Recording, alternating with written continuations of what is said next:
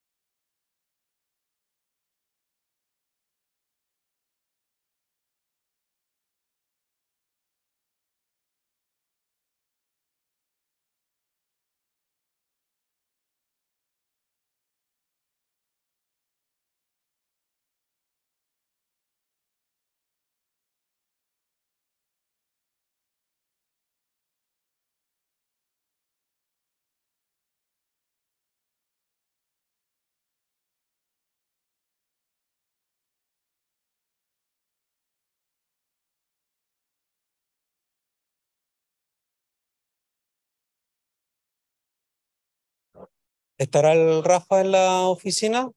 Probando audio Sala Previch. Te escucho fuerte y claro, Jorge. Muchas gracias. Muchas gracias.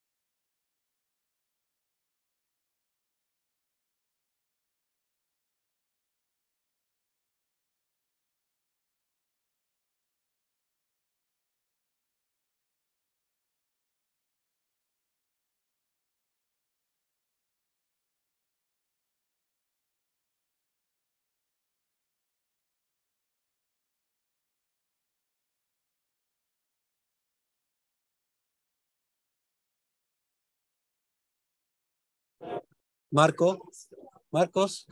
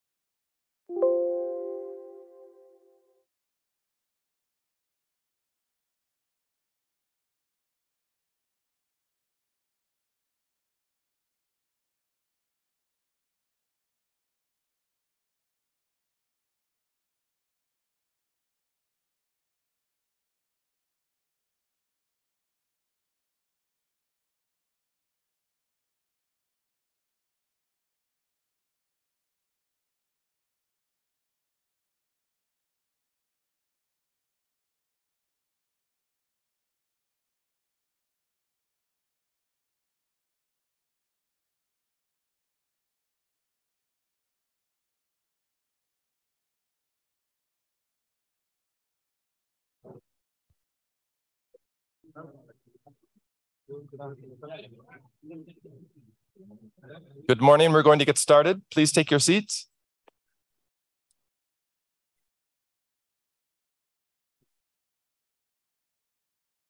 Good morning, ladies and gentlemen. On behalf of the organizers, I wish to welcome you to the third edition of the International Forum on Migration Statistics. For those who may not know me, I am John Wilmoth, Director of the Population Division of the United Nations in New York.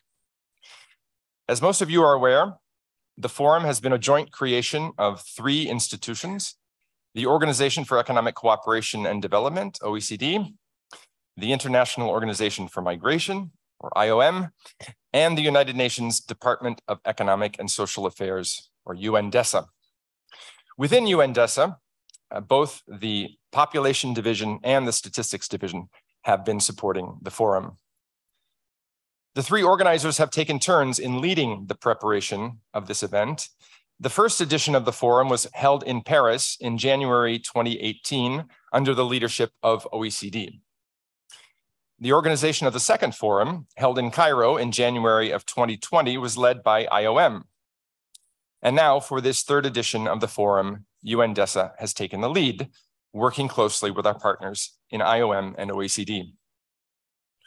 On behalf of the organizers, I wish to sincerely thank our host institution, the United Nations Economic Commission for Latin America and the Caribbean, or UN-ECLAC, which has kindly welcomed our community and provided this lovely space for our meeting. To open the forum, we will hear first from our host, represented by Mr. Simone Cecchini, Chief of CELADE, the Population Division of UN-ECLAC. Mr. Cecchini, you now have the floor. Thank you, John. Uh, Ms. Sandra Quijada, Director of the National Statistical Institute of Chile, Mr. Antonio Vitorino, Director General of the IOM, Mr. Stefan, Director of the Employment, Labor and Social Affairs Directorate of the OECD. Ladies, and gentlemen, on behalf of the Executive Secretary of the ECLAC, uh, it is an honor to welcome you all as host of the third International Forum on Migration Statistics, whose organization has been led by the United uh, Nations Department of, for Economic and Social Affairs, DESA, through the Population and Statistics Division, in partnership with the Organization for Economic uh, Cooperation and Development, OECD, and the International Organization for Migration, IOM. This international forum brings together producers and Le Forum international réunit des producteurs et statistical offices, other government agencies, international organizations, academia, civil society, and the private sector from different corners of the world. It provides a unique opportunity to discuss ways to improve the collection, analysis, and use of migration data, to fill existing migration data gaps, and ultimately to inform better policy making.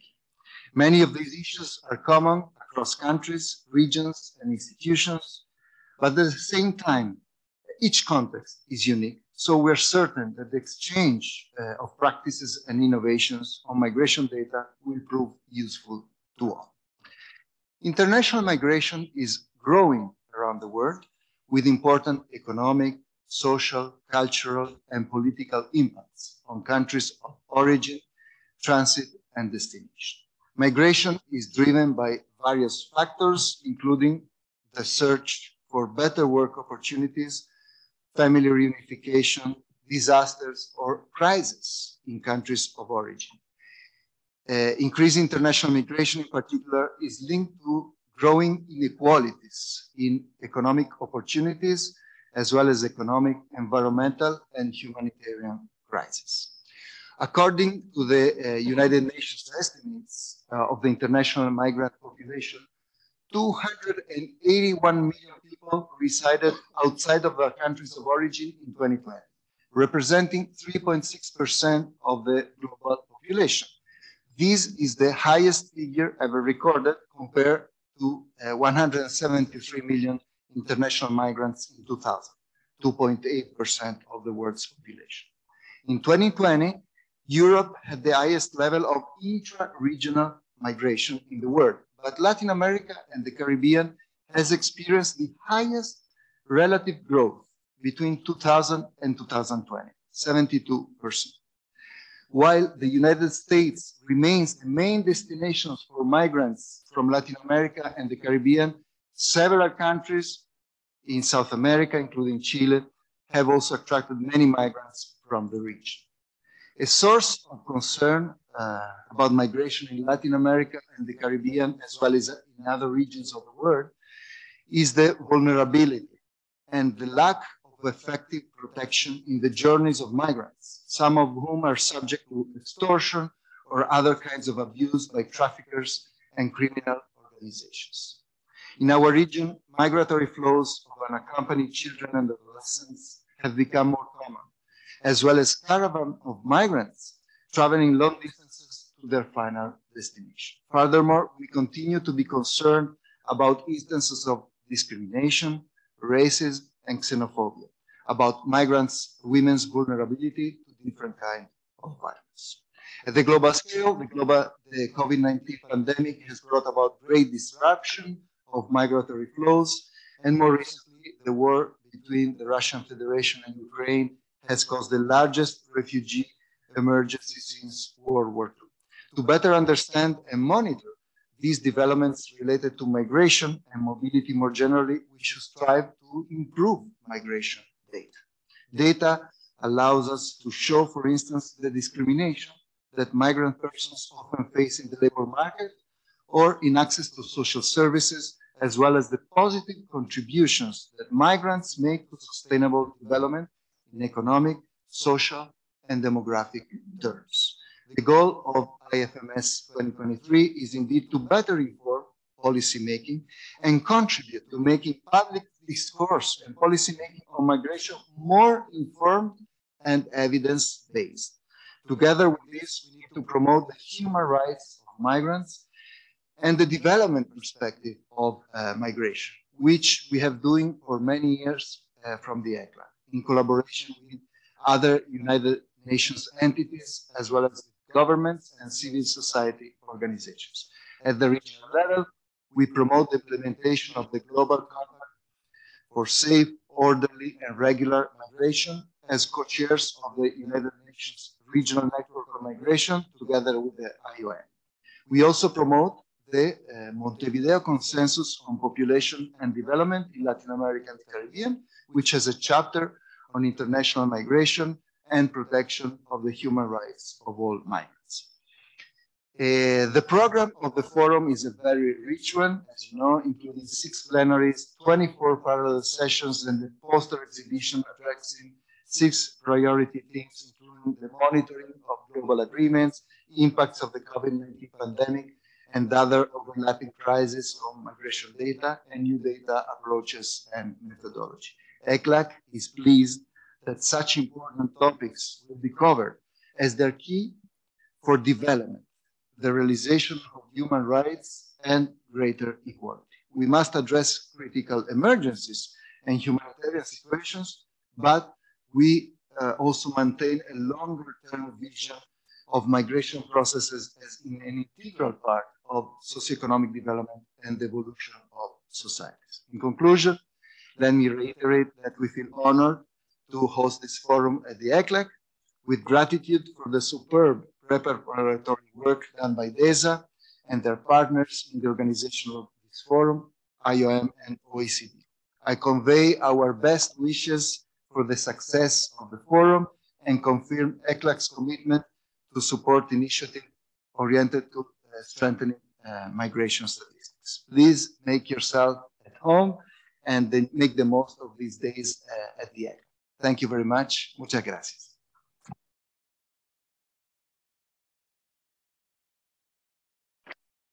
Thank you, Simone. I think that provides an excellent introduction to the substance of the meeting. Uh, but let me now give the floor to Ms. Sandra Quijada, uh, Director of the National Statistics Institute of Chile.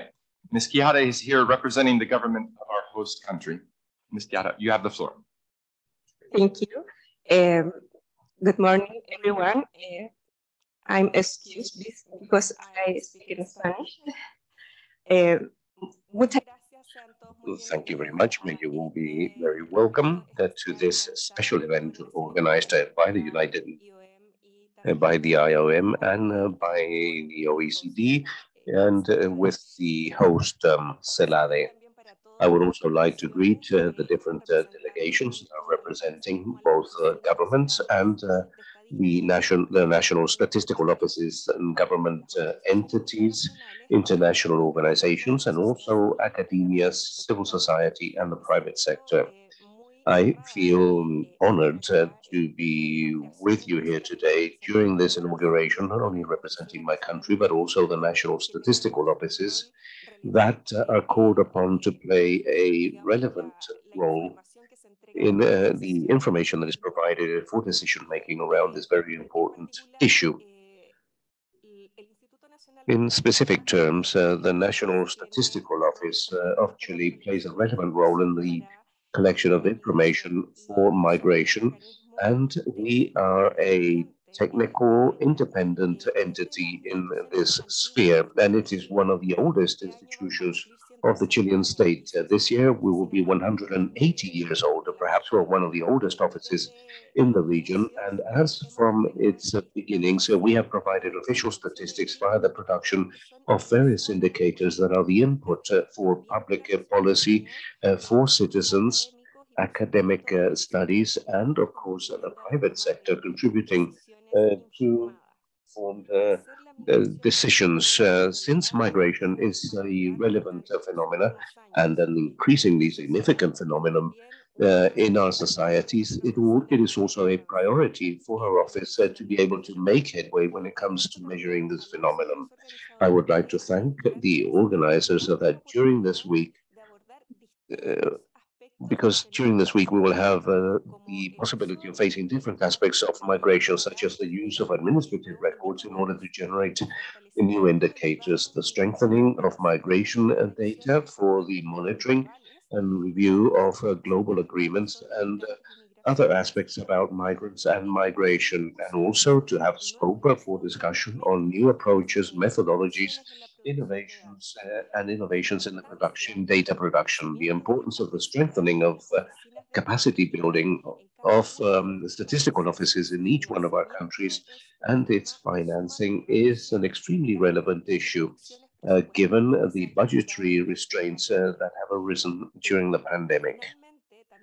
Finally, we will also have the possibility of uh, um, getting to know different experiences in the communication of data, the way in which, in which they are viewed, and dissemination among public opinion, which is extremely, is increasingly relevant, and which is a stakeholder that is uh, very closely linked to these issues. Uh, the increasing importance of migration in uh, the evolution of societies uh, from a demographic uh, perspective is undeniable. The UN estimated 281 million people living in a country that is different to their country of birth in 2020, a figure that uh, is greater by is 228 million greater than in the 90s and uh, increases uh, is a threefold increase uh, from the 90s by far.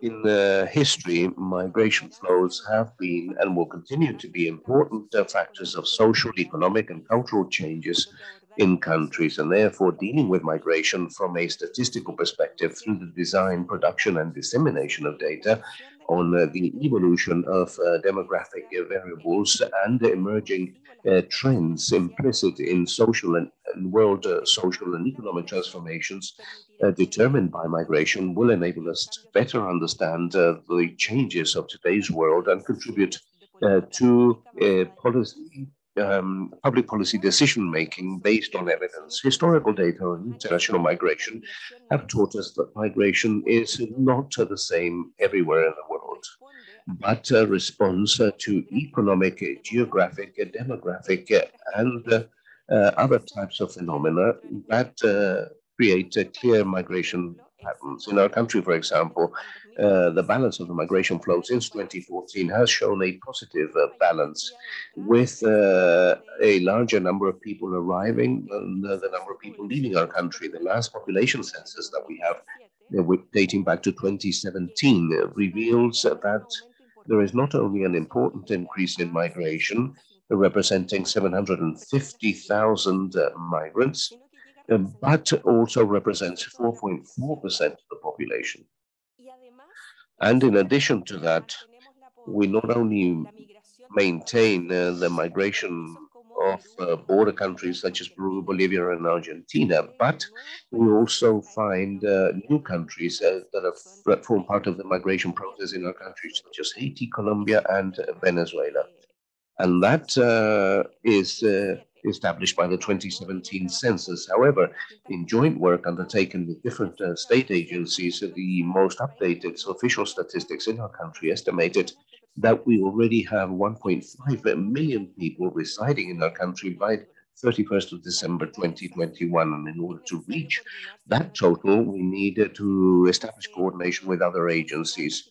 We need uh, national statistical systems to work. In our case, uh, we have received the collaboration of the National Migrations uh, Service, uh, the collaboration of the Ministry of Foreign Affairs, uh, of the police and of the civil registration service. As every year, we can provide estimates of the number of migrants living in our country that have uh, entered uh, our country uh, formally uh, and not via uh, illegal border crossings. And that is a challenge that our countries still have to deal with.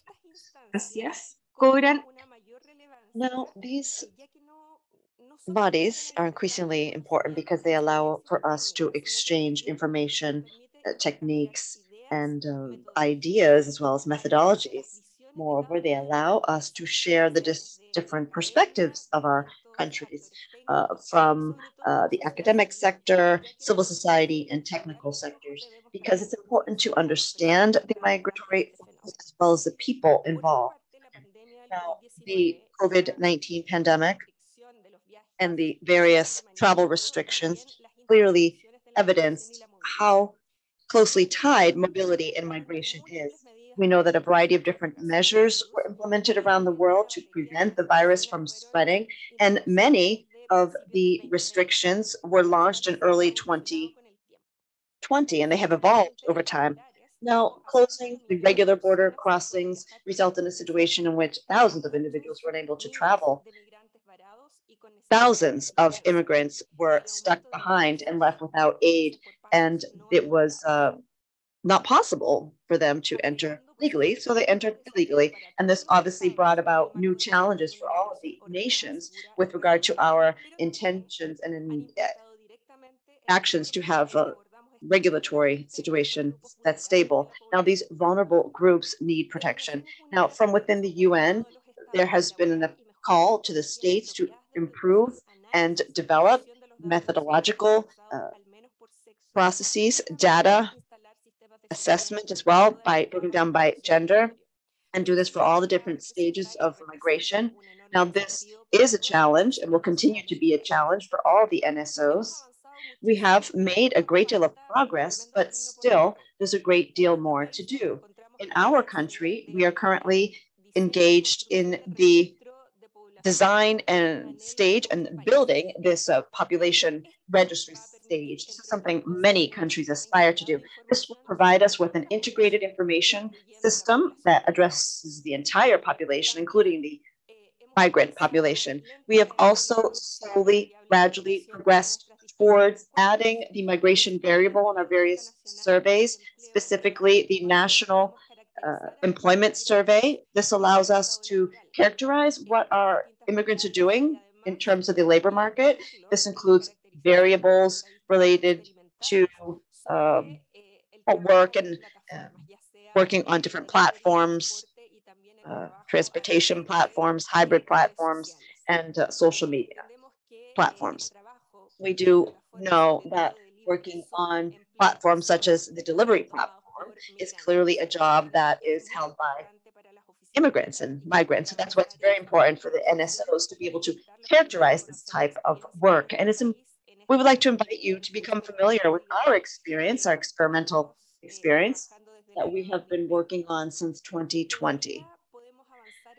We believe we can still make progress with regard to current statistics. For example, we can improve information integration and coordination systems among the various state agencies. Moreover, we would like to foster the work of our immigration panel and bring this up to the level of a migratory statistics subcommission so that we can agree upon technical guidelines with regard to our actions to foster an interoperable system and a cooperative system. Moreover, we would like for this to meet the information needs related to the 2030 agenda. Now, we know there are a variety of different areas of work that uh, we are focusing on, and we would like to thank the various UN agencies for their guidelines and their support in allowing allowing all of our countries to standardize what we do with regard to migration policies. And we are truly appreciative of the interagency, interdisciplinary work. We know that this will allow us to move forward and tackle this significant challenge. Prior to concluding, I would like to wish you all a very fruitful event. Let us share experiences and knowledge. And again, I would like to thank the organizers for holding this event. Thank you.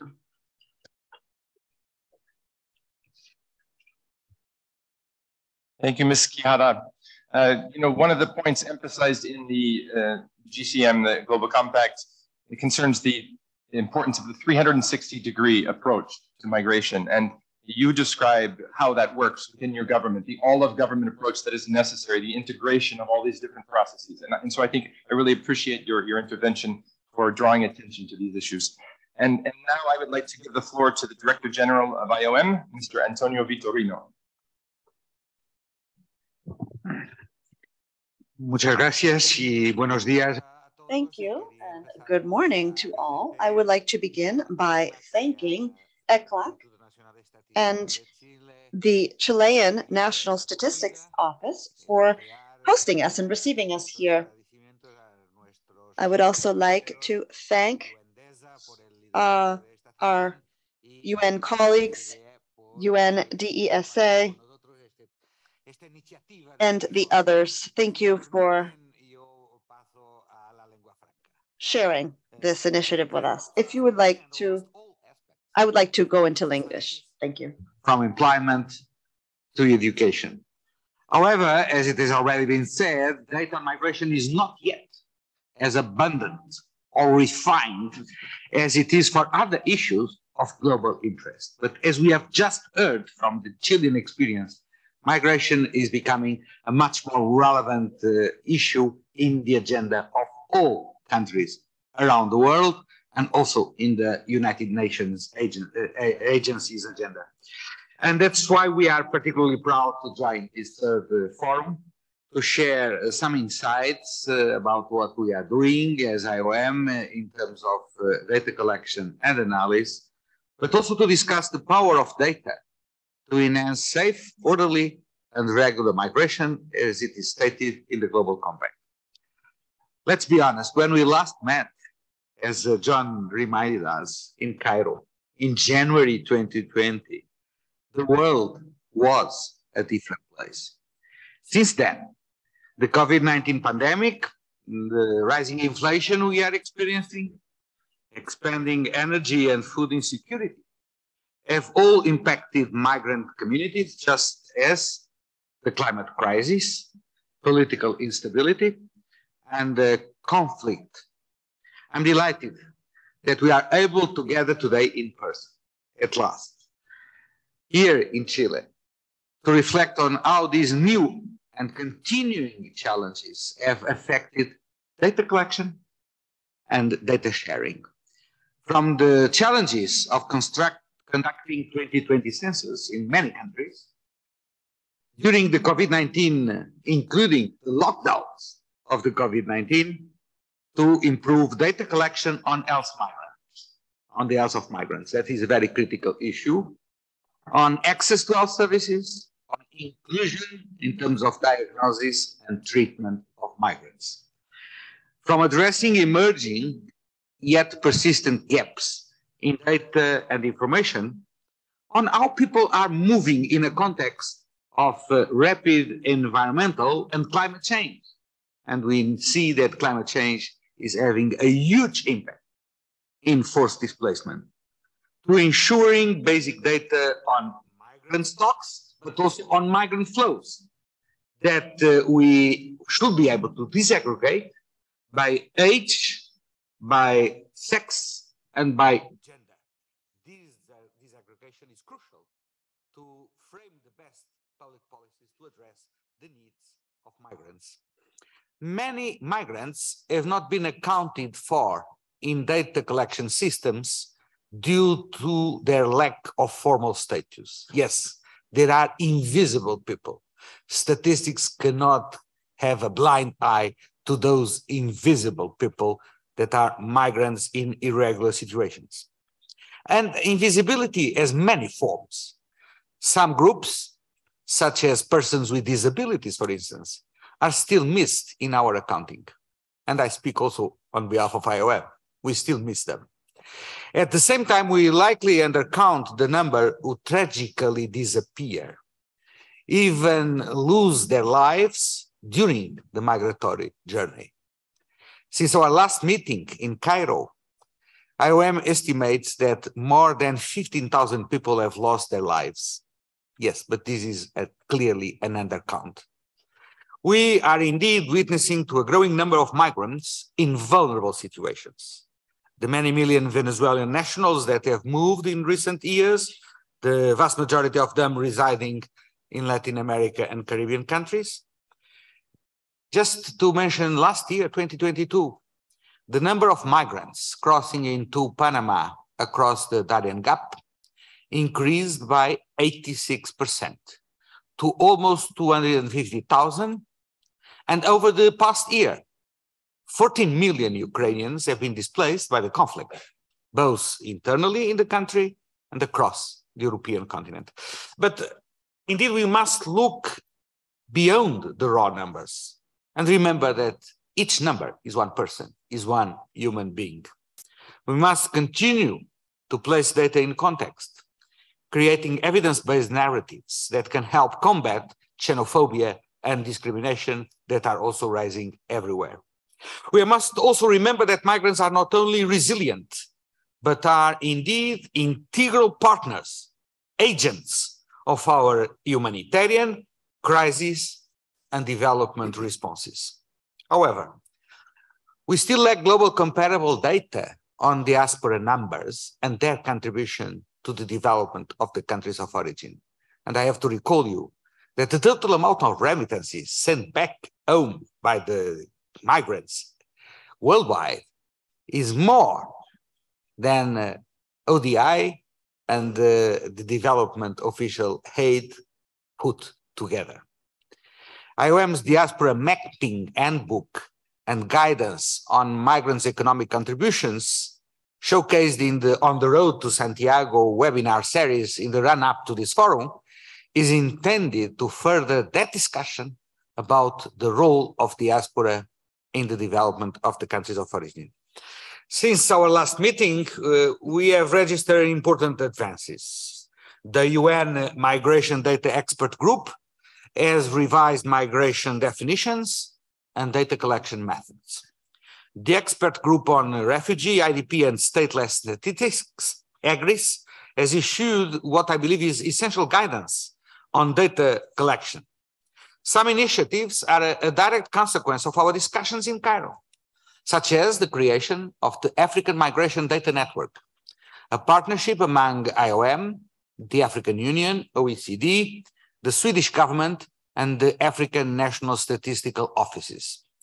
And I believe that we must continue to press to establish collaborative approaches and facilitate uh, uh, these with common standards.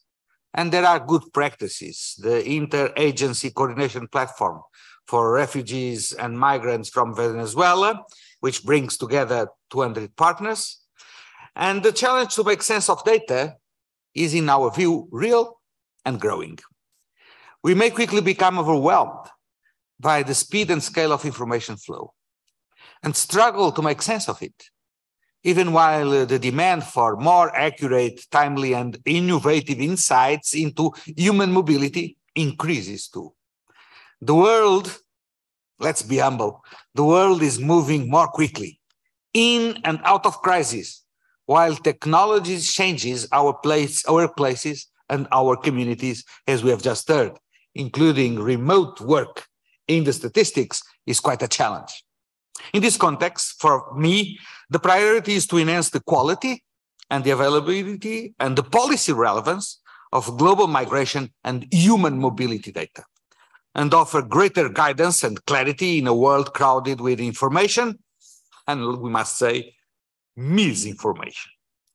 Core to this is uh, what we have just done in IOM, the Global Data Institute, based in Berlin, bringing together our capabilities on migration, displacement, and on uh, supporting member states with capacity building. And uh, we want to expand our capacity to contribute to humanitarian responses through the displacement tracking matrix that today informs 84% of all humanitarian response plans of the United Nations. But we also need to recognize that there is a work to be done to strengthen our data analytics, including predictive analytics and data capacity development through partnership with key stakeholders in the academy, in the private sector, in the civil society. And we have invested in regional analysis through nine dedicated regional data apps. Migration is its time more and more, not a statistic, a static issue, it's a flow issue. And we need to have a regional approach about migration routes. And of course, we will continue to try to innovate as much as we can using Wi-Fi analytics, which has proved to be very interesting. Wi-Fi analytics in Colombia, for instance, based on internet access points where migrants connect for data collection to better understand migrants' needs. I can assure you, migrants nowadays, they may lack many things, but they all have a smartphone with internet connection and geolocalization.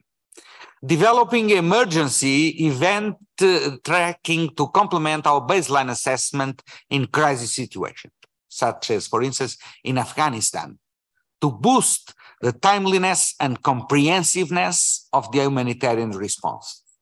And using computer assisted telephone interviews, for instance, that's what we do in Ukraine to collect data on the situation of the almost 6 million internally displaced people because of the war, identifying their most urgent needs and not irrelevant, their mobility intentions to prepare and to be able to address their needs once they move. And we work closely with Microsoft Research to, pub, to publish synthetic data sets based on our counter trafficking data collaborative uh, project, which ensures the privacy of data, but allows the inter international community to know what are the trends of trafficking in human beings.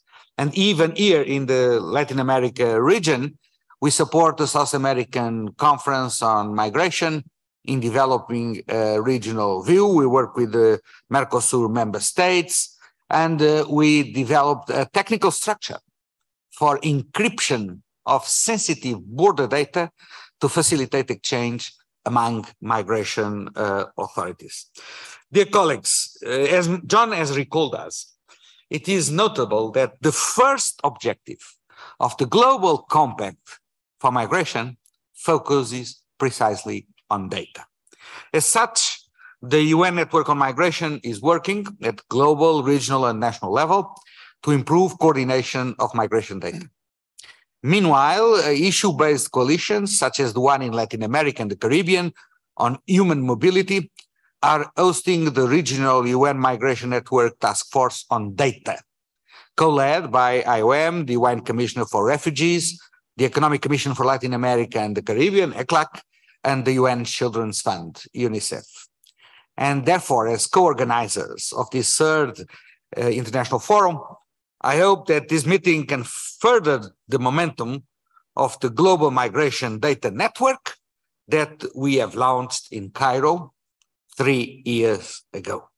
In addition to global cooperation, we hope to strengthen the work of the network of uh, data focal points of national statistic offices in Latin America and the Caribbean, as we have just heard, based on a working group led by our partners ECLAC and UN DESA in the framework of the Statistics Conference of the Americas. To conclude, I'm grateful to all of you here for your attendance to this meeting, for your commitment, whether in person or online, to this important series of discussions. And my particular thanks goes, of course, to our great partners in the UN DESA and in OECD, who continue to strengthen this partnership with uh, their commitment and their expertise. The preparations of this forum started, I recall, more than a year ago, and all three themes, teams have worked extremely hard to ensure we have a successful meeting. I want to thank all the teams involved, and of course, I wish you all a very fr fruitful discussion. Thank you.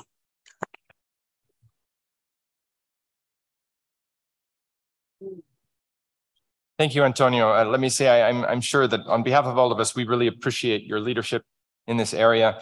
Your comments point to first the considerable vulner vulnerabilities that are faced by migrants, but also to the contribution that migrants make as agents of development. And in that context, the importance of data to improve understanding, to counter misinformation, and to guide action. And so I really appreciate what you've said. And uh, we now turn, last but not least, we turn to uh, Mr. Stefano Scarpetta, who is the director of the Employment, Labor, and Social Affairs Directorate of OECD. Muchas gracias and buenos días a todos y todas. Uh, dear Director Quijada, uh, Director General Vitorino, dear Antonio, Director Wilmoth, dear John, Population Development uh, Director Cecchini, distinguished participants, uh, ladies and gentlemen. Let me start by one point that was uh, certainly highlighted by all the speakers, migration is definitely an integral part of our life. When we look at the statistics at the OECD in 2021, the foreign-born population living in OECD countries reached 138 million. This represents a 33% increase uh, since uh, in the past uh, 15 years. And indeed, this trend uh, is there to stay. In 22 alone, the OECD counted 4.8 million new permanent migrants, and over 5 million people sought refuge in OECD countries following the unprovoked war of aggression of Russia against Ukraine. Migration is indeed an integral part of the social and economic life of our countries, as Antonio Vitorino stressed, but we need to do more, much more, to actually build the database, the information set to guide policies. By monitoring all aspects of migration, we can design better evidence-based policies that make the most of migration from the country of origin, for the destination countries, but most and foremost uh, for the migrants themselves. Indeed, the International Forum on Migration Statistics, thanks to all of you, plays a crucial role in this. The forum is not just an opportunity for national and international statistical offices government agencies, international organizations, academia, civil society, and the private sector to exchange on migration measurement systems. It is also a network of actors who share a common goal of improving migration statistics. And uh, let me stress that OECD, together with our partner IOM UNDESA, is fully committed to the, uh, this partnership and uh, um, with the objective, again, to improve uh, migration monitoring and to support the global compact on migration. Uh, much has been said already, but let me just point on three elements which, in my view, are particularly important for our discussion during this uh, uh, forum. First, it is essential that we keep improving the monitoring of migration flows. Uh, probably some of you know the OECD International Migration Outlook is one of the most long-lasting uh, flagship publication of the OECD, we celebrated last year the 46th annual edition, and our regional monitoring system in Asia and Latin America enabled us at OECD to monitor migration flows in about 80 uh, countries worldwide. But we cannot rest on this. We need to continue investing in our monitoring system to ensure that these systems are responsive to shocks. And unfortunately, we have seen several shocks in our global economy but also they are future ready. I think Antonio made an important points about how the technology, the digital technology can be an enabler of making progress in this space. Since the last International Forum on Migration Statistics in January 2020, of course, uh, uh, our global economy has been affected by two major unprecedented shocks, the COVID-19 pandemic and the Russia war of aggression against Ukraine. And these have changed the world in which we live. The pandemic brought international movement to an unprecedented halt in 2020, disrupting migration plans and leaving many migrants unable to return to their countries of origin. The pandemic also brought to light the crucial role of migrants in the, our labor markets. The statistics suggest that 16% of migrant work are frontline workers. And we all know how much we do to the frontline worker who have been able to keep us going while many of our countries were facing significant uh, lockdown. And this compared to a 13% among the native born population. But also one in six doctors in OECD countries studied abroad. Of course, the Russia of aggression in Ukraine is first and foremost a tragedy for the Ukrainian people, but also, as we know, has led to the largest wave of refugees in Europe since World War II. The latest statistics we have from November of 22 suggest that about 4.7 million refugees went from Ukraine and registered for temporary protection in, Europe, in the European Union.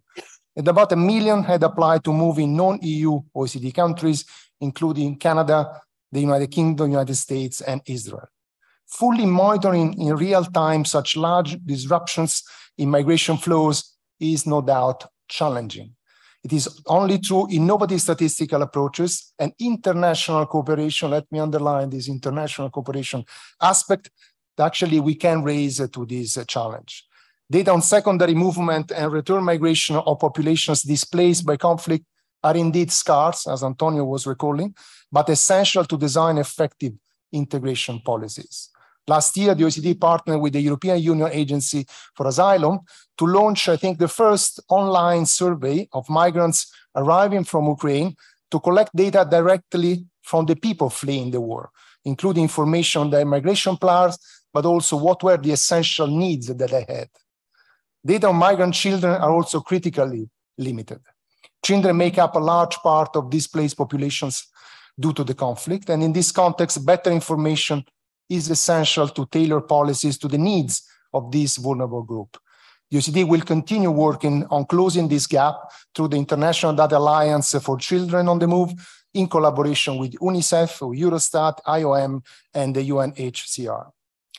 Looking ahead, we also need to ensure that our monitoring systems are ready to capture new forms of mobility, such as the digital nomads or migrants commuting from country of residence to country of work we see more of these flows.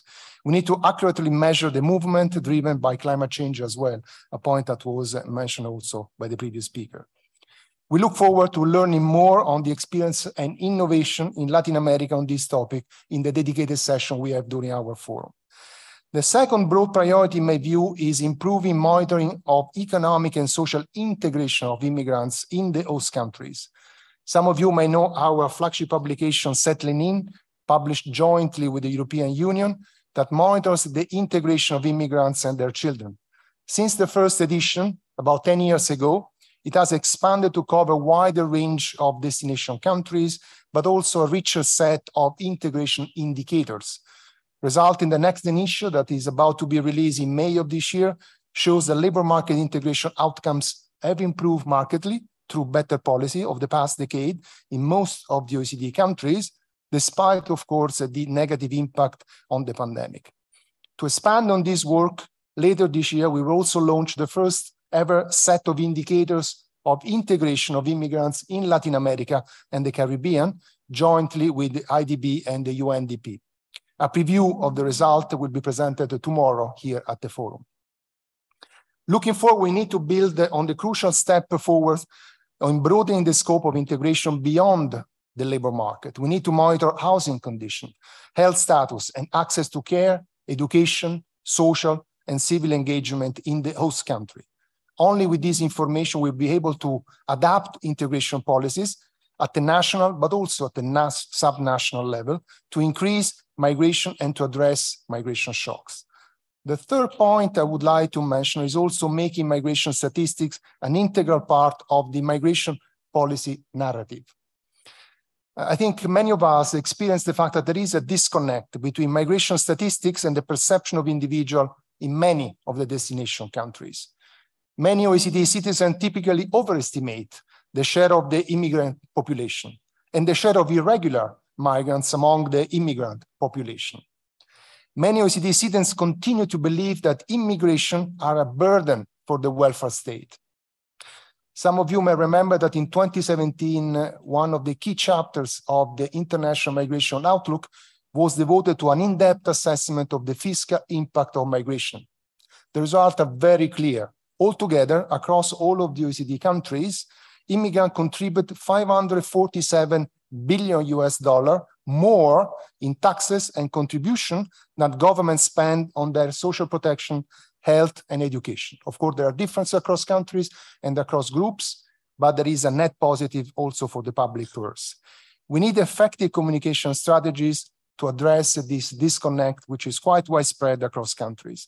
But we also need to acknowledge that the statistics we produce do not always capture the full reality of migration and fail to address some of the concern, legitimate concern that the public uh, opinion definitely has. More need to be done to capture irregular, irregular migration and some form of temporary labor migration, which a blind spot in the traditional statistics. Ladies and gentlemen, the first edition of the International Forum Migration Statistics, as John recalled, was in Paris in 2018. We then traveled to Cairo in 2020, and now we are in the beautiful Santiago. The OECD is delighted to host the next session with our partners of the forum in 2025. I'd like to take this opportunity to thank warmly our partners, the IOM UNDESA, with which we have co-organized this event, and of course, ECLAC for hosting the third edition of the forum. Let me conclude by quoting Gabriela Mistral, the first Nobel Prize winner for literature from Latin America. She famously said, tengo un día, si lo sé aprovechar, tengo un tesoro. I have a day. If I know how to make the most of it, I will have a treasure. With that in mind, let us make the most of this today of the forum, and thank you very much for your attention.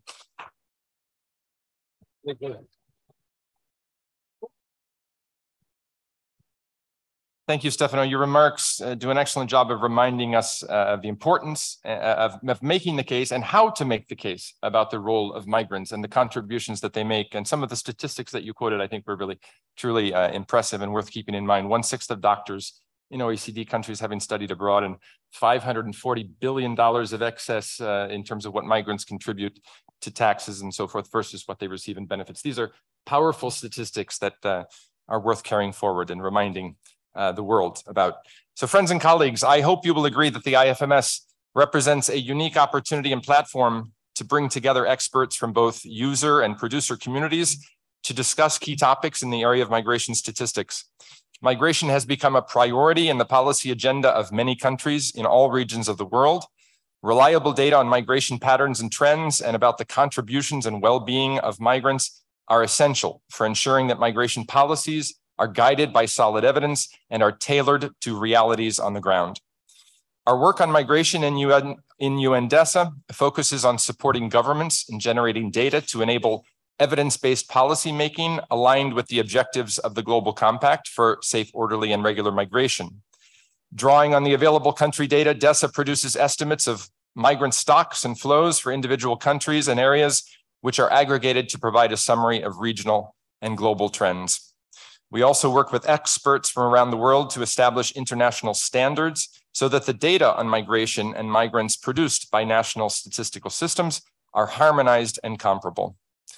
Also, as part of the UN Secretariat, DESA continues to support intergovernmental discussions of migration issues, including for the negotiation of resolutions adopted by the General Assembly or by the Economic and Social Council and its subsidiary bodies.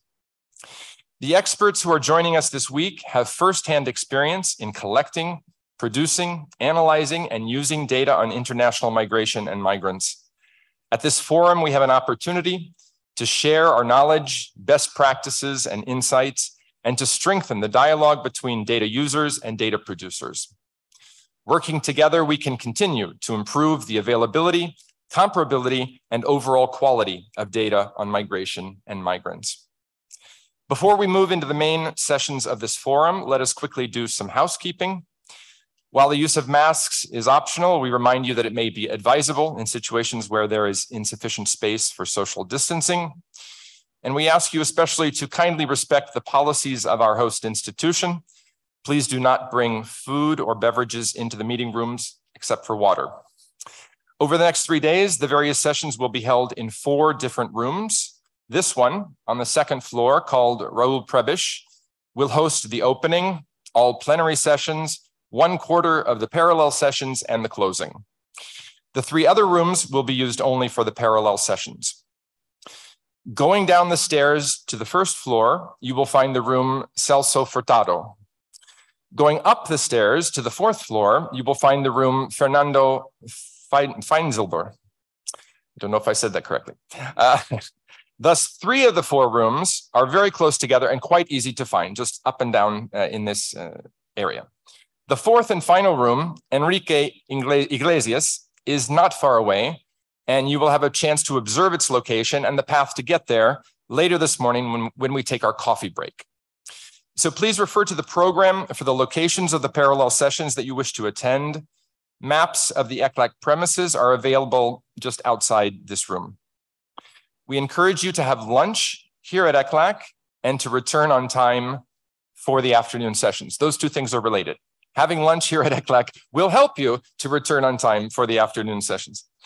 On the first floor, you will find both a coffee shop and a canteen offering a variety of options. I would like to thank all of our panelists and other participants, uh, both those who are here with us in Santiago and those who are watching online. I look forward to many fruitful discussions over the next three days. Thank you very much. All right.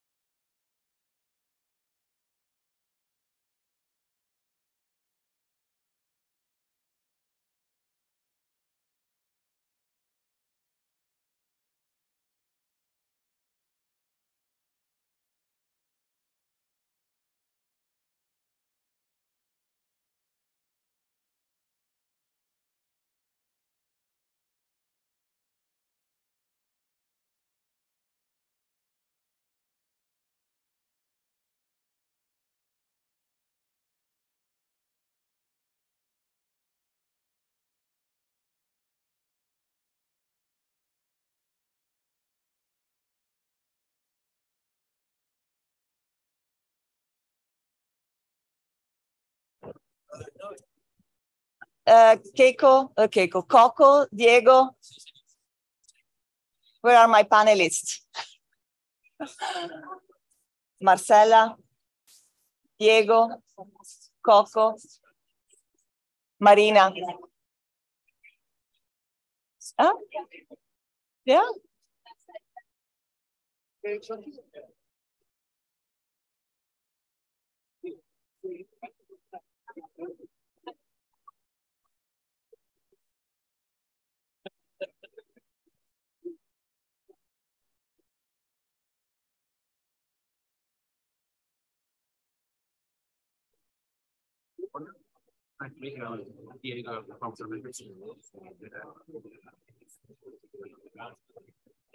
Catch up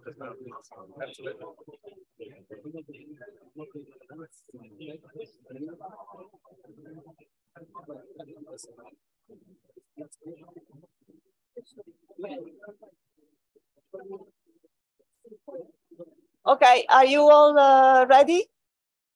Are we ready on the panel? Yes. Dear colleagues, if you can take your seat, please. Thank you.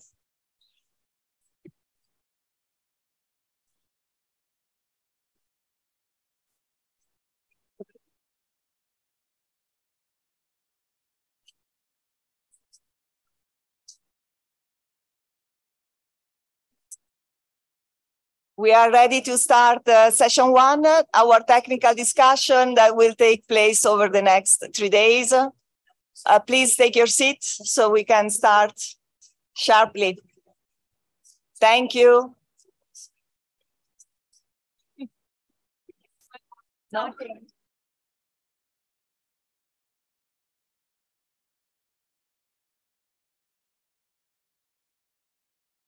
Okay, a warm welcome again to the third International Forum on Migration Statistics. Uh, greetings also to colleagues and participants following us uh, online. We are very happy to have you with us. I'm uh, Francesca Grum. I'm Assistant Director at the United Nations Statistics Division in New York, where I lead uh, the demographic and social statistics programs. and it's a great uh, pleasure to be uh, with you all uh, and with our experts panelists for session one, where we will talk about uh, strategies and solutions to uh, improve uh, and strengthen migration data for the follow-up and review of global agreements. Um, we will talk about data requirements, existing data gaps uh, for monitoring uh, progress uh, on global commitments, uh, of course, on international migration. in particular, we will talk about data requirements in the context of the 2030 Agenda for Sustainable Development and its SDGs, as well as data requirements uh, for the monitoring uh, of the Global Compact uh, for safe, orderly, and regular migration, or GCM. Um, I believe that the discussion uh, will be very interesting uh, because uh, we will talk about challenges faced by data producers at the country level, but we will also talk about potential solutions and lessons learned uh, on how to ensure that countries have the information base, uh, the data, high quality data, timely data, granular data that are needed at the country level in order to inform uh, national priorities and migration policies, but also uh, the required data to um, measure and monitor uh, these landmark international agreements uh, um, adopted by UN member states.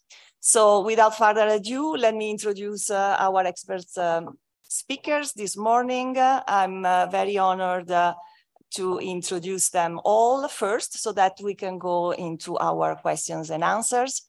We have prepared a couple of questions and uh, we hope that we'll have enough time uh, to uh, go through both of them. And then I still hope uh, we are running a little bit late, but I hope uh, we'll have uh, the opportunity to get some feedback from the floor. So pay attention and get ready to ask questions to our panelists.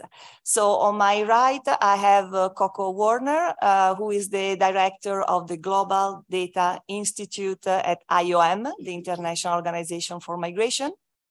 Uh, she has a lot of experience, uh, including uh, 16 years uh, working at the United Nations uh, in different capacities. Um, she has uh, experience in research on climate change and migration and climate risk management um, at the United Nations University. she also worked at the Secretariat to the UN Framework Convention on Climate Change. Thank you, Koko. Um, we have uh, Mohammed uh, next, uh, next to Koko. Uh, Mohammed Mogari, uh, he's the regional director of the High Commission for Planning of Morocco. Uh, is the chair of a technical group for the harmonization of international migration statistics at the African Union. And in Morocco, he is responsible for all official national surveys on international migration. Thank you for being with us. Um, next to Mohammed, we have Diego Iturralde. Uh, Diego is the Chief Director for Demography and Population Statistics at Statistics South Africa. Uh, is responsible for population estimates uh, published by his organization, as well as uh, uh, analysis and research uh, on related topics, um, including mortality, fertility, and migration. Diego is also very active at the international level and the regional level, uh, working with many entities, uh, including uh, the UN Statistics Division, um, the International Organization for Migration, UNICEF, the African Union, and the African Migration Data Network. Thank you, uh, Diego. And uh, we have Marcela, Marcela Cerrutti, uh, is a member of the National Council for Scientific and Technical Research at the Center for Population Studies uh, in Argentina, and is a full professor at the National University of San Martin. She is also a member of the scientific panel on international migration of the International Union for the Scientific Study of Population, or IUSSP.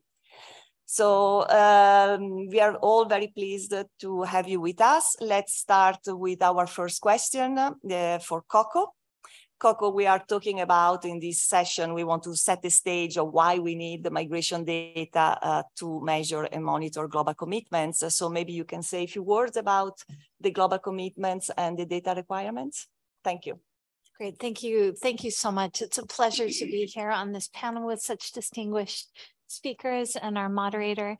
Um, and as this is the first time that I've had a chance to say good morning, I wanted to extend a thank you to the organizers um, of IMFS, DESA, and OECD for the excellent partnership, also with IOM, and of course to ECLAC or CEPAL for hosting this event and bringing us all together. It's a privilege to be in this room with you. A colleague of mine described you as the creme de la creme of the statistics, at least the statistics community worldwide. And um, whatever we can do to get behind your efforts, um, just let us know. I hope we can continue those partnerships.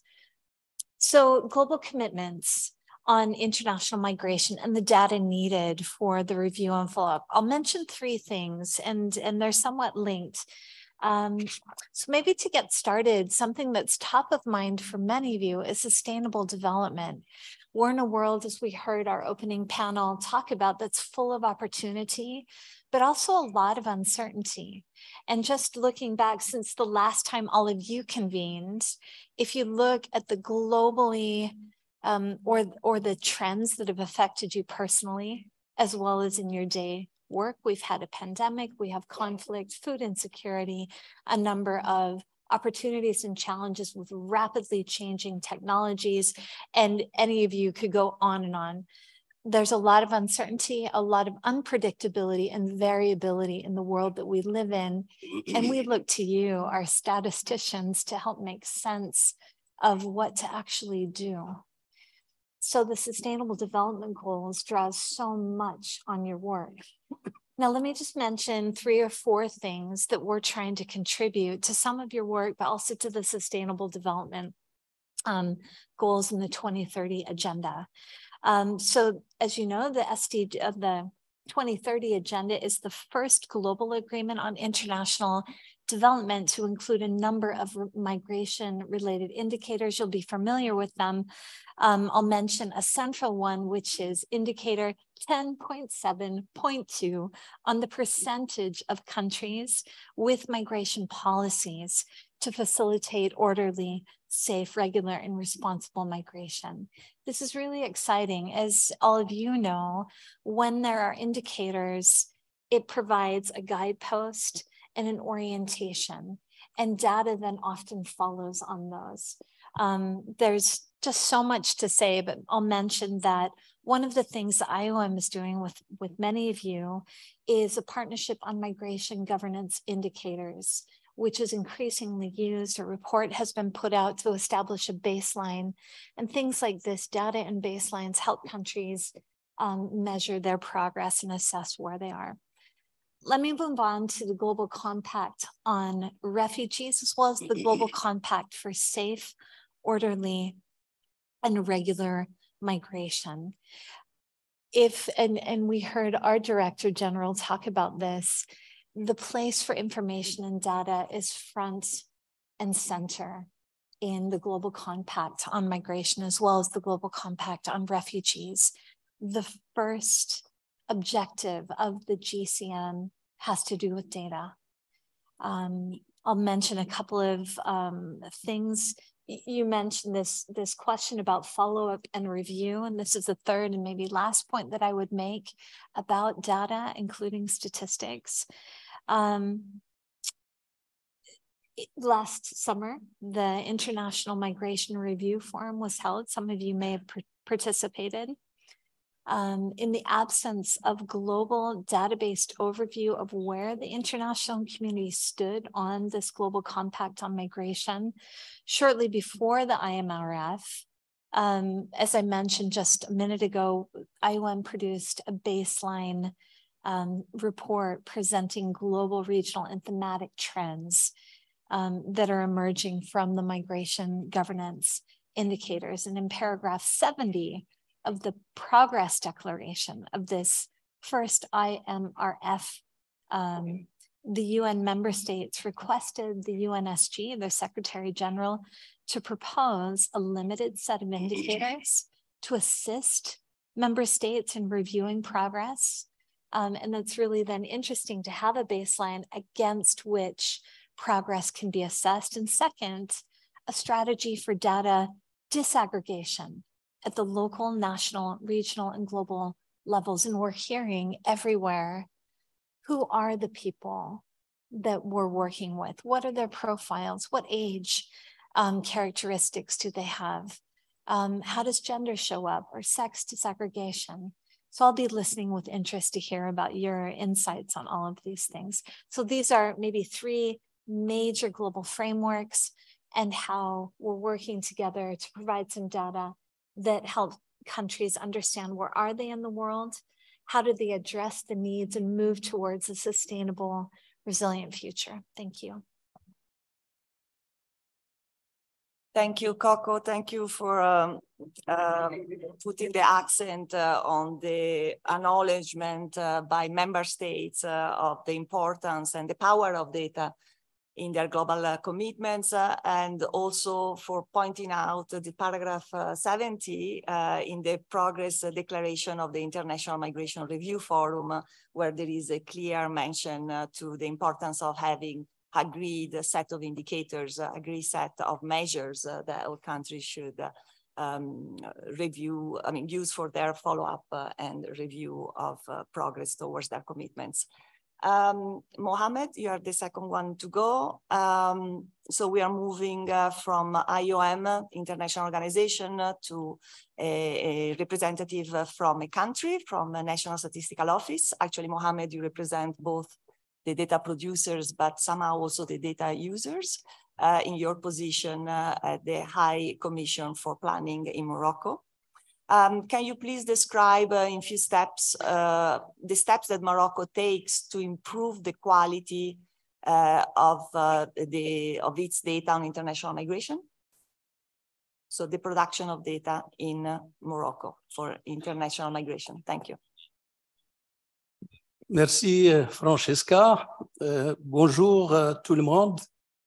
C'est un plaisir pour moi de partager avec vous l'expérience du, Maroc et plus particulièrement du, Haut Commissariat au Plan, qui est le, principal organe de, collecte d'informations dans tous les domaines au Maroc, et de, partager avec vous justement les, récents progrès qui ont été réalisés en matière de collecte, that has been achieved in uh, analysis and dissemination of data on mi- international migration uh, in a country from the southern hemisphere, such as uh, Morocco. Morocco is not only a one of the four countries which was uh, which reached the quarterfinals of the World uh, Cup, but it's also one of the four countries in the implementation and principles uh, and uh, recommendations of the objectives of the World Agreement on International Migrations uh, for a regular and safe uh, migration adopted in Marrakesh in 2018.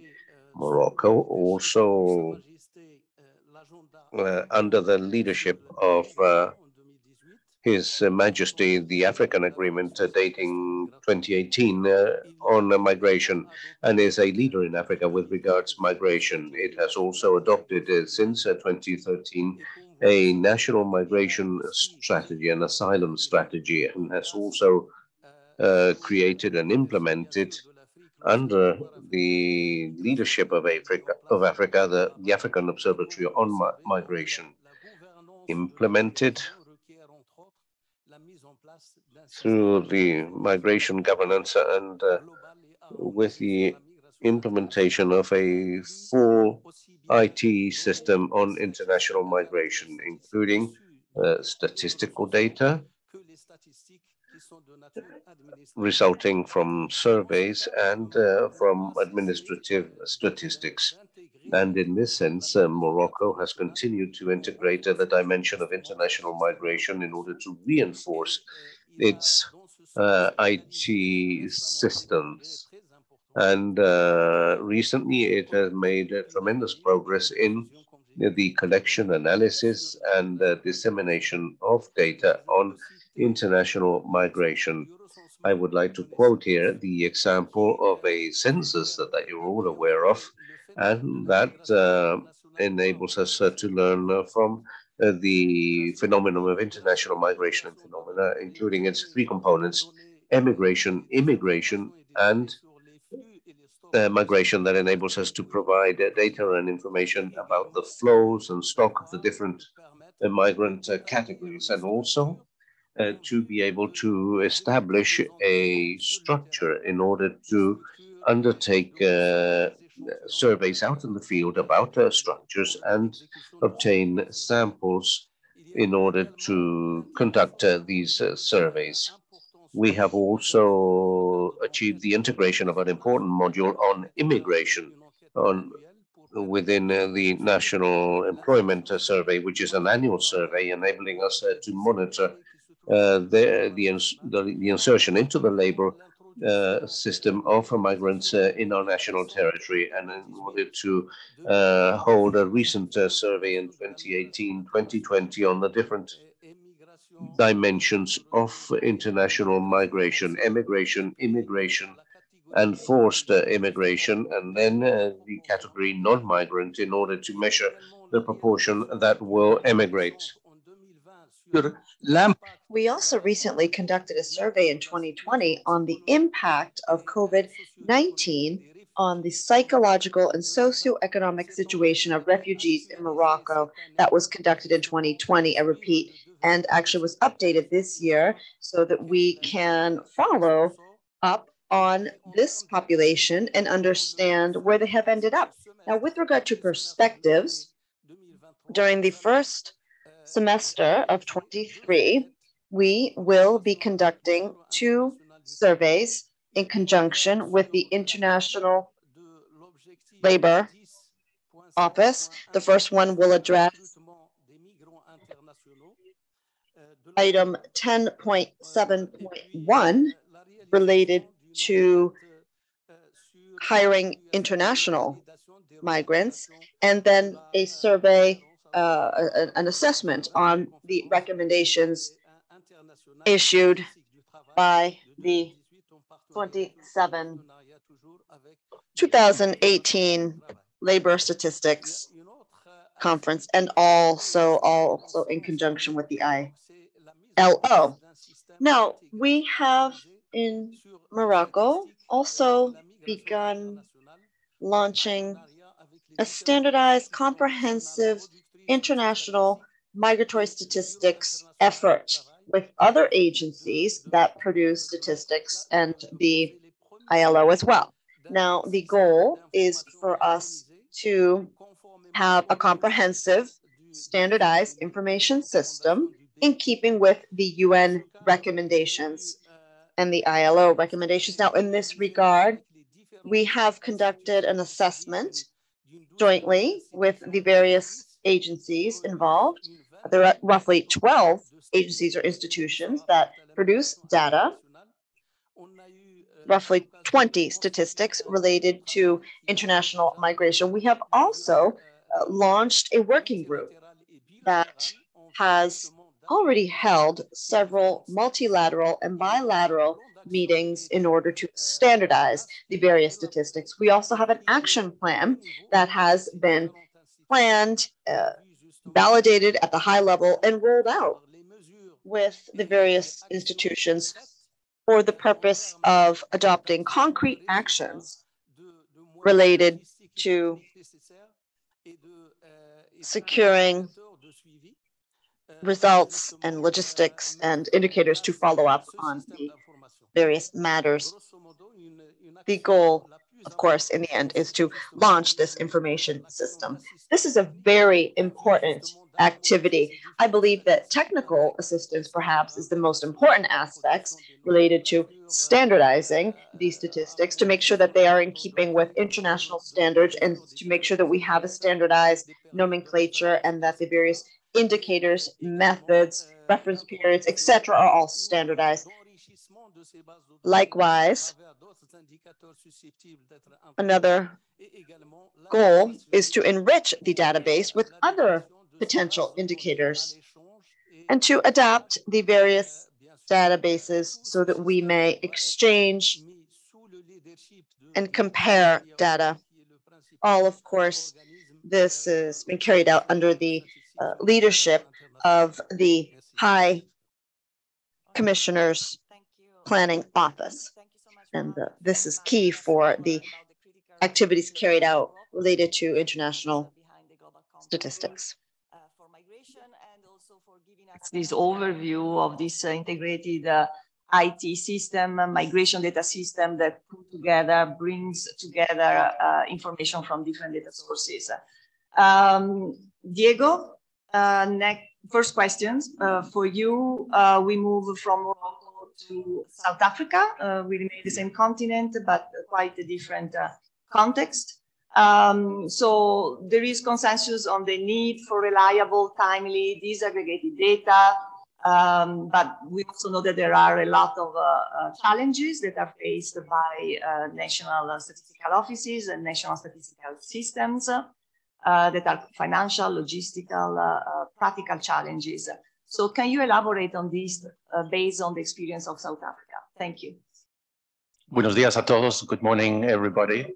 Thank you um, for organizing this session and for including me in it. Uh, the, key organizers. Um, I think when, when we when we consider the question at hand, it's, it's, it's important that we use all types of available data. Um, that we we uh, take advantage of the data ecosystem uh, that we have and not just to rely on one particular source, such as the census, a survey, and administrative records or big data, but all of them. All parts should contribute in a synergistic manner to the production of required data and indicators with a clear understanding of the strengths, weaknesses, and limitations. In uh, South Africa, Statistics South Africa's strategic vision is that of improving lives through data ecosystems. And very explicit initiatives are being made to enhance migration measurements in all parts of the ecosystem. Secondly, we need to look at investment in data. Investment must be made in data sources that are lacking Um, to this day, many countries still do not have basic up-to-date information on the number of international migrants in their countries by age and sex. Population census are critical in this respect. It's also important to invest in administrative data, um, as well as exploring opportunities around big data and AI. Um, data will unfortunately not just appear because it is demanded of us, in South Africa, further exploration into the use of administrative data is being done, as well as how to improve its uh, quality.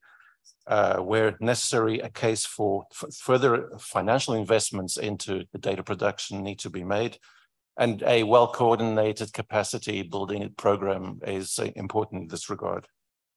Thirdly, um, data sharing and access is really important. It's a, a key aspect of the production of of uh, migration indicators or the sharing of data that are produced by line departments such as health, education, home affairs, justice, or labor with statistical officers for the um, purpose of uh, quality assessment and, and, and aggregation to required levels, as well as the publication thereof.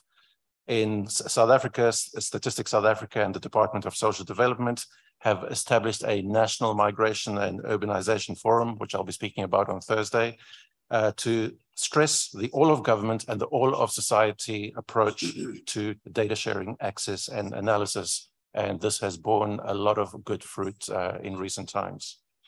Finally, uh, there need to be clear and agreed outputs in terms of um, indicator collation. South Africa has established an integrated indicator framework, IIF, which combines the indicators required for the SDGs for, for Vision 2063 of the African Union and our own National Development Plan. And most certainly will, will include the indicators from paragraph 70 of the IMRF.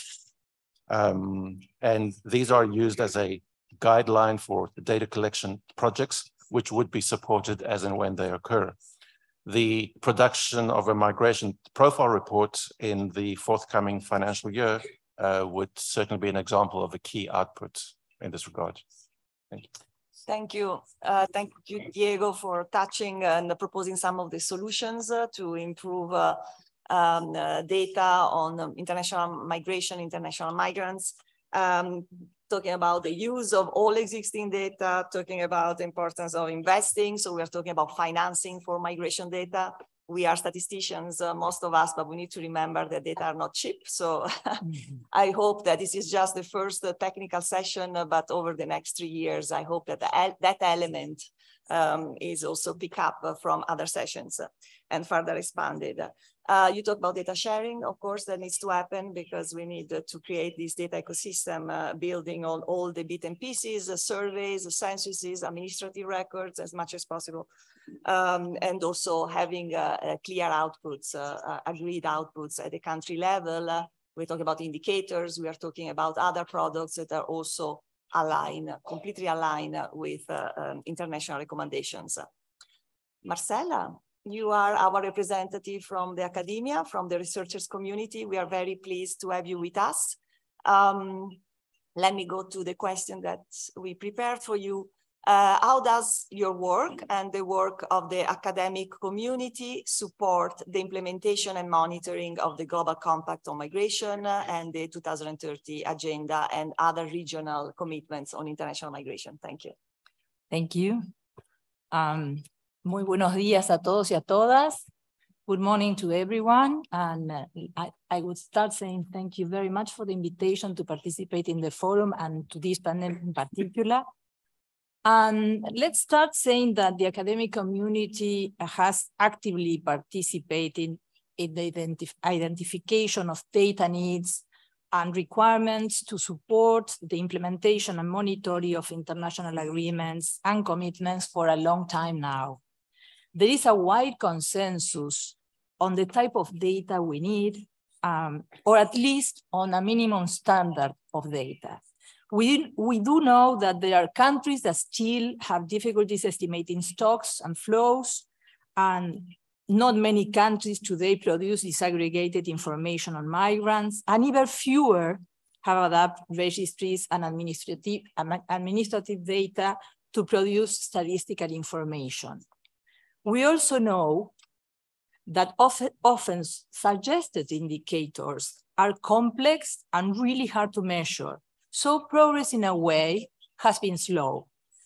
Um, so a fundamental question, uh, an apparently naive question uh, that affect the data production process is what is the purpose of having timely and reliable data on migrants and migrations? Who really needs the data and therefore is commit, committed to produce it and to use it for policy design, implementation, and evaluation? We are living in an era that uh, is obsessed with data, but at the same time is less respectful and of sounded empirical evidences. So there is no doubt that the academic community is certainly interested to advance knowledge on migration, and for doing so, we need better data. We also know that international organizations are interested as well and are willing actually to promote it. So the question is, what are these bottlenecks that in the data production process? And I think that academia may have something to say. Um, we cannot, we should not only collaborate on substantive and technical aspects of the data production and dissemination, um, but also to understand why this process has been slow. Various aspects might operate as barriers, and we should think thoroughly about them, as the lack of political will uh, and commitment. I mean, what is the place of migration in government agendas, weak institutional capacities or technical expertise, and I think that lots of advances have been made in, this, in that area, matters of internal organization of states, such as low predisposition for cooperation and coordination among government branches. In a few words, uh, national statistical offices cannot do it all.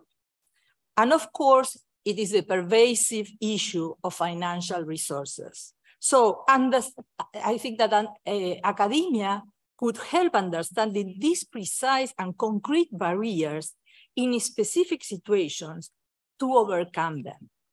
So this is, would be my first point. My second point is, of course, the academic community can and must collaborate in proposing methodologies and techniques to produce harmonized and comparative information on determinants and consequences of migration for both destination and origin countries. And we have been doing the, eh, eh, those things for a long time. Um, the issue of immigrant contribution, and not just in OECD countries. I mean, we have uh, massive intra-regional migrations, and we don't have any kind of data to show that are contributions. Uh, to measure, as was mentioned before, people on the move and other aspects such as discrimination and xenophobia. Uh, this is an ongoing process. But my third point would be that academia also can contribute to make useful and necessary linkages between knowledge and policy design, implementation, and evaluation. That is, to help evidence-based policy.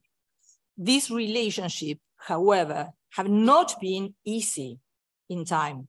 I mean, there are differences in timings, requirements, languages, and objectives, but we really need to do these efforts together. Thank you. Thank you, Marcela. Of course, uh, I believe that we are all with you when we talk about the importance of strengthening uh, collaboration with all stakeholders, uh, and of course, academia have a, a very strong uh, role to play. Thank you so much. Um, coming back to you, Koko, um, as the representative from uh, IOM in the panel, do you want to say a few words about uh, uh, your strategy um, on uh, what's, what, what your uh, uh, organization is doing to improve the production of reliable and disaggregated data? Thank you. Great, thank you very much. And um, in my longer preliminary comments, I mentioned at least three huge challenges that we're all facing and where data and other information can really help. Um, I mentioned the, the great variability and change in the world, the speed of change, the global temporal and geographic scale of change, what that means for institutions that are tasked to take action. And in this area, what a privilege to um, be tasked with helping and helping protect people who are in tentative and difficult situations, as well as to help people on their way um, to achieve their life aspirations. And then, of course, the question of in a, it's almost philosophical in a world with so much data and so much information.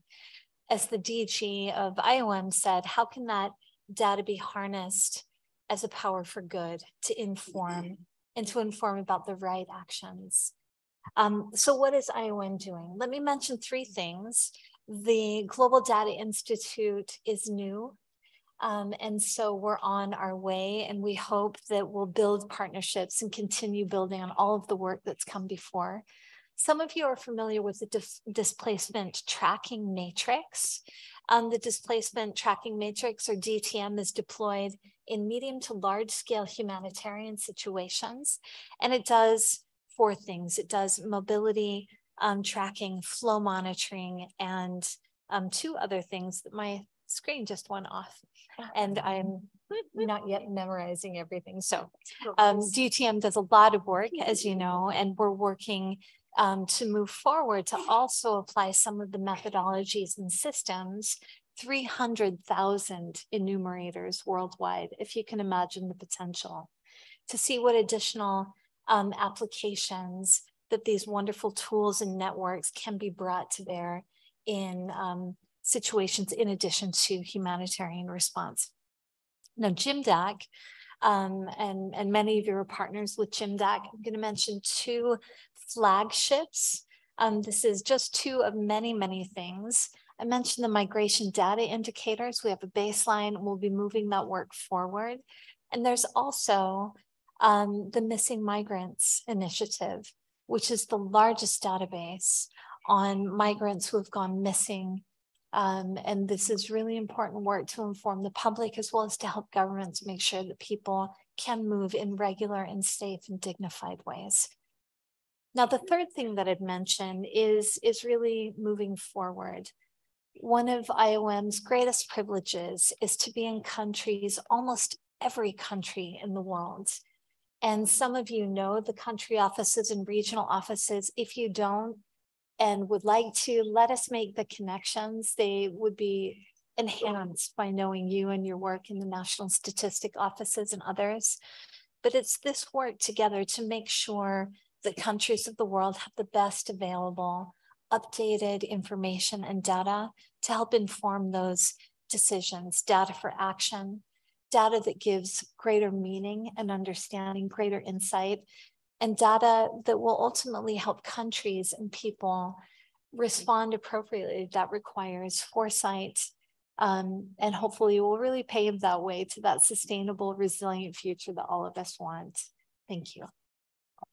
Thank you, Koko. And uh, I can tell you, we are all uh, very um, proud uh, of the, the, excellent work that is done uh, by IOM, uh, both at the global, at the regional, at the country level, and we are uh, very excited uh, to continuing uh, our partnership and also with you in your new capacity. thank you also for mentioning this new initiative on the missing migrants. I believe we'll also have a follow-up session where some of the national statistical offices will present their latest uh, solutions uh, to capture uh, um, migrants on the move and being able to inform that important indicator that is part of the SDGs. Uh, Mohammed, going back to you, um, can you maybe uh, say a few words um, on the pending challenges uh, and few priorities in Morocco in terms of improving data to monitor global agreements? The next steps. Thank you. Merci, Francesca. En ce qui concerne les, défis qui restent à relever pour justement améliorer et renforcer le système d'information sur la migration internationale au Maroc, je dois dire qu'il y a beaucoup de, de défis, certainement. mais euh, les plus importants pour nous euh, jusqu'à présent au niveau du Haut Commissariat au plan se résument dans ce qui suit.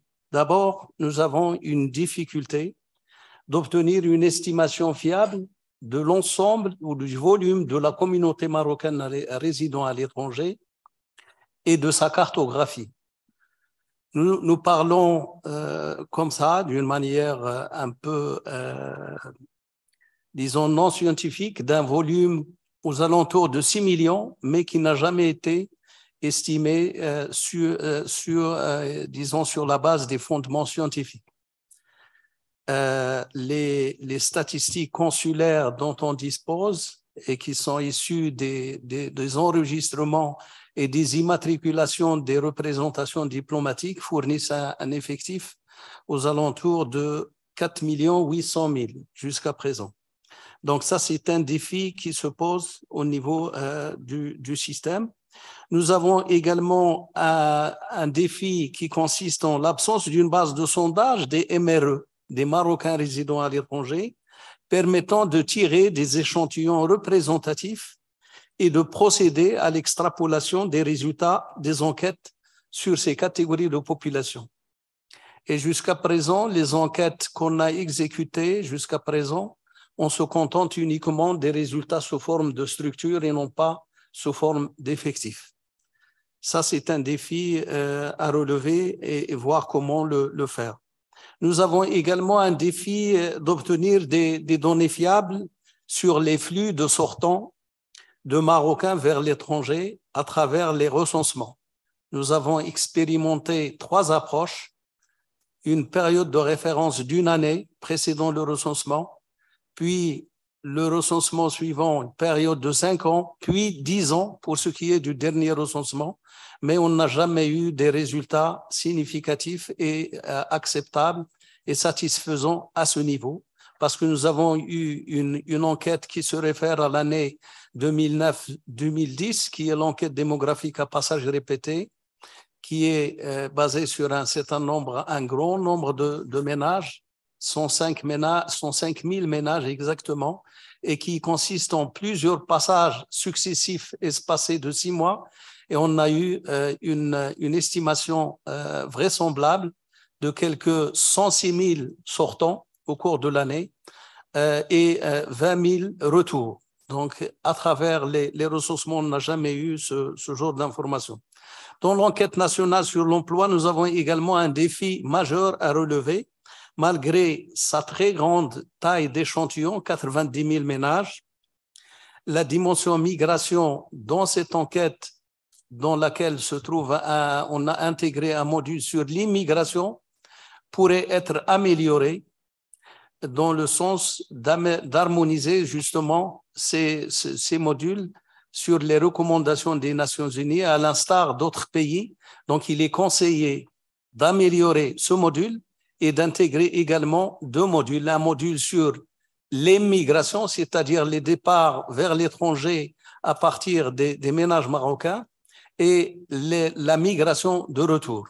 Nous avons les informations concernant les personnes retournées et qui s'installent euh, dans les ménages marocains, mais nous manquons d'informations pour justement cerner le devenir de ces populations et comment ils sont euh, insérés sur le marché de l'emploi. Et bien entendu, cette enquête, pour justement insérer ces modules, nous avons aussi besoin d'adapter le plan de sondage de cette enquête pour obtenir des, informations fiables concernant ces modules sur l'immigration. Et c'est une action qui fait partie du système d'information harmonisée qu'on qu'on est en train de, de, mener en collaboration avec le BIT. Ça fait partie des actions qui sont prévues. Euh, également, nous avons les défis d'intégrer de, dans le, le, prochain recensement, et nous avons l'opportunité du prochain recensement qui aura lieu l'année prochaine, en 2024, et euh, dans lequel nous avons deux questionnaires, un questionnaire court et un questionnaire long, qui sera euh, administré à quelques 20% de la population. Donc, nous avons cette opportunité à saisir pour intégrer des questions aussi bien sur la migration internationale, les préoccupations, nos préoccupations, sur le statut juridique des, des, migrants qui n'a jamais été posé dans les recensements, pour justement concerner aussi les, les migrants vulnérables, les réfugiés, les migrants qui sont en situation irrégulière, etc. Et, euh, et également intégrer des questions sur les déplacements internes pour justement répondre aux besoins et aux engagements du Maroc en ce qui concerne les besoins en termes d'information l'impact de, des changements climatiques sur les déplacements des personnes en interne à, à, dans le cadre de, des engagements avec l'Union africaine. Euh, et nous avons ce défi justement d'harmoniser, comme j'ai dit tout à l'heure, l'ensemble des systèmes d'information euh, statistique, de statistiques administratives qu'on a commencé et qui continue et qui va demander un, certain, un, un, certain temps. Merci, uh, Francesca. Okay. Thank you, Mohammed, uh, and uh, definitely a call for all of us. Uh, uh, do not miss the opportunity of using uh, population housing censuses for this round, as you prepare for the next round, to collect the critical information on migrants and international migration. And thanks also for pointing out data gaps and current challenges in your country. And I'm sure that also um, uh, reflecting uh, um, uh, other challenges faced by other countries in the region and globally when we talk about measuring diaspora, measuring immigration and measuring returning migrants. Um, uh, Diego, we are back to you. Uh, you touched on some of the solutions on how to improve uh, um, the availability of data on international migration. Maybe you can say a um, few additional steps few that Statistics South Africa is undertaking to improve the evidence base. Thank you. Thank you, Francesca. Um, I think firstly that in order for data to be used for policy formulation, there needs to be an, an appetite from line departments to make use of such data. Uh, very often data-driven indicators do not grab the headlines in the way that anecdotal episode, episodes do. It's often an inconvenience to predetermined um, policy stances that are driven by other interests. And, and evidence-based culture needs to be inculcated into the work of government. Um, in South Africa, for, for instance, we are building capacity through the Migration and Urbanization Forum that I mentioned, and raising awareness of policy issues and the impact of misinformation.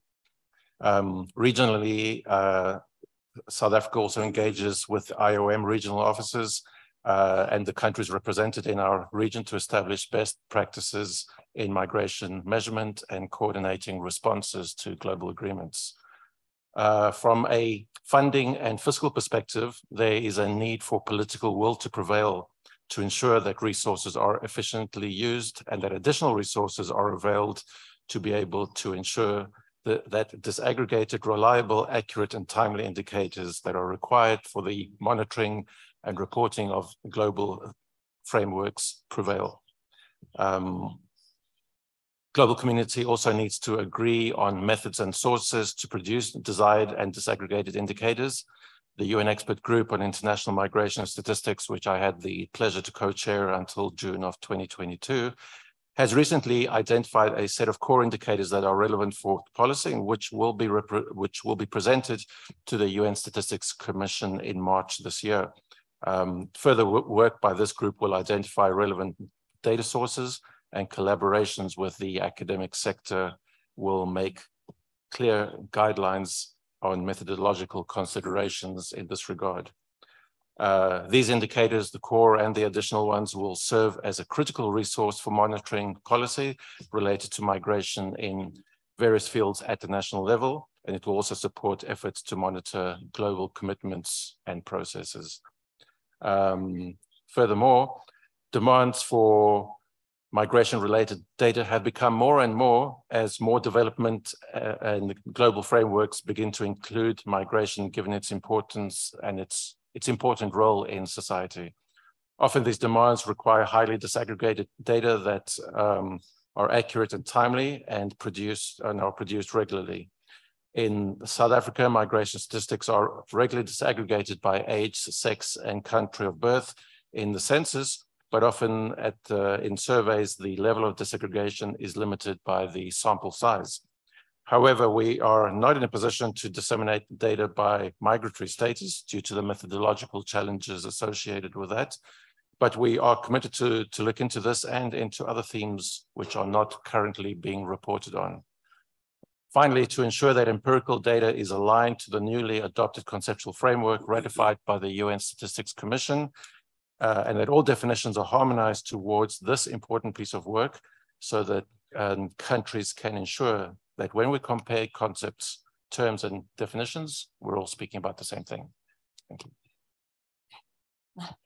Thank you, Diego. Uh, again, uh, a lot of critical points that I'm sure will be further expanded uh, and touched upon uh, as we move uh, from this session to the next. This is just session one. We have plenty of uh, discussions that are well planned for you. And again, I hope we can also hear from the floor soon. Um, I like the point on making sure that we are promoting um, a culture that is evidence-based or for evidence-based policymaking. And for that, for sure, we need to talk much more and work much more closely to our uh, user community, policymakers in particular, having uh, uh, regular dialogues with them, uh, making sure that we are also promoting some level of statistical literacy so that what we are uh, uh, producing and promoting is actually properly understood and definitely used.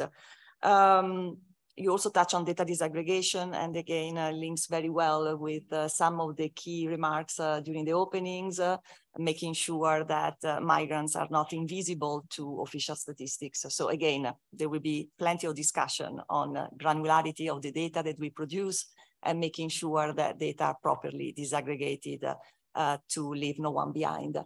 Marcela, uh, that's your last question. And then I'm ready to open uh, uh, for questions from the floor. I hope you have your uh, question ready. Um, going back again to the role uh, of um, academia and your own experience, we were actually sitting in a similar panel three years ago in Cairo, the two of us. Um, do you see progress on migration data since then based on your work? Thank you. Well, uh, I want to reiterate something that was already said, that the, the global scenario became more problematic, I mean, compared to three years ago, basically due to the repercussions of COVID uh, pandemic for the well, Ukrainian war. Uh, the economies in general uh, are, are worse, and migrants in particular. And there is a, there has been a growing numbers of forced and also survival, what is the so-called survival or mixed flows um, and migrants. Uh, there is an increasing xenophobia and discrimination toward migrants and asylum seekers in many countries. So this is a more hostile context that requires better data to address risks and challenges associated to migrations and migrants' rights. Um, the, the, the COVID pandemic also exacerbated some challenges in data collections, and in particularly the 2020 census round. And many countries have to postpone that data collection process that was a key source of uh, migration data. Um, looking at SDG, I would say that the most problematic aspect continues to be monitoring uh, across SDG due to the lack of disaggregation disaggregated data in a considerable number of countries. So um, we cannot see how migrants are doing, if they are doing worse or better or surely worse in comparison to non-migrant population. So um, I think that we are falling well behind on that uh, matter.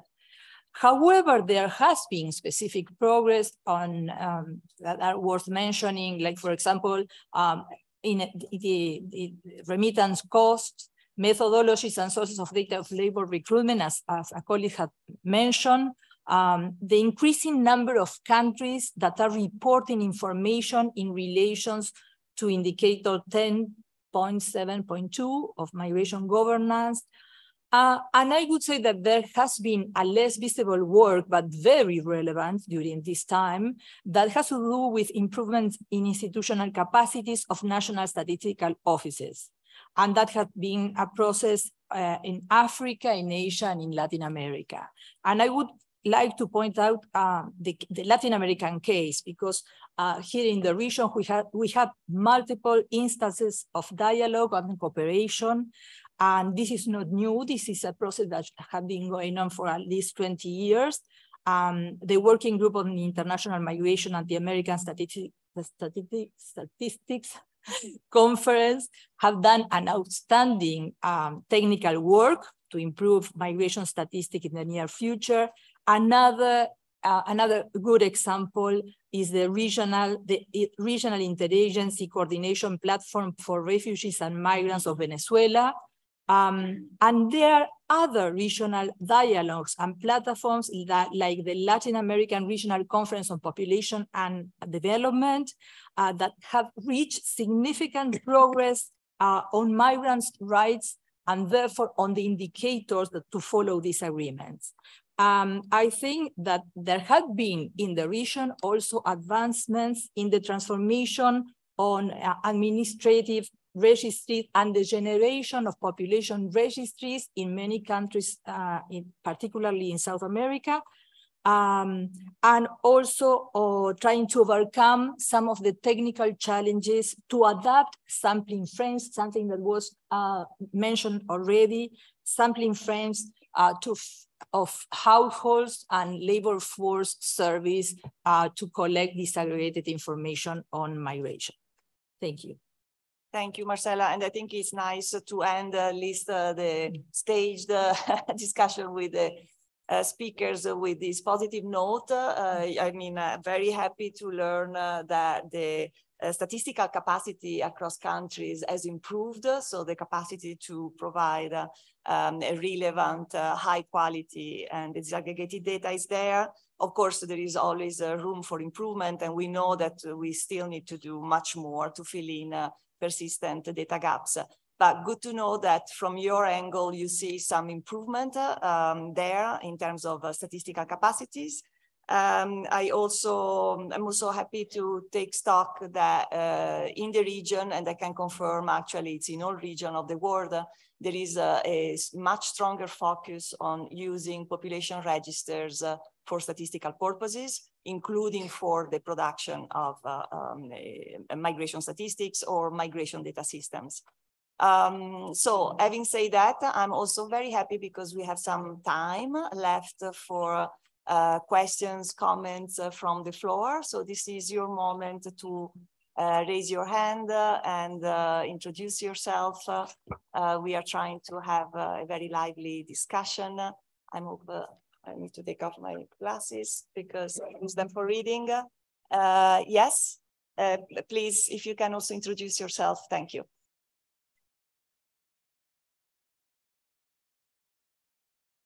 Gracias. Bueno, buenos días a todos. Quiero en primer momento agradecer la invitación a este importante foro. Mi nombre es Carlos Hernández y actualmente soy el presidente de la Comisión de Relaciones Exteriores y Asuntos Migratorios del Parlamento Centroamericano. Por lo tanto, representamos a estos países que integran este organismo de representación política. Eh, quiero externar un saludo a los representantes de las divisiones de estadísticas y población del Departamento de Asuntos Económicos y Sociales de Naciones Unidas, a la Organización para la Cooperación y el Desarrollo Económico, OCDE, y a la Organización Internacional para las Migraciones, OIM, funcionarios y representantes de organismos internacionales gobiernos, productores y usuarios de estadísticas de migración, eh, de oficinas de estadísticas nacionales e internacionales, a la academia, a la sociedad civil y al sector privado, así como a todos los presentes. Buenos días. Eh, solicité la palabra para hablar un poco acerca de nuestra experiencia en Centroamérica y quiero compartirles, como la mayoría de los que estamos acá, Sabemos que la migración es multicausal eh, y también conocemos la variabilidad que puede existir de un país a otro. Sin embargo, en la región centroamericana y República Dominicana, de la cual eh, forma parte también del Parlacén, hemos identificado eh, muchas veces que nuestros países son seen that our countries are to a large extent uh, countries of origin of migrants, uh, but also uh, countries uh, where migrants are in transit and sometimes countries of destination as well. We face many challenges in terms of irregular migration. We face uh, uh, different crises in uh, Central America, for example, the crisis in the Dominican Republic with the Haitian citizens uh, that are um, arriving in that uh, in the Dominican Republic in Panama. We also face a crisis as a result of the large uh, flow of uh, Venezuelan migrants uh, that arrive in Panama and that uh, travel uh, through this uh, Central American country. And this undoubtedly uh, means that countries are unable to provide a timely response to this. In the central part of Central America, we find Guatemala, Honduras, and El Salvador that have been countries that have traditionally expelled migrants, especially to the to North America, specifically to the United States of America. And this is a brief outlook of uh, the uh, situation of irregular migration in Central America. And of course, as a deputy of El Salvador in the Central American Parliament, I cannot but uh, share the experience that we have had in El Salvador. And uh, it has been, and the decision of President uh, Bukele has been fundamental um, because when he took office, he developed a statistics of the main uh, causes uh, of irregular migration. In other words, why our citizens uh, were leaving our country, uh, searching uh, for better opportunities, and normally looking at the United States. And with this information, with these statistics, we were able to identify that at first citizens from El Salvador migrated to the US as a result of the insecurity in El Salvador. El Salvador was uh, the most violent country in the world with uh, murder rates uh, that even uh, meant um, 80 murders per day. And El Salvador had to face up uh, to this crisis for many years. And that was one of the main uh, statistics that we had. The second cause uh, for uh, our citizens migrating from El Salvador was a result of uh, a lack of opportunities, and we, and as a third cause, the migration tradition. In other words, people who wanted to leave El Salvador because their mother, father, or a relative lived in the U.S. or in any other country. And based on that, clear decisions were made and a plan was implemented for territorial control.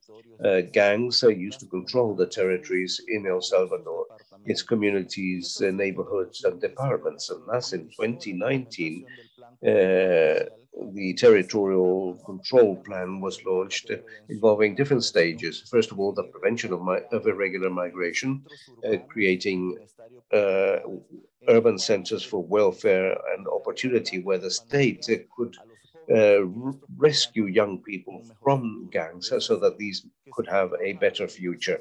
And thus we worked uh, in different stages until we have reached a stage that has been uh, very criticized by, by, the international community, which has been a phase of repression and that has involved uh, the whole coercive uh, power of the state in order to guarantee uh, Salvadorians uh, the insecurity that they did not have uh, for many years. And thus, this main reason that led to migration and which involved collecting information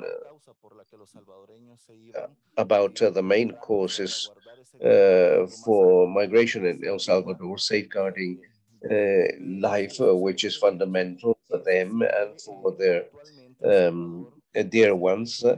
Well, that the, the implementation of this territorial control plan and uh, the exceptions uh, regime approved by our parliament have has meant uh, that uh, El Salvador is no longer a violent country. The most violent country in the world has become the safest uh, country in Latin America. And that is mentioned not only by our national surveys or private surveys in El Salvador, but uh, this has also been ratified by the uh, Customs and Border Protection Office of the US uh, that issued a bulletin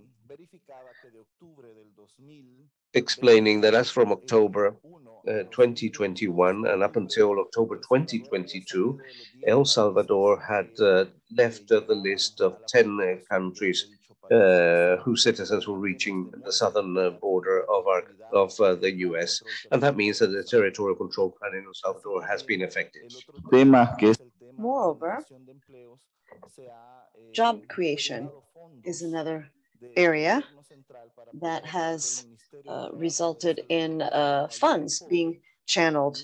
And this has allowed for having uh, a focus on generating, creating more jobs in El Salvador. Now we're at 60,000 to 80,000, roughly six to 8,000 new jobs. And uh, this has had a positive impact on the situation, um, making it possible for others to remain behind and not migrate. So I just wanted to mention these aspects.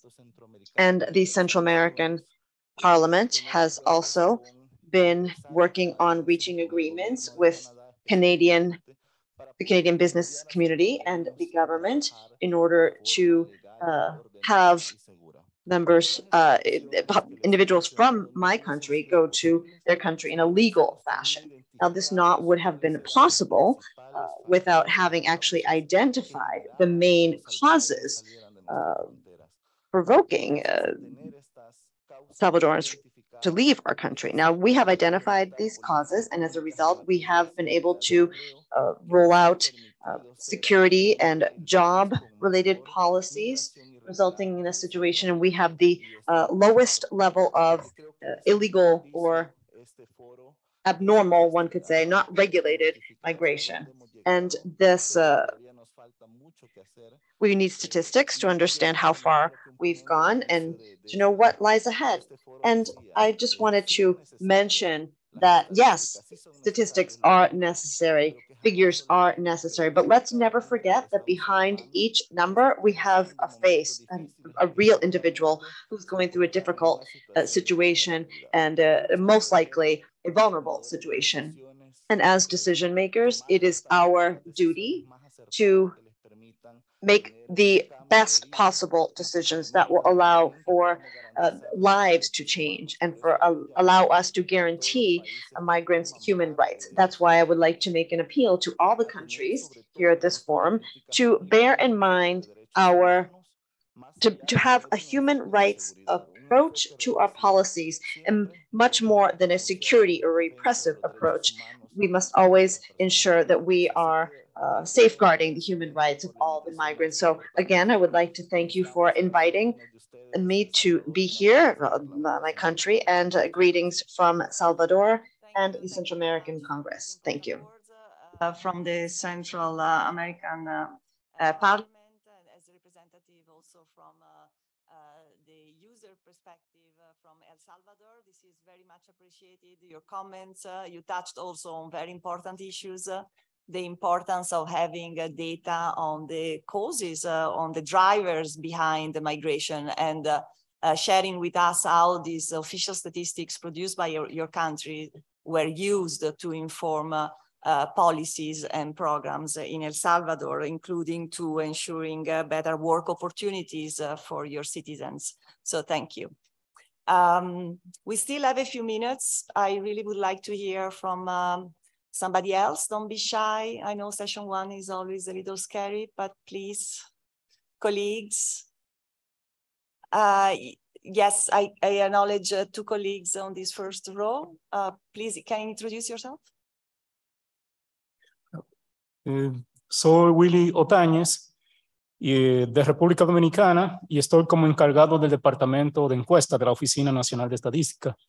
Agradezco por la invitación a este foro. Eh, tengo una pregunta para Marcela. I have a question for Marcela. The question is, so the role of academia in terms of updating the theoretical conceptual framework that should be applied to migratory statistics given the context of migration. Maybe you could talk a bit about that. And could you talk a bit about the challenges today with regard to updating the theoretical and conceptual framework? Uh, maybe we take a second question Third one, and then we stop. Thank you so much. Uh, I'm called uh, Dennis, Dennis Lomondo. I'm a principal statistician from uh, National Bureau of Statistics, South Sudan. Uh, I would like to uh, go to the experience shared by uh, delegate from Morocco.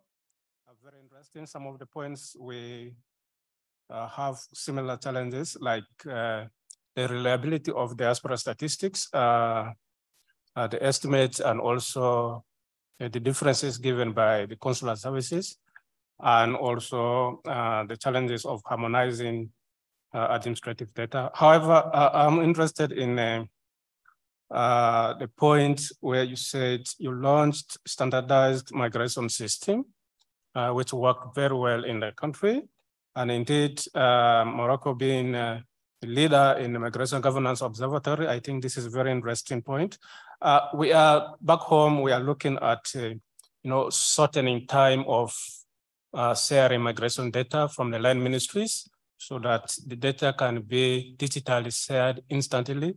Uh, now that we have launched a standardized migration system, I would like to know which tool you used uh, for, for, for this uh, system. Was it uh, Excel based or other uh, methodologies that has been developed so that uh, the, the migration uh, data can be shared to the National Statistical System or to your office? Thank you so much. Thank you. One last question from the gentleman behind you. You have the floor. If you can introduce yourself, thank you. Sí, muchas gracias. Soy Arevalo Méndez, embajador de la República Bolivariana de Venezuela.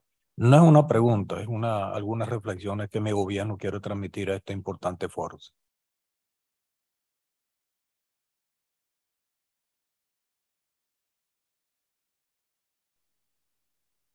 Yes, thank you. Maybe just briefly so that I can give the floor back to our speakers. Thank you. Sí, muchas gracias. Eh, la República Bolivariana de Venezuela se congratula en participar en The el Bolivarian Republic of Venezuela is pleased to have uh, taken part in the third event. We know that a variety of different important uh, participants are involved to address practices related to statistics. We would like to send greetings to the authorities present here today and the participants as well. I would, I have requested the floor because I think it's quite opportune to speak out on behalf of my country, uh, given the importance of uh, that this forum has attributed to Venezuela. We believe that gathering data is crucial because this will allow for implementing public policies that are uh, spot on, that will contribute to the well-being of migrants and to strengthen policies applicable to human mobility. Now, it's important to emphasize that the Bolivarian Republic of Venezuela, historically speaking, has been marked by two factors. One, we have never been a migrant country. Uh, we are one of the countries, top three countries with the lowest level of uh, migration abroad. And we are a country made up of migrants. Millions of migrants have come to Venezuela. Venezuela has opened and welcomed uh, my opened its arm to migrants, and we have fostered inclusion in our society.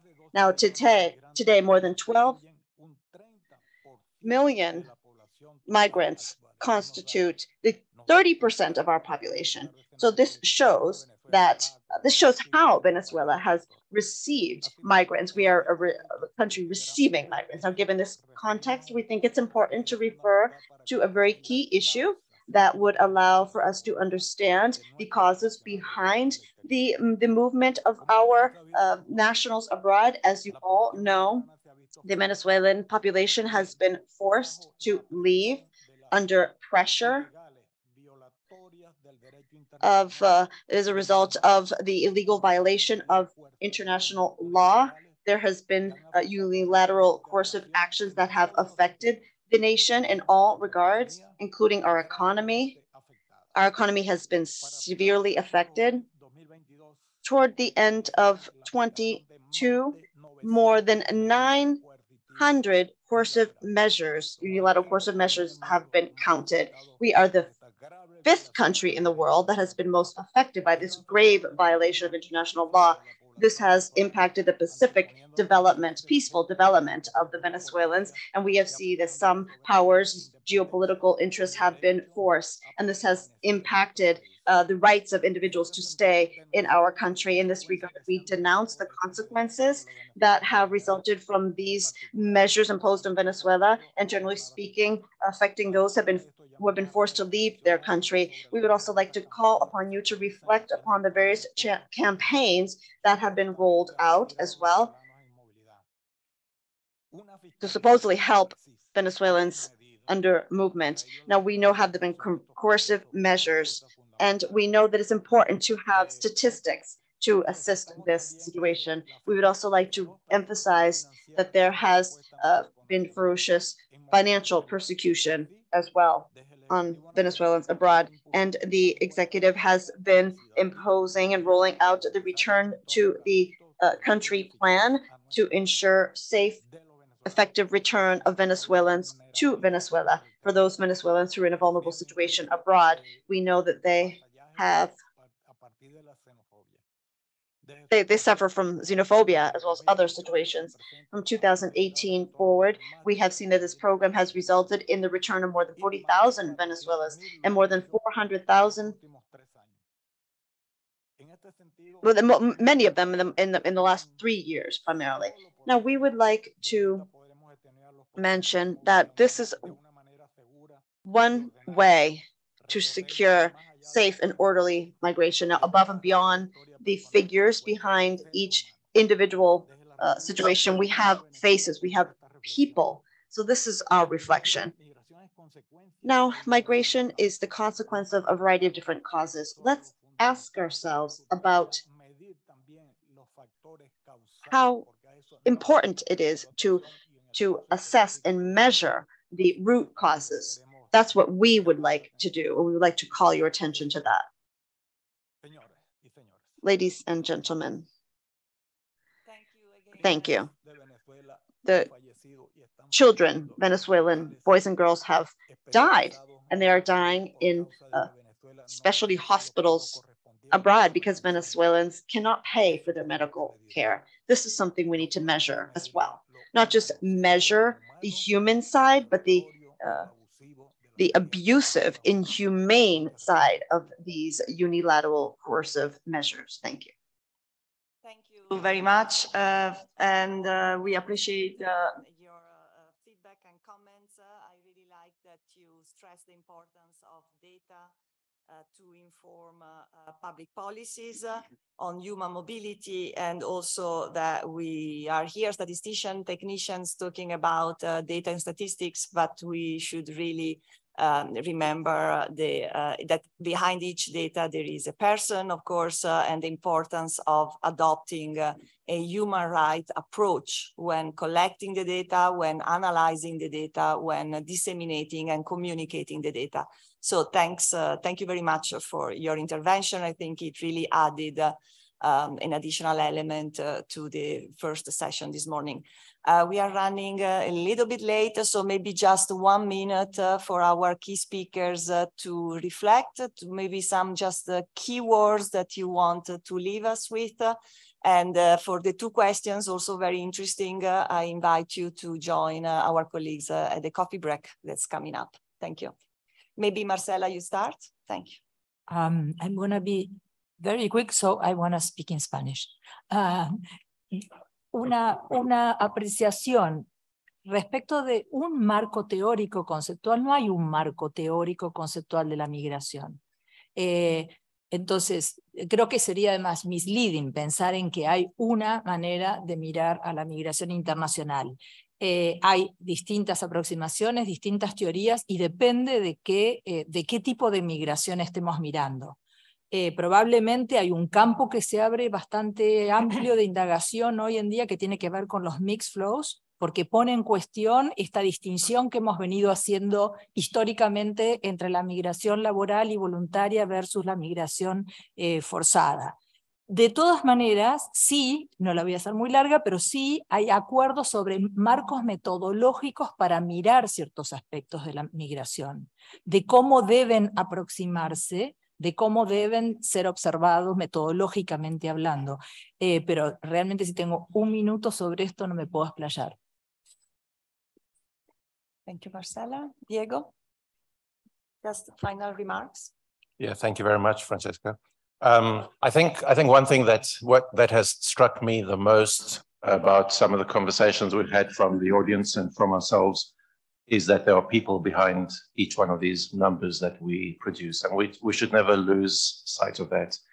Uh, the reason we collect data and we report on it and we use it for various purposes is precisely to improve the livelihoods of people on, on the move, whether we are talking about children, whether we're talking about labor migrants, uh, uh, people being trafficked, or people in more vulnerable situations like refugees, asylum seekers, or internally displaced people. There are, there are people behind all of this. And uh, I think it's, it's, it's important to, to, to take a, a uh, or to place a human face behind the numbers that are being collected. I think I think also I'd like to use some of the words that the Director General used used this morning. Um, something he said struck me. He said that statistics cannot hold a blind eye to invisible migrants in irregular status. Um, and I, I, think these these are the most vulnerable of all migrants, those who end up being invisible and who have no right or no access to education, to health services, or to anything that you and I take for granted. So besides being a, a technical initiative, I think we, we need to view the, the human aspect behind the work that we're involved in. Thank you. Merci, Francesca. Quelques éléments de réponse à notre collègue du Soudan concernant la, la standardisation, comme euh, je l'ai présenté au début. Donc, euh, tout ce travail d'harmonisation des différents systèmes d'information qui existent sur la migration. I would like to respond to my colleague from Sudan. All of these questions regarding international migration are addressed under the leadership of the body for producing Moroccan statistics. This is part of the High Commissioner's Office for Planning, and this is in keeping with international standards related to statistics. Therefore, the High Commissioner has regrouped actually all of these bodies. There are roughly 10 of these, and these include the Ministry of the Interior, with three or four statistics departments, the Ministry of Employment, Labor, the Social Security body, the uh, National Social Security Agency as well, and others. Now, the High Commissioner for Planning has grouped these again together, and they have agreed to take part in this initiative, spearheaded by the High Commissioner's Office for Planning. And obviously, law, the law has uh, authorized this person to uh, carry out.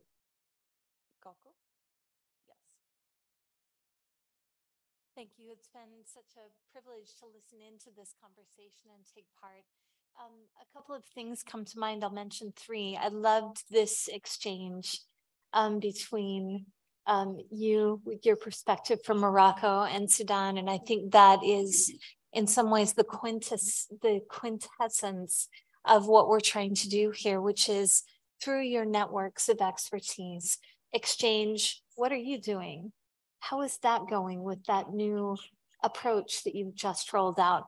What needs to be done? And the reason is this session is about bringing and enhancing and strengthening data on migration to countries who need to know what's the right thing to do. What do we do next to be informed by your data? Um, and so I, I hope that we can all, I hope that we can be part of strengthening your networks in that exchange. And also that we can be informed um, at the Global Data Institute at IOM much more broadly um, to make sure that we're bringing that information to countries as they create consensus frameworks together and review them and decide, ah, this is where we were, this is where we are, and then hopefully chart um, an improved and ever better situation out, out in the future as we're working together. Thank you. Thank you so much. Thank you also to all of you and our expert speakers. Please join me for a round of applause and we are ready for our first coffee break. Thank you.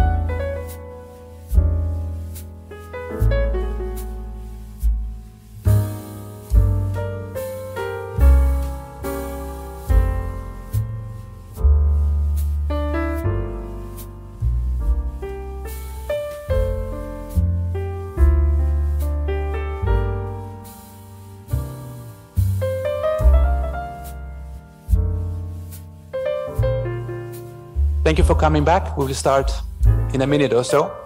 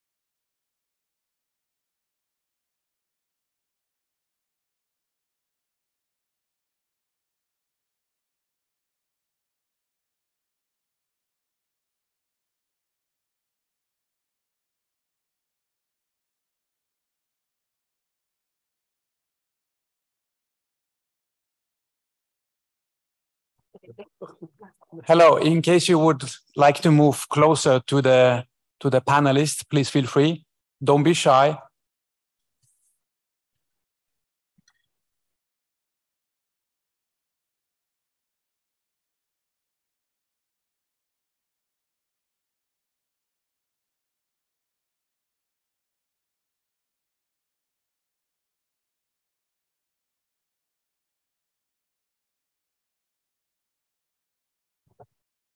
Okay. Oh, I'm seeing myself on, on camera. That's always a good sign. This means technology is working. So welcome. Uh, welcome to the first uh, parallel session of this afternoon. Um, needs already water. Perfect.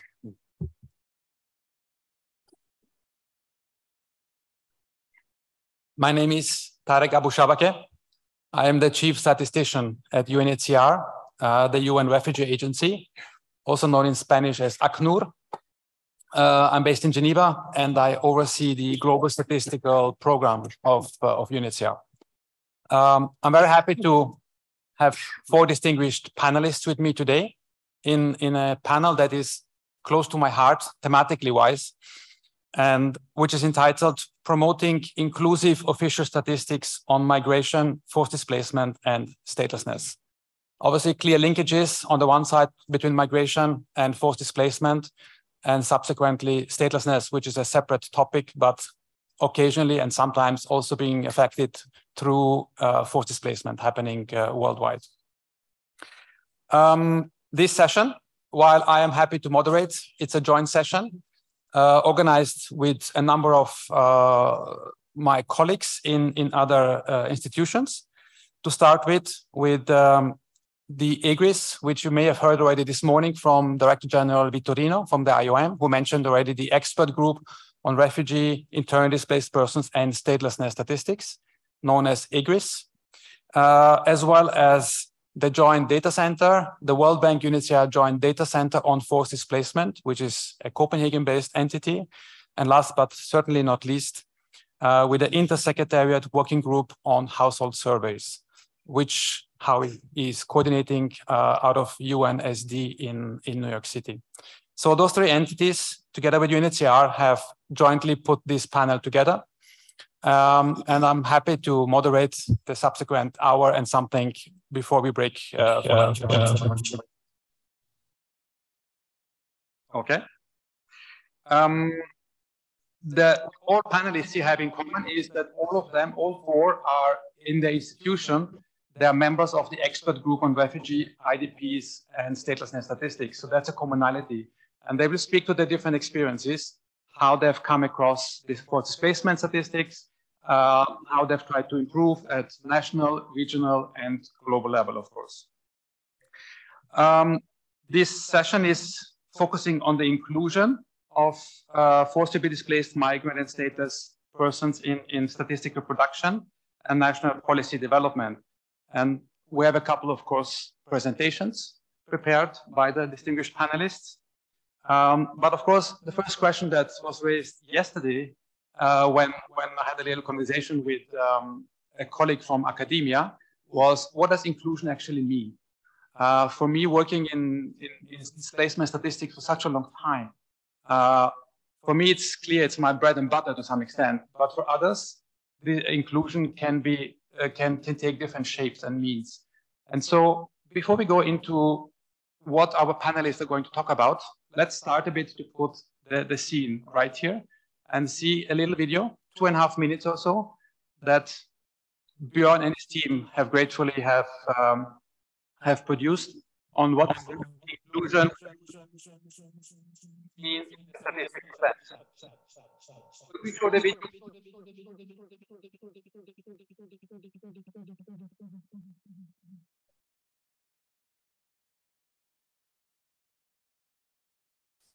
How do governments allocate health and education services, social protection, and livelihood support?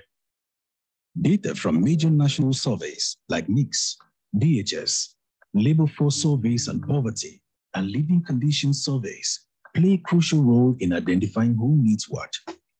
These surveys represent almost everyone who lives in the country, but they often exclude refugees and internally displaced people this is a blind spot in national data and a real obstacle for governments in finding solutions to forced displacement, which the Global Compact on Refugees, the UN Action Agenda on Internal Displacement, and the Agenda 2030s Leave No One Behind principle are all calling for. Why are refugees and IDPs excluded from national surveys?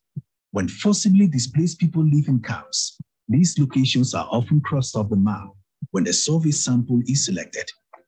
When they live among the wider population, they are only occasionally picked up by the random sample selection process. But because they constitute only a small part of the population, they end up being a tiny fraction of the survey sample. This is not enough to produce any reliable analysis.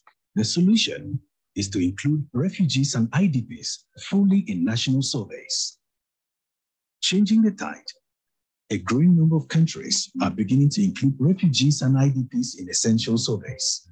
Together with national statistical offices and international partners, we are fixing the blind spot, ensuring that refugees and IDPs are no longer invisible in national surveys.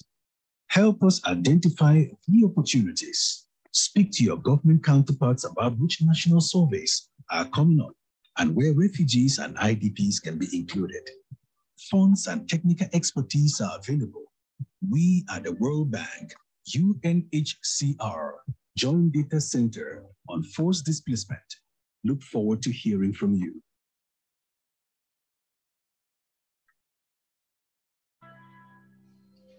Thank you very much. I hope inclusion is now a bit clearer than perhaps it was, than it was earlier in, in the morning when you just simply read that, uh, the title of the session. So this session is trying to address a couple of questions. Uh, one is, why is it important to include actually forcibly displaced people, migrants, and stateless in official statistics? And what are expected outcomes of such inclusion for programming and planning, which is an important aspect when you use data? Um, how are international recommendations on refugees or on internally displaced persons, etc., being utilized by national slash uh, regional or global partners? Uh, we also want to explore a bit some examples of capacity building work and, and point to collaboration that happened quite extensively in recent years between the forced displacement and the migration statistics environment.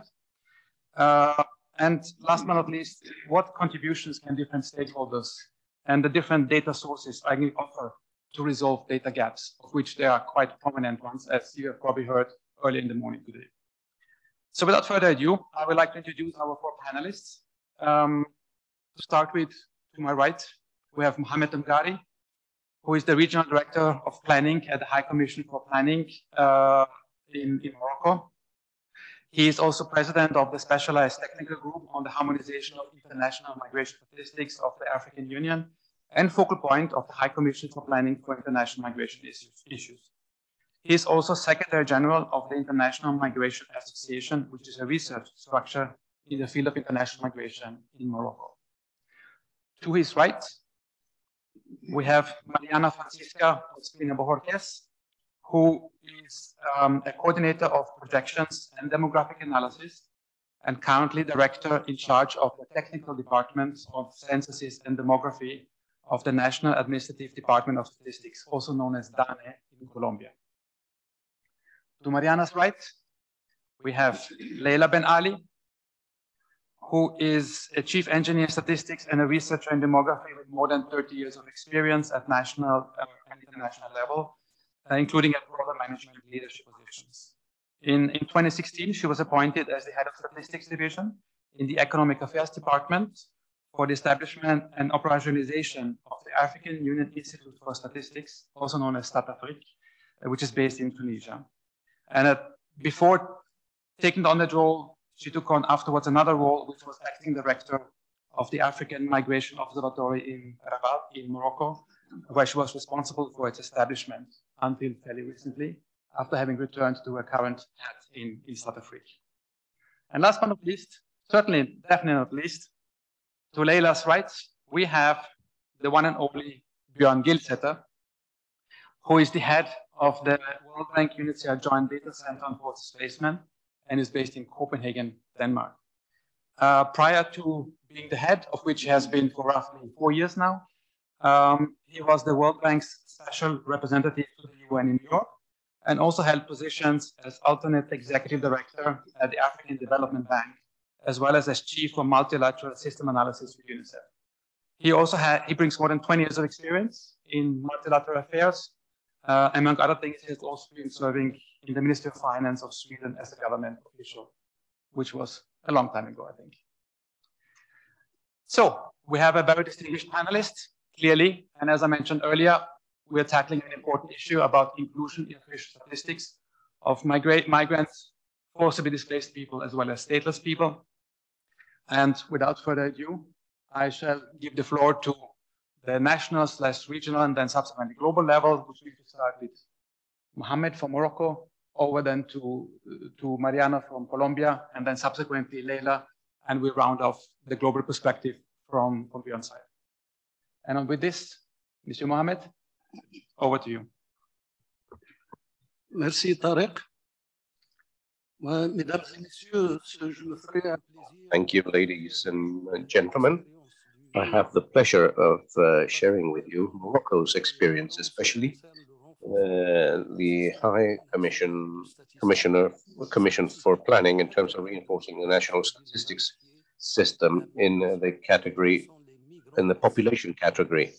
Uh, basically, uh, talking about uh, forced migrants, I am going to share with you some experiences, recent experiences that we have had, uh, the good practices, the challenges, and uh, difficulties. This uh, presentation contains specific points. first of all, I'll talk about context issues. After that, uh, some element, elements related uh, to forced uh, migration. Could you please show the presentation?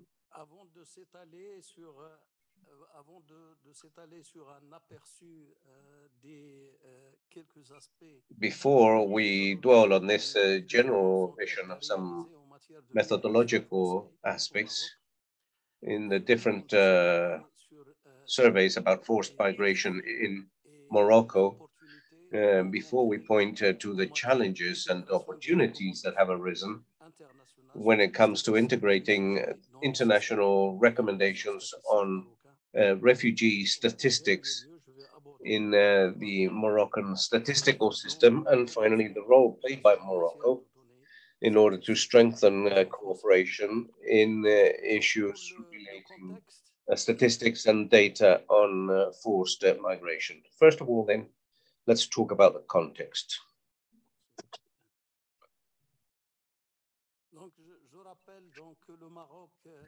I would like to remind you that Morocco plays an active and responsible role in uh, the governance uh, of international migrations, uh, specifically in, in Africa, and is also very sensitive uh, or very aware of the migration question and has acted on different uh, initiatives. First of all, the adoption of a national immigration strategy and asylum strategy after 2013, which involved uh, the regularization of some uh, 50 odd thousand uh, illegal immigrants uh, after many thousands of uh, requests during the 2014-2018 period. And this has also implied uh, the creation of an interministerial committee to implement this policy in a regular fashion. In order to integrate uh, vulnerable uh, immigrants um, and also refugees in order to protect uh, their rights in all fields, uh, the right to employment, education, and uh, uh, social security, and so that they can receive training, professional training, and so on. In this sense, we have implemented a national observatory on migration in Morocco.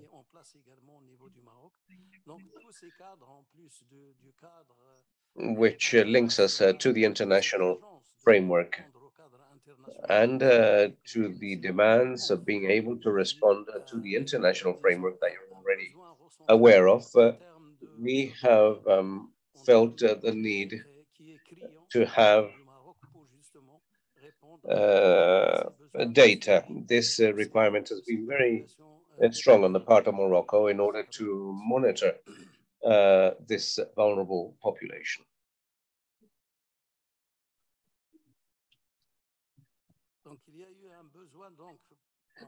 There is a need to accompany the various uh, regional, national, and international initiatives and promote uh, uh, policies based on facts, and to include the category of forced uh, migration into our national planning and to prevent uh, forced uh, displacements and to improve the identification of people that are victims uh, of uh, human uh, trafficking and violence in order to protect them and provide them with all the necessary assistance.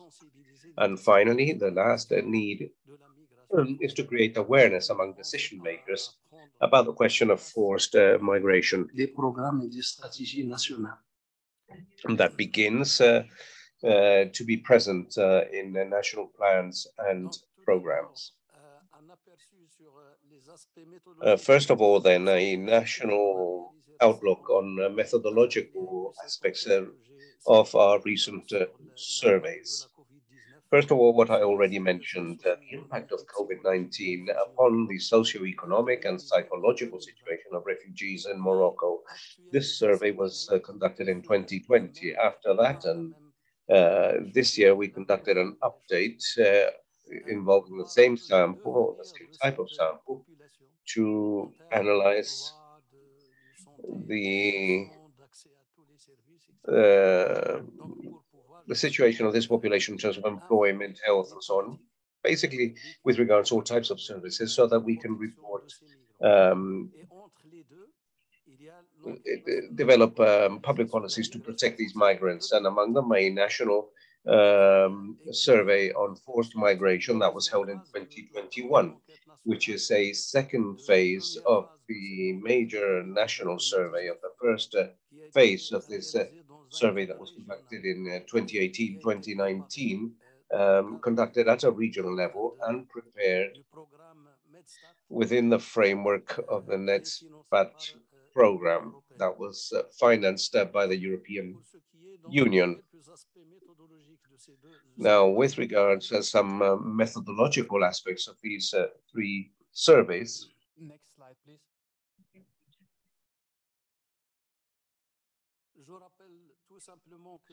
I would like to remind you that these are surveys of uh, refugees uh, conducted uh, or based uh, on a sample of uh, 500 households uh, stratified into four variables contained in the database uh, provided by NCR, country of origin, city of residence, age, gender, and uh, school level of the head of household, uh, uh, 600 households. And the method to collect this data has been over the phone and also via direct interviews using the method, the computer and tablet-based um, surveys. The 2021 survey on forced migration was conducted with a sample of 3,000 uh, forced migrants older than 15, stratified using two methods. Uh, first of all, refugees, uh, as occurred with the two previous surveys, we stratify that in terms of four variables migrants, because we focused on four migrant categories. Migrants in a um, legal situation, uh, migrants uh, that were legalized under exceptional legalization uh, rules between 2014 and 2018, refugees, and uh, fourthly, um, asylum requesters. Now, for this uh, type of migrants in a legal or illegal situation, we use a database provided by the Ministry of the Interior. Now, with regards uh, um, legalization requests that contain the different variables in order to stratify which what we have just mentioned country of origin, nationality, age, gender, and uh, city of uh, residence and uh, level of education of the people that were surveyed. We have focused on uh, migrants uh, that come from sub-Saharan Africa but also some uh, Arab nationalities that have experienced wars and conflicts such as Libyans, Syrians, and so on, and from Yemen also. And uh, now I would like to share with you the contents of the uh, survey of the last uh, survey on refugees 2022 and uh, it, and its analytical work is uh, concluding. We have completed the collection stage with seven modules. First of all, the characteristics of the head of household, uh, of the refugee head of household, uh, demographic uh, characteristics, uh, a module on security and documentation, then economic integration, services for the victims of gender-based violence, social protection, health, uh, social inclusion and um, Next slide, please. shared uh, coexistence. Now, with regards um, opportunities uh, that are uh, offered uh, via the integration of international uh, recommendations on refugee statistics via the group of experts and RS, of which uh, Morocco forms part, we have had the opportunity with regards to migration and refugees through the impact of COVID and the socio-economic condition of refugees, be it 2020 or 2021 or 2022. We have also uh, made uh, efforts uh, to try to integrate uh, international recommendations on uh, statist on refugee statistics integrating them to the national statistics uh, system. From a methodological viewpoint, definitions, terminologies, and related classifications, or classifications related to the um, target population aligned with the IRRS and the Convention on Refugees. Uh, in addition, the recommendations also provided us with operational guidelines in order to facilitate the production of the questionnaires and uh, the analysis of the data that was collected uh, primarily through a list of uh, indicators uh, recommended by EGRISS in order to measure the integration of refugees. Well, we continue now with the issue of opportunities uh, that we have found within the framework of these recommendations. We had the possibility of improving the quality of data, obtaining uh, comparable uh, statistics at an international level that were reliable, coherent, and uh, relevant. Also, the possibility of reinforcing the capacities of the national statistical system, and also recommendations uh, that have helped uh, Morocco uh, to advance uh, towards common procedures in accordance with international standards. These recommendations have also helped Morocco to meet its national and international commitments regarding this population group. We have also had the opportunity to produce an official database for designing policies that are adapted to this vulnerable population. Now I would like to refer to some methodological challenges. Regarding sampling, we have used a list of refugees oh. provided by the UNHCR, including phone numbers. And we can see that the reference persons are not always heads of households in terms of statistics. So that's a hurdle that needs to be overcome and pointed out on the next survey or list of refugees. These are individuals who may actually live in mixed households. We have also seen that at the survey level, there were there was bias with regard to some questions aimed at mixed households, questions regarding household income and expenditures have made it difficult to estimate the percentage of households that actually live under the poverty line. Moreover, there may be students and uh, students may become refugees. In other words, they may actually undergo a change in their status when they are students on a scholarship. They may actually turn into migrants or refugees. And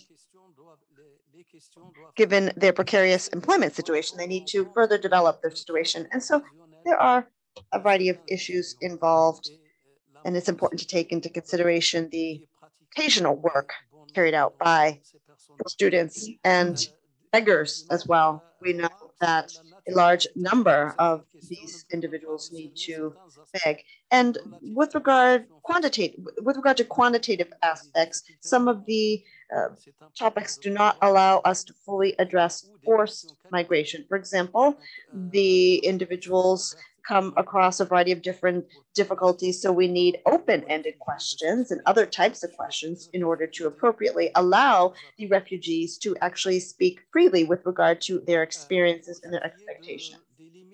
With regard to the limits related to data collection methods, we have one limit, which is one limitation, which is using telephones, uh, telephone interviews. We know that there are limitations with regard to availability of those being interviewed. There are sensitive topics that are difficult to address over the phone. For example, uh, white uh, trafficking or uh, gender violence.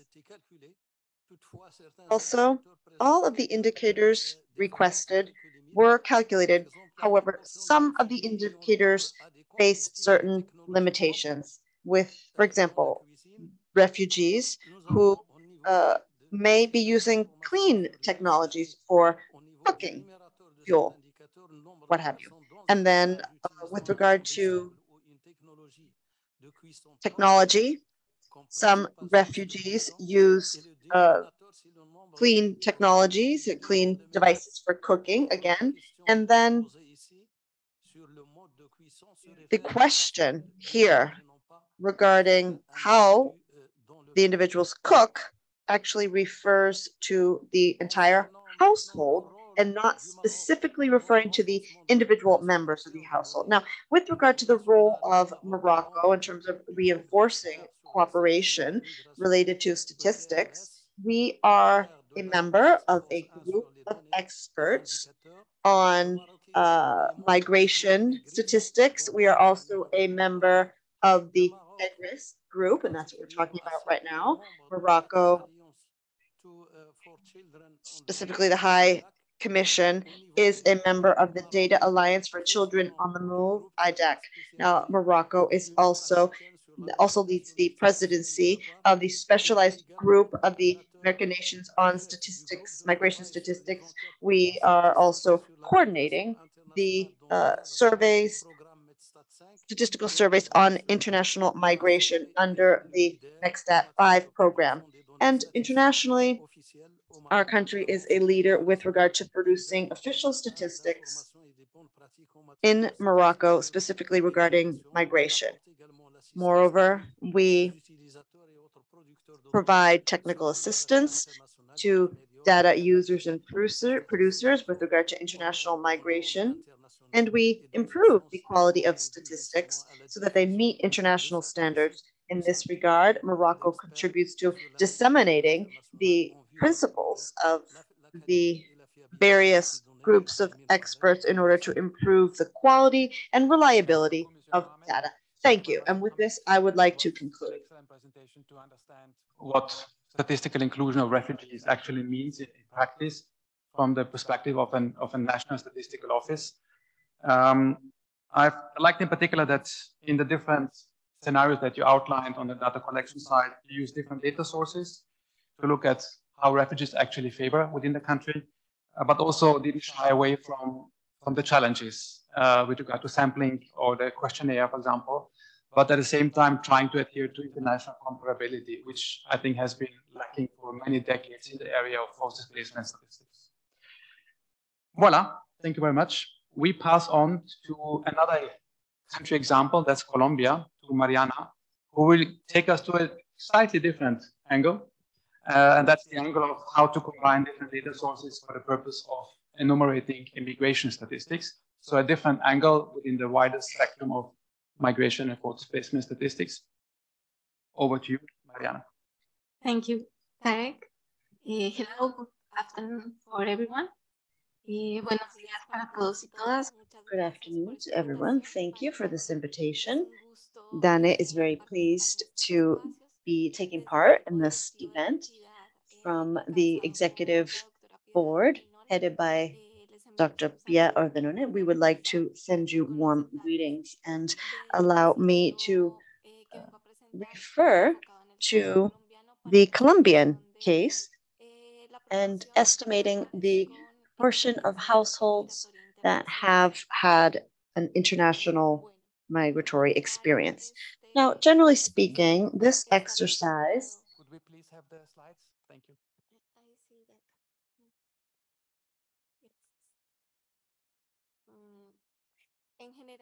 Generally speaking, this exercise has aimed to explore the various methods to address small areas, or in other words, a small areas estimation, and it has been specifically employed to the Fay Herriot, applied to the Fay Herriot model. And we have used two approaches to estimate the variation coefficients of the indicator related to the small areas estimation technique in order to extrapolate the behavior that we have observed in the survey in a more recent period. And again, based on information taken from a previous census, we have identified scenarios to that can be measured between census periods because generally speaking in Colombia, similar to other developing nations, what we do is that we see that there are some gaps with regard to the uh, relative information applicable to migration. Now, the national statistics offices have worked with administrative records related to international movements and migration control points. We have also worked with estimates based on censuses from other countries in order to estimate international migration. Now, these are the traditional sources that are generally used to measure international migration. We do, however, have a significant inconvenience, and that is that, generally speaking, we do not have data, associated data, to identify on a subnational level the origin of the international migration. Therefore, we have employed the small areas estimation in order to estimate what's going on during the years for which we do not have census data. Next, please.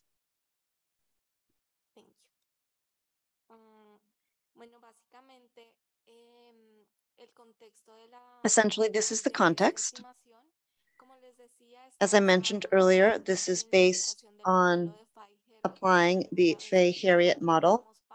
It's the first time we have used this for a municipal level indicator. This will provide us with several different estimates of the variance coefficient. And this is also associated with uh, frequentist and Bayesian approaches. We will do this to determine which will provide us with the best results for the uh, estimates that we are carrying out in Colombia. Next slide, please. Overall, the goal is to measure the PHMLA, which is the proportion of households with at least one member living abroad and do this for the intercensal periods, again, at the municipal level for the 1,300 municipalities. This, these uh, direct estimates, which are part of the Fay-Herriot model, will provide us with information to come up with the best empiric predictor, linear, non-biased, the EP loop, the empirical best linear unbiased predictors, the EP loop ones. Next slide, please. I'm not going to focus on the details of the methodology per se. Rather, what I would like to do is refer to the sampling and the inference techniques for finite populations. This can be used to estimate stocks and other rates for demographic estimates, and this is not just applicable to migratory aspects. We were interested in that uh, for our country because there was a lack of information for our population projections relative to international migration. But again, Professor Morales and other colleagues working on this methodological application have also addressed poverty using small areas estimates. And this is in keeping with the experience of Professor Morales.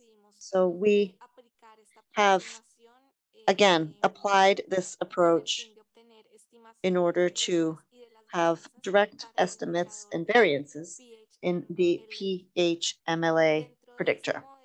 Now, with regard to this model, estimates will be available for calculating the EP loop, and that is, generally speaking, what makes the estimates uh, more robust. Next slide, please. Next slide, please. Thank you. Thank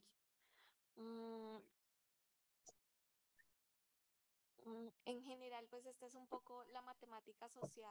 Here you have the math related to the vectors used to estimate the different portions of the indicator. Next slide, please.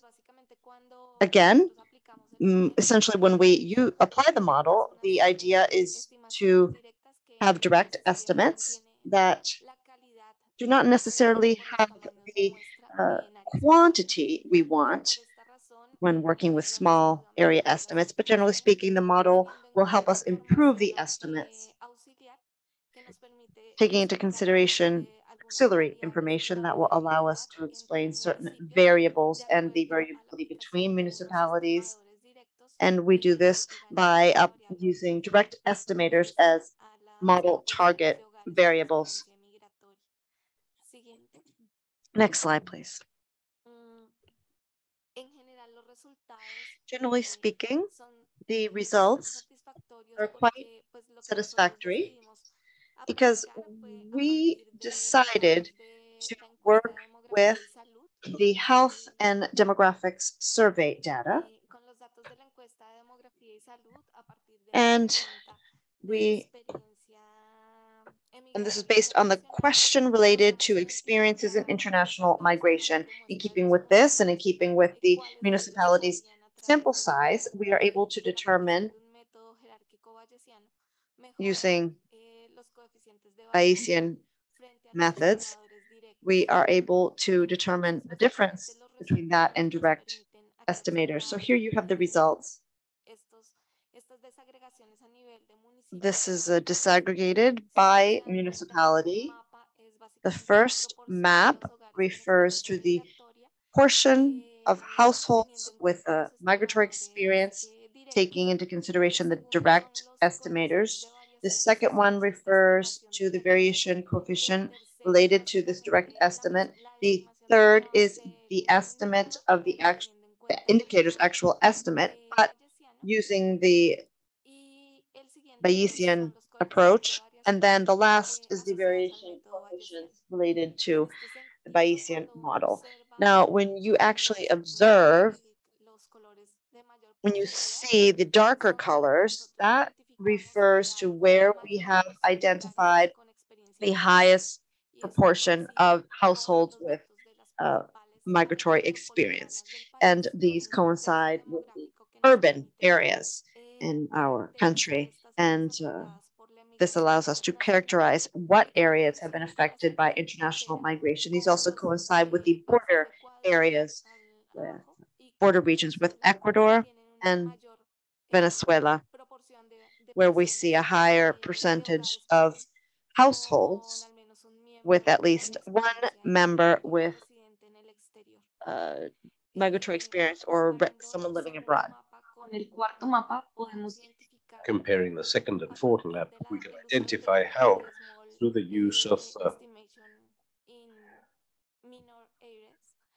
through estimation in minor areas, the methodologies, we can arrive at a better interpretation of results, given the fact that we can estimate uh, variation coefficients or a variance uh, which is estimated on the basis of sample sizes that enable us to identify in which areas so we can have a better interpretation of results. This information is quite uh, new for the country because in the past we were not able to have um, uh, control with a continuous uh, regularity of changes in this variable. And uh, despite the fact that the results of the subsequent census and surveys enable us uh, to um, conclude that uh, the indicators of international migrations is not homogeneous at a geographic level, and that accounts for characteristics that some, somehow coincide with expected values uh, considering uh, demographic bibliographies associated uh, to the context in the sense that within each geographic unit uh, there is a greater movement uh, within it, um, human movement, uh, migrations. And this is quite notorious in border areas. And just to summarize, we see the same thing that I was uh, telling you beforehand, but focusing on the municipalities that uh, obtained uh, the best uh, results in the estimation of uh, variation coefficients. both uh, using direct models and also Bayesian models. Here you can see the main capitals that have a largest proportion of households with uh, experience in uh, migration. Bogota, uh, Cali, the city of Armenia, and Cartagena de Indias, uh, which is a city in Colombian Caribbean. And we also find other municipalities such as Soledad and that belong to the metropolitan area of the major cities, uh, which uh, concentrate the largest supply of education and employment services in our country. And we also have other areas such as Villa del Rosario, Manaure, Valle del Guamuez, and San Andrés de Tumaco, which are border municipalities uh, with highly uh, connected uh, to international mobility associated uh, to the fact that they are areas that neighbor other countries. And we find uh, that uh, using direct methods, we find a, that a representation for a city such as Chía, for example, where we have direct variation coefficients of 75, uh, the Bayesian uh, model enables us to estimate the variation coefficients uh, that enable a much more robust interpretation of uh, sample data associated to municipalities such as Chía, for example, that uh, is a municipality uh, close to the city of Bogota. Well, these conclusions basically repeat what I have just said. Uh, the main Colombian cities such as Bogota, Cali, Medellin, Barranquilla, and Cartagena present some of the highest estimations in the proportions of households uh, that have experienced international migration. And this is interesting in as much as these cities, uh, which are the, are the main areas uh, where uh, services uh, on education and uh, work are concentrated and that in fact um, given that that uh, may be uh, some of the main reasons why people migrate these cities are in general terms the origin of um, domestic migration that that are stepped and that end up by being migrations by being migrations abroad. These high levels can also be seen can also be found in municipalities of the uh, coffee growing uh, region, which enables us uh, to determine uh, migration determinants uh, that are different to those of capital cities. For example, in the coffee growing region, depending on uh, harvesting cycles, populations become more or less mobile. And this enables us to deal with issues related to how this migration um, how this uh, tends to be much more frequent or less uh, probability of migrating, um, especially um, moving towards some international migration.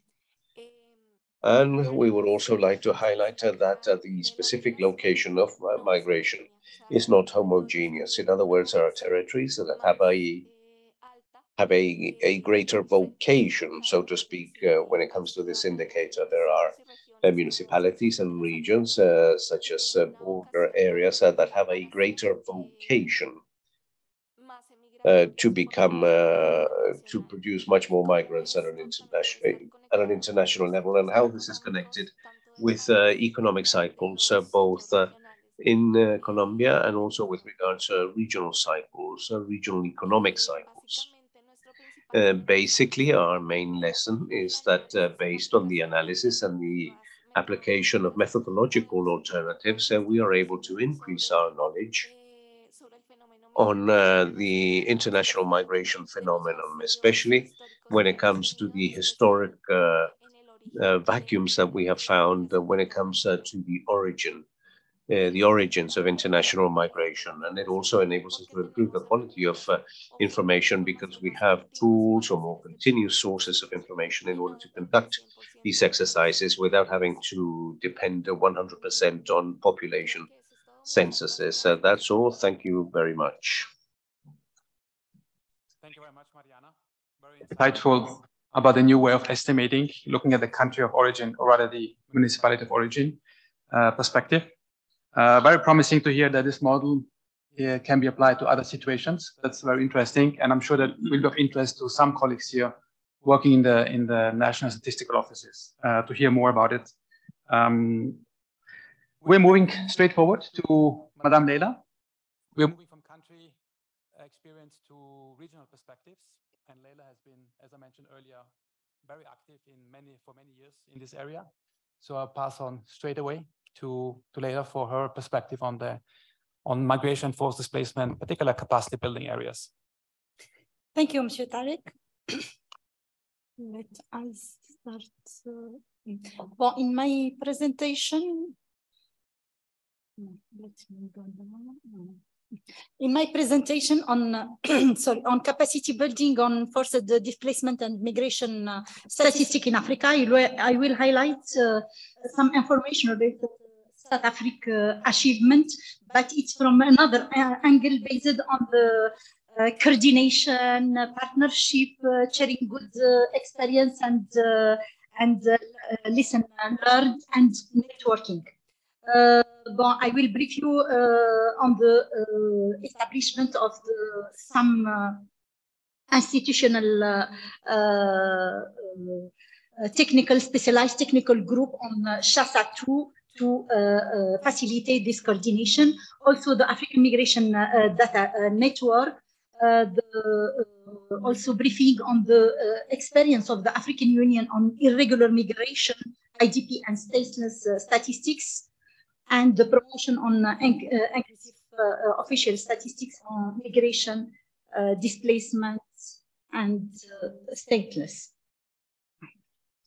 Uh, as you are aware, migration uh, uh, phenomenon has become very crucial in, in African continent, particularly with the uh, increasing uh, uh, number of intra-African migration and different challenges facing the migrants. In order to manage uh, better uh, these uh, migration flows, the Assembly of Head of States and Government of the African Union adopted two key instruments for the governance of uh, uh, the migration uh, in Africa and are being implemented by the African Union Commission. We can mention the AU revised migration policy framework for the period 2018-2030 and uh, its plan of action, and also the famous uh, joint AU ILO uh, IOM ECA uh, program on the governance of uh, labor uh, migration for the development on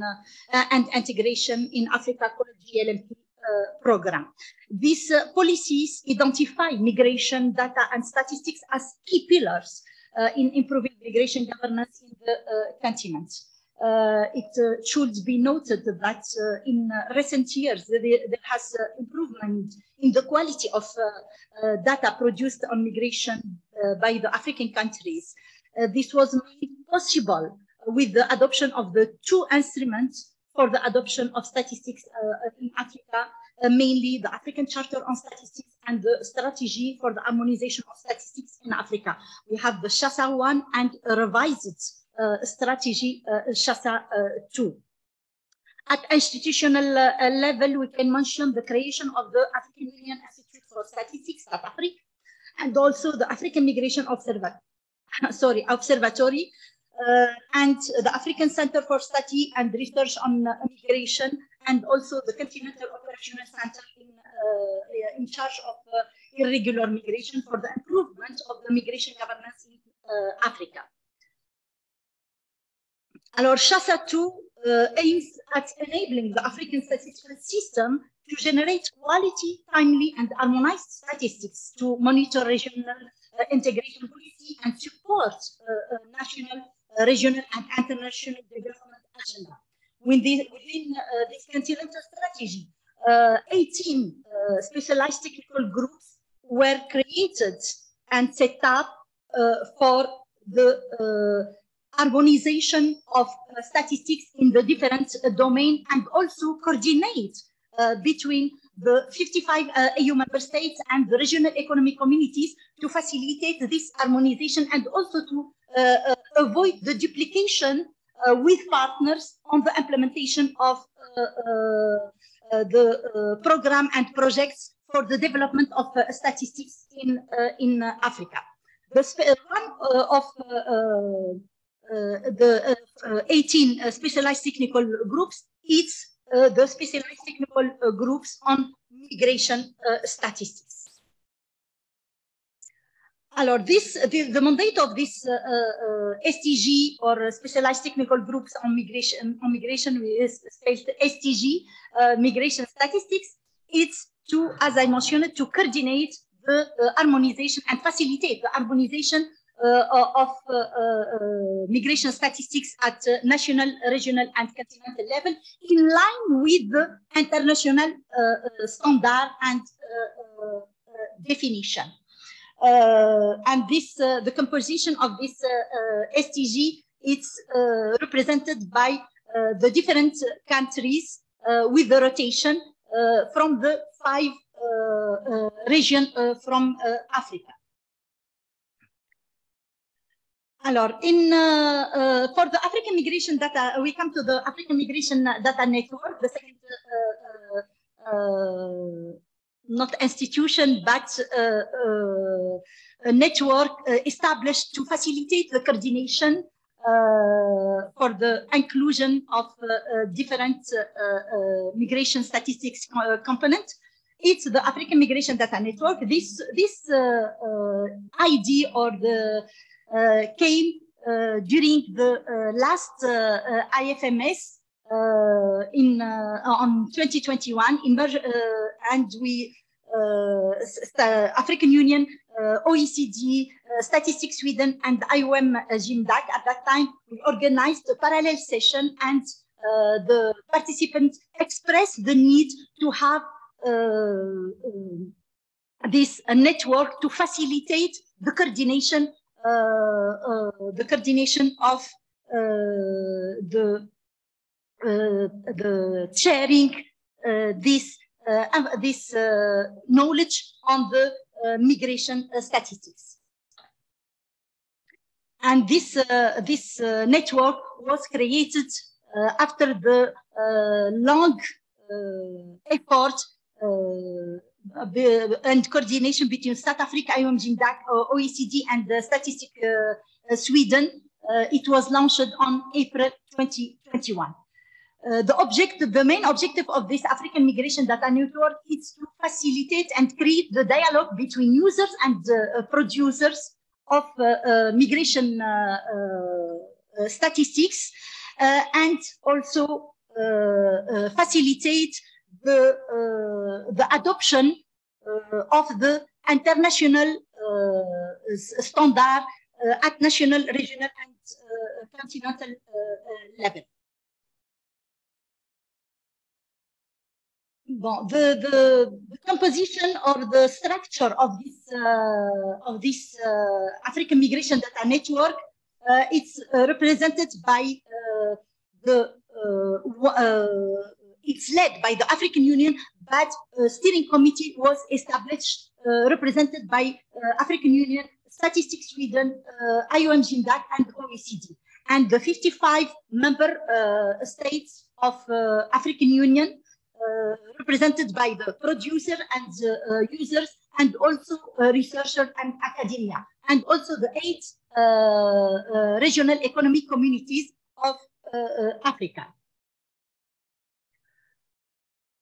Uh, some uh, I can uh, mention some activities represent uh, uh, achieved by this African Migration Data Network since the its la launching. Uh, uh, it, it was the organization of uh, three sessions of the summer school on the migration statistics, and it, it helped a lot the members of African Union member states to understand and to see the different challenges accounted by member states uh, at the level of the definition the concepts at international level and the difference of this definition and concepts used at national and uh, uh regional uh, level. Uh, and uh, also Uh, the organization of uh, webinars, many webinars were uh, organized to sensitize and advocate the, the different members of uh, this uh, uh, this African Migration Data Network on the international recommendation to be adopted and included in their uh, plan uh, plan on migration uh, on the production of migration statistics and also the uh, project on the disaggregation of uh, Agenda 2030 indicators uh, by the statute of migrants for some pilot countries. also, the development of the Africa migration profile and these uh, two activities uh, were developed uh, by IOM, GMDAC, Statistics Sweden, and STATAFRIC.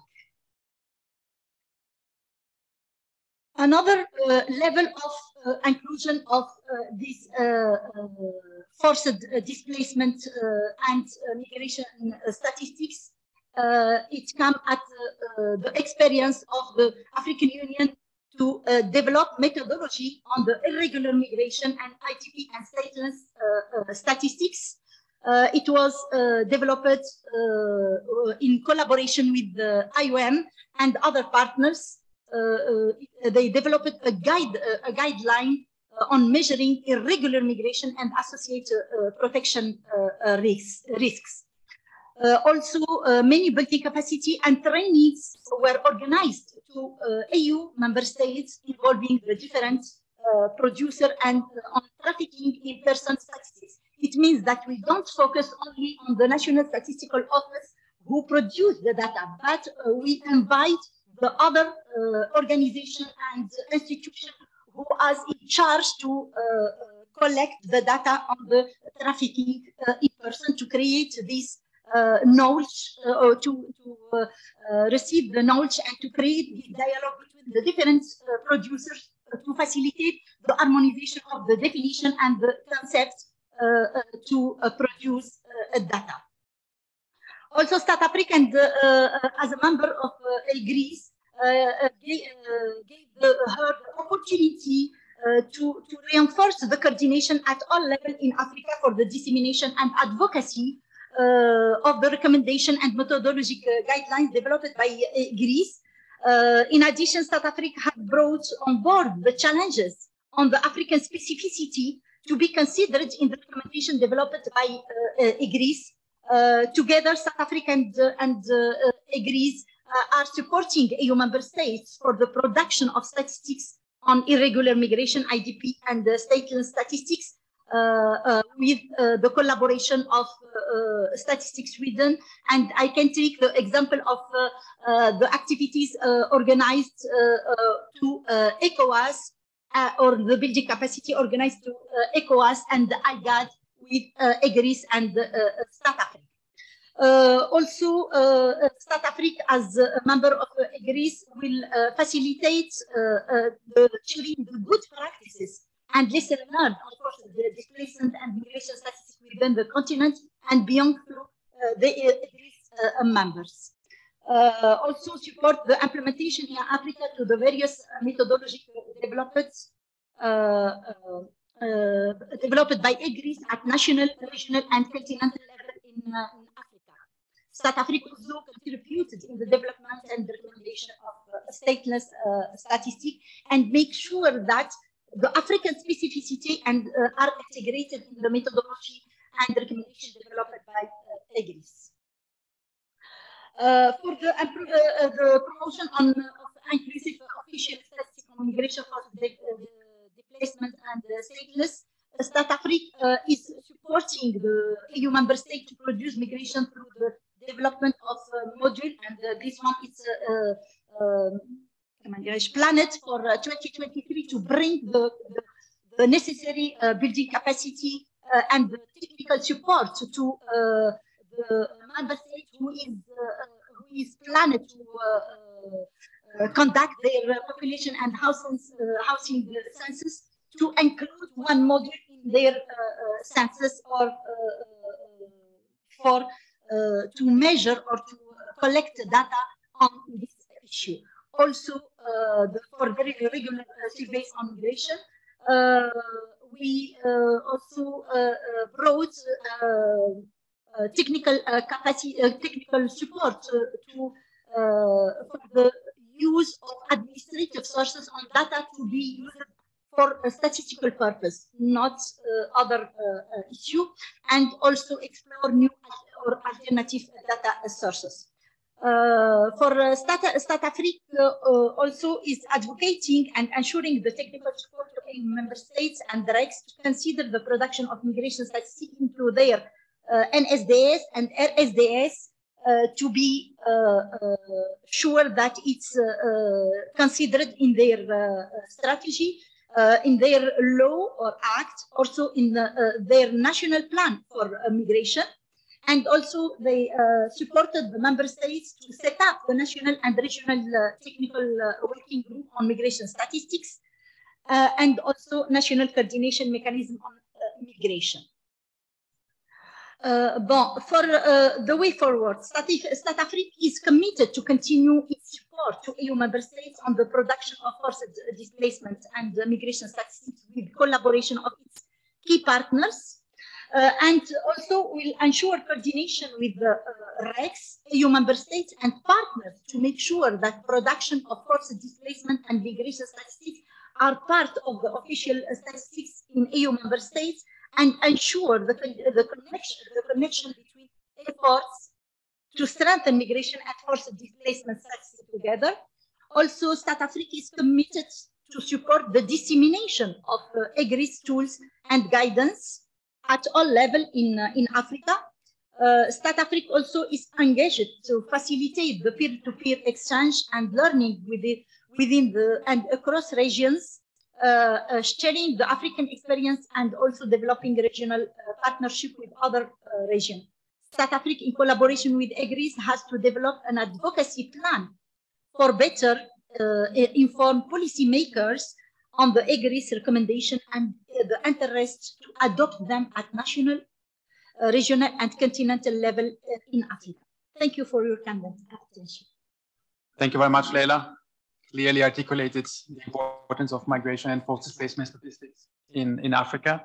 Uh, like in particular also the fact that it's not a top-down approach uh, that the global level says to regions and countries what's supposed to do, but actually in your case, you have taken the experience within the African continent on displacement and fed back into how to international recommendations on displacement statistics or statelessness statistics as they will be hopefully adopted soon uh, have been produced. Uh, without further ado, we're moving to our last pass, a part of the, of the puzzle. Uh, before doing so, let me tell you, give you heads up. Um, in principle, we're supposed to end in three minutes. We're not going to end in three minutes. We inherited a bit of a delay from the morning session, which was then a bit uh, further delayed through a quite a long coffee break. So I take the liberty of extending a bit this session by approximately 15 minutes, just giving you heads up. I'm going to eat into your lunch break and I apologize for that in advance. If you go hungry, please come to me. I'm happy to buy you a sandwich subsequently. Um, and because Leila and others have mentioned quite extensively EGRISS, I want to also highlight that the EGRISS coordinator is here in the room, and that's Natalia Baal. Would you please raise your hand just so in case you have any further questions on EGRISS, uh, you're most welcome to contact uh, uh, Natalia, of course, going forward in the next coming days. And now, finally, my last words go to Mr. Björn. Over to you. Thank you. Thank you very much, uh, Tarek. I hate to be sitting here between you and the lunch. Um, be as quick as I can um, to go through my remarks. Um, I want to start by saying how delighted I am to be here in Chile and in South America. You, you really feel the energy, the dynamism, and the compassion um, it's also, I find, a very good place to be discussing inclusion of migrants and refugee-like populations, given the progressive and inclusive policies pursued by this country and the other Andean countries. I also want to thank the hosts for organizing DESA OECD IOM for a really interesting and comprehensive program. Um, I, I feel I have to give you the one-on-one on the Joint Data Center. We're the new kid on the block, although we've been around for almost four years now. Um, the uh, JDC's mission in one sentence is to dramatically improve the quality, the amount of, and the accessibility and uh, of data and evidence on the more than 303 million people who are forcibly displaced and their host populations. Um, over these four years or three and a half years, we've invested some 30 million uh, for this purpose, awarding funding uh, for activities implemented in over 30 countries by UNHCR and World Bank colleagues, often in partnership with national statistical agencies. We've been able to do this thanks to funding from the Danish government, the US government, uh, the EU, as well as IKEA and Hilton foundations. And as you, as you may imagine, the overall objective of the center, center's work is to allow for evidence-informed policymaking and programming. So Tarek, you have asked me to try to connect some of the previous interventions and articulate a statement related to how the work from each of the partners contribute to the goal of statistical inclusion. I think that was the ask. Um, I made it easy for myself by uh, uh, by showing you the animation that we have put together on statistical inclusion, um, and also listening to uh, to the colleagues on the panel. I think you have a, a good sense of this already. Um, but I, I do think it's about three things. Three things.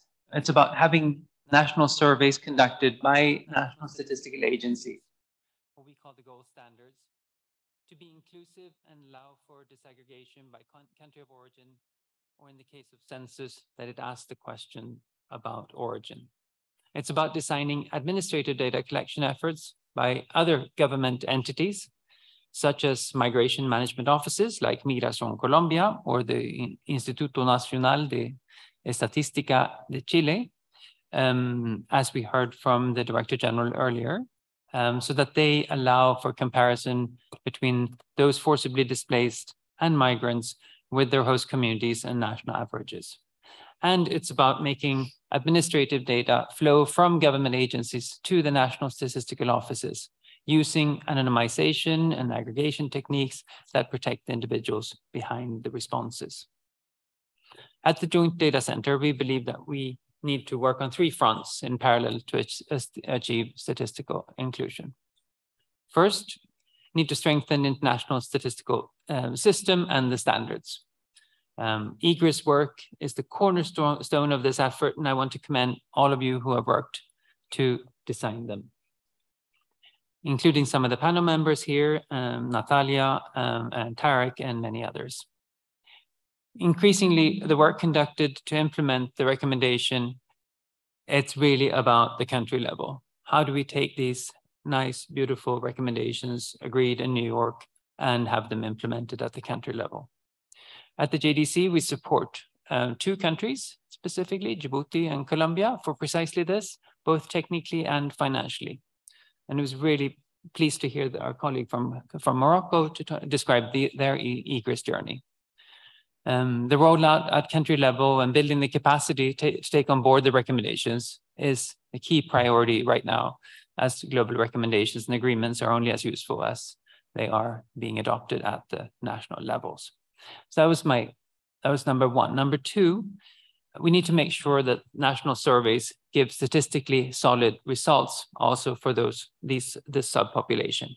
I'm talking about the demographic and health surveys, labor force surveys, living standard measurement studies, the multi-indicator cluster surveys, just to name a few.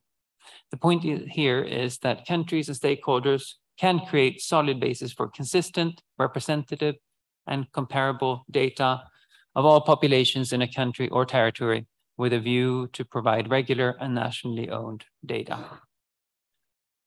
I want to tell you about a couple of examples of this. Um, the first one is for Chad, who in 2018-2019 became, I believe, the first country in sub-Saharan Africa to include refugees in their nationwide household budget survey.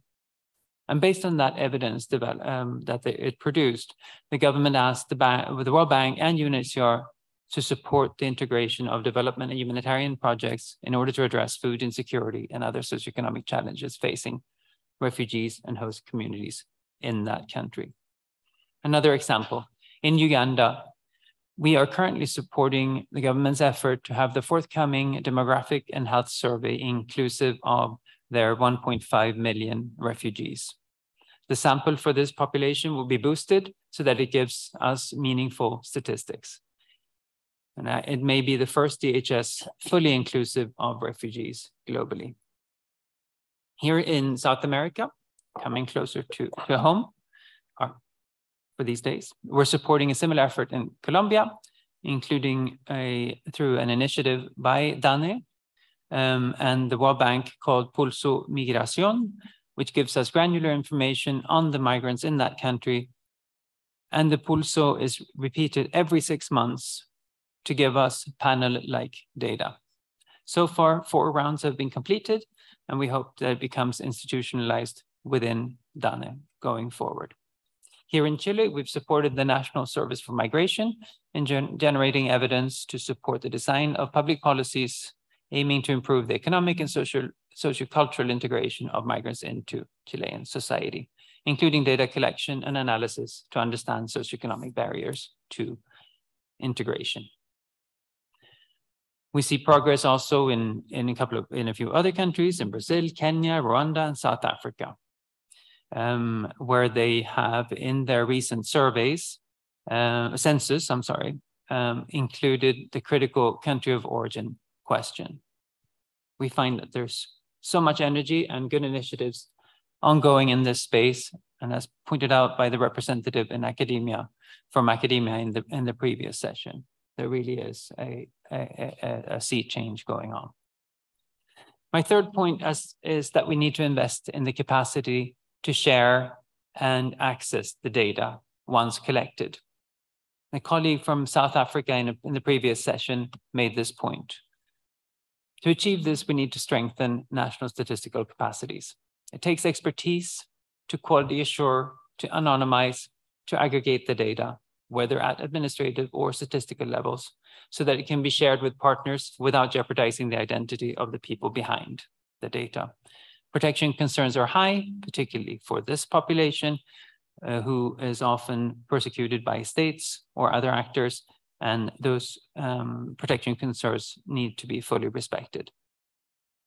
To allow for this, we have secured long need, we need to secure long-term financial investments in statistical and, and data science capacities. I want to use, if, if I may, Tarek, uh, uh, an example very close to, to Tarek's home, um, where we um, helped UNHCR build a microdata library, um, which didn't exist. There, there was no microdata library in UNHCR four years ago while just creating this microdata library, which was built on the uh, on the World Bank model, uh, that was just the first step in this effort. I would say the more important step is have the capacity to curate, to do the quality control, to do the aggregation, and to do the anonymization. And for this purpose, we've set up a separate office in, in Tarek's shop in UNHCR. And Andrea over there is, is, is head of that uh, outfit. And they, over these three years or so, have been able to collect over 500, I think they're close to 550 data sets um, at this time, and, and bring them up to the library, make them accessible to any serious actors who find, find them uh, useful for their uh, work, whether that's for um, programming purposes, or it's for policy making, or if it's for, um, for um, evidence building by, by academia. It's important that we come together in support of these efforts, both through financing, technical support, and lessons learned. So let me conclude. Um, we urgently need to make migrants, refugees, IDPs, stateless persons visible in the official statistics so we can understand who they are, what their situation is in terms of income, in terms of education, health, and other, as Mr. Scarpetta pointed out in the previous session. Thank you, Tarek. Thank you very much, uh, Björn. Not much to add to your last words of wisdom. Um, clearly, the JDC has been what I tend to like to call the catalyst for change, not only for UNHCR and the World Bank, but far beyond that, particularly at national and regional level in, in making change happen in the area of data and statistics on forced displacement, and more recently, statelessness statistics. So thank you very much for, for making this change happen and hopefully continuing to make it happen in the, in the years to come with the second mandate of the, of the Joint Data Center going forward. Um, we have a few minutes, as I mentioned to you, to eat into your lunchtime. Um, I would like to open the floor to give our audience here a bit of an uh, opportunity to provide feedback, have questions, have comments on what you heard so far. And I see one single finger already pointing into the sky, which means it's the statistical sky. So we have one person over there already. We have a second one over there, and we have a third one. Okay. So perhaps would you like to identify yourself first and then your question, and particularly if it's addressed to a particular panelist or it's in general um, thank you very much. it's a it's a general um, question. Um, my name is uh, Alessio Cangiano. I'm uh, from UNFPA HQ. Um, I work with the census team, and um, the main contribution of UNFPA to global migration statistics is probably through the census, to the support to the census. And so the question I would like to ask is, is around the use of, of the census for producing data on on refugee populations, IDP, and, and stateless populations, and reflecting back to the to the notion of inclusion that you uh, um, wisely discussed at the beginning of uh, of the session. So on paper, the census should, you know, as a universal data source, should include everybody in the country, and um, you know, um, should be able to generate data on key subpopulations at any level of disaggregation and shouldn't have the problems of statistical representativeness of household surveys in producing such, such data. In practice, the situation is a lot more complicated than that because we know that the coverage of, of refugees uh, and IDPs in censuses is always very problematic uh, for a number of constraints uh, related to the definition of the census population. Sometimes you know, the focus on the usual resident population, for example, related to the high non-response rate of people with undocumented status, of people who don't speak the language, and also related to the coverage of um, um, um, communal institutions, population living in communal institutions, whether refugee camps, for example, are included or not, immigration detention facilities are included or not, etc. So you know, when, when it comes to censuses, the, the key recommendation of the UN uh, recommendations on international migration statistics is to include a question on um, reasons for migration as a way to identify um, refugees and asylum seekers. But this is hardly enough unless we address all of these other issues that I, I referred to uh, earlier on. And so I think my question is, is really, um, you know, are we making the most of the census for producing refugee statistics? Um, is the potential of the census fulfilled? Are there good examples of countries that are um, changing the use of the census to, to be more inclusive of these populations? And um, I would welcome a reflection from any of the panelists on this. If not, uh, I hope this is a, a useful reflection in itself. Thank you. Thank you very much. And before passing on quickly to, to Thomas, I've been instructed that we have to end at 145, which is in two minutes. So we have 120 seconds. Um, you, we can post a question and perhaps the, the questionnaires can be asked to the panels uh, during the lunch break so we can accommodate the, the dead end we have here in two minutes.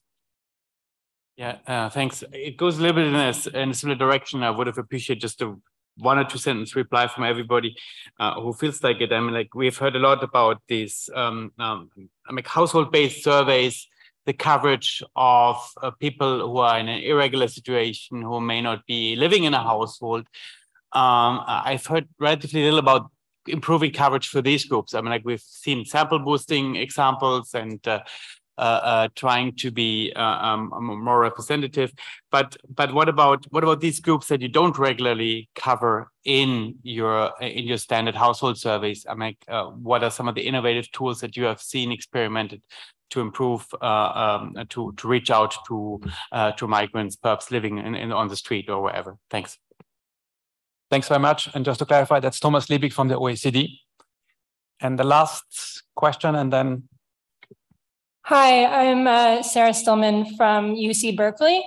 Um, so my question was very similar to my colleague at UNFPA, but maybe building on that, um, how can I guess researchers or academics support or serve as a link um, between, or basically, given the constraints that the uh, governments have in terms of being able to track these extremely hard to reach populations. Um, how can academia fill that gap, uh, people that have more time and more resources to be really making sure that these are indeed inclusive?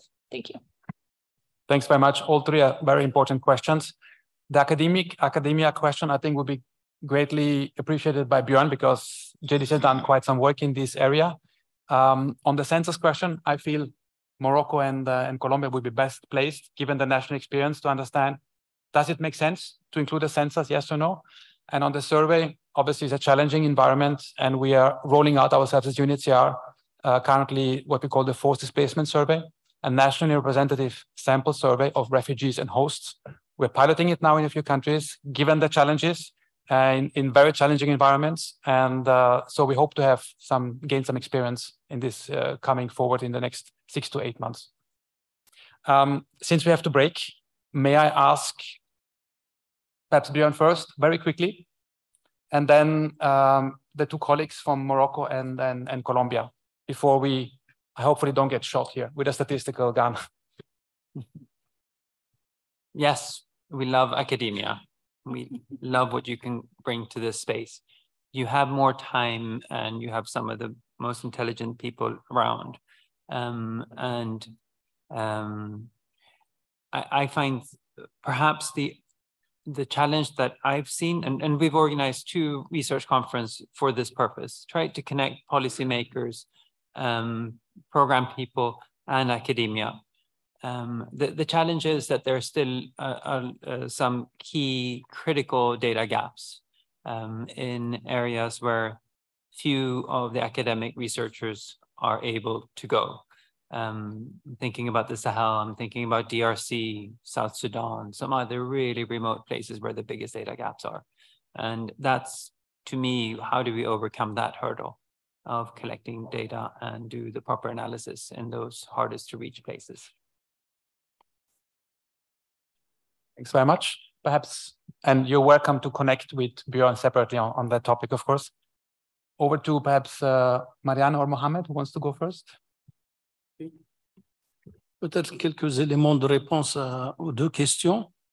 Je crois que d'abord, la, la, question du recensement, je pense qu'il est le, le, mieux placé pour cerner de manière exhaustive ces populations particulières qui sont rares dans, notre, dans nos sociétés que ce soit les réfugiés, les apatrides, euh, les enfants en mouvement, etc. C'est la meilleure euh, source de données.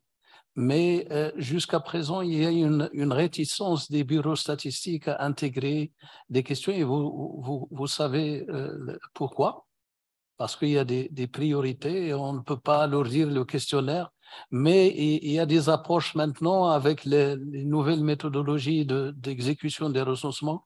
Il y a possibilité, quand il y a euh, un questionnaire long et un questionnaire court, d'intégrer toutes ces catégories de migrants, le statut de réfugiés, les, apatrides, on en a, mais c'est une population qui est rare. La deuxième question concernant les enquêtes ménages, oui, c'est vrai que je pense que j'ai donné le matin l'exemple de l'enquête emploi pour ce qui est des, des, immigrés. Jusqu'à présent, on n'arrive pas à obtenir des estimations de type effectif parce que c'est une petite, c'est un problème de petit nombre. Et c'est un, problème aussi d'approche. Donc, cette approche devrait être révisée. Comme vous avez souligné, il y a les, la plupart des immigrés ne vivent pas dans des ménages ordinaires. sont dans des chantiers, ils sont dans des, des endroits particuliers. Donc, il faudrait réviser la méthodologie pour pouvoir cerner de manière exhaustive l'ensemble des catégories de ces migrants au niveau des enquêtes euh, ménages, notamment l'enquête emploi, par exemple, ou autre enquête. Merci. Mm. Pues uno de los desafíos que por lo menos eh, las oficinas de estadística están tratando un poco de mitigar está asociado al fortalecimiento. uh, to mitigate this, and this is associated uh, to strengthening and synergies between entities uh, to strengthen uh, national statistical systems, and so that we can connect uh, the information from uh, different administrative records. And this implies other challenges associated to the protection of personal data, to delays in connection to the time uh, of the data. But uh, DANE has begun uh, to explore uh, strategies uh, to have uh, better synergies with the entities that have migration databases, as for example, the victims unit or Migración Colombia, who conduct uh, border crossing controls, and to put into one uh, uh, data table information obtained from different entities. Despite this is a challenge for intergovernmental communication, uh, this could uh, provide an important potential to uh, public uh, based to evidence-based uh, public policies. And that is what DANE has tried to work on, on strengthening administrative records and on strengthening the national statistical system so that we are able to improve access uh, to information and coverage. But in any case, uh, there are many limitations, especially uh, when it comes uh, to periods of time and the protection of uh, personal data. But we also have uh, surveys that enable us to characterize in a much more expeditious manner and uh, also to have information in far shorter periods, other strategies that we're working on. For example, with entities uh, that uh, provide uh, programs uh, uh, for migrants, they receive a certain amount of information, but they are not uh, they are not a source of an important source of statistical information, but rather the study of some isolated cases. For example, USAID programs have an important uh, level of information uh, collection, but they are they focus on a very specific territory. That uh, me that cannot be representative of the whole phenomenon, but uh, that despite the fact that they enable us to identify certain aspects regarding discrimination, the vulnerability of communities, and so on. And we're beginning to uh, organize uh, un- uh, workshops uh, to understand the reality of those territories that, that are most highly impacted. Thank you very much. Um, as already a couple of colleagues are moving towards the canteen, let me conclude here. Thank you, first of all, for the four panelists for having been with us today and having given us insights into forces displacement, migration, and statelessness statistics. Um, I would also like to very much thank the co-organizers of, of this session, which means the AGU Secretariat, the Joint Data Center, and uh, the Intersecretariat Working Group on Household Surveys, of course. Um, the IFMS team for giving us the space here. Thanks very much for giving refugees and others an identity in statistics, in particular in such sessions, which are important to all of us. And last but not least, I would like to apologize to the interpreters for having gone over time and thank them for their patience um, for having gone the extra mile. Thanks a lot to everybody. And uh, there are a couple of sessions more coming in the course of these next two and a half days on displacement and statelessness. So stay tuned, more to come. Thanks a lot and bon appetit.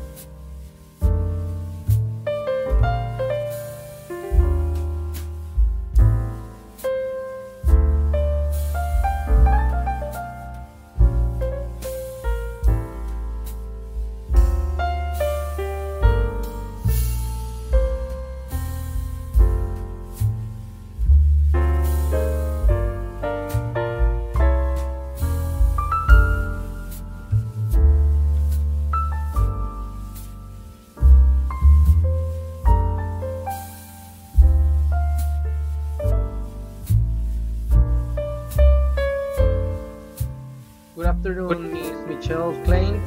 Can we test your camera and your audio, please? Hello, good afternoon. How are Good you? Everything good here. We Can can, you see see- you and we can hear you very clear. Very good. Thank you. Thanks to you, you can uh, stay with your camera off and your microphone off. Thank you very much. Thank you.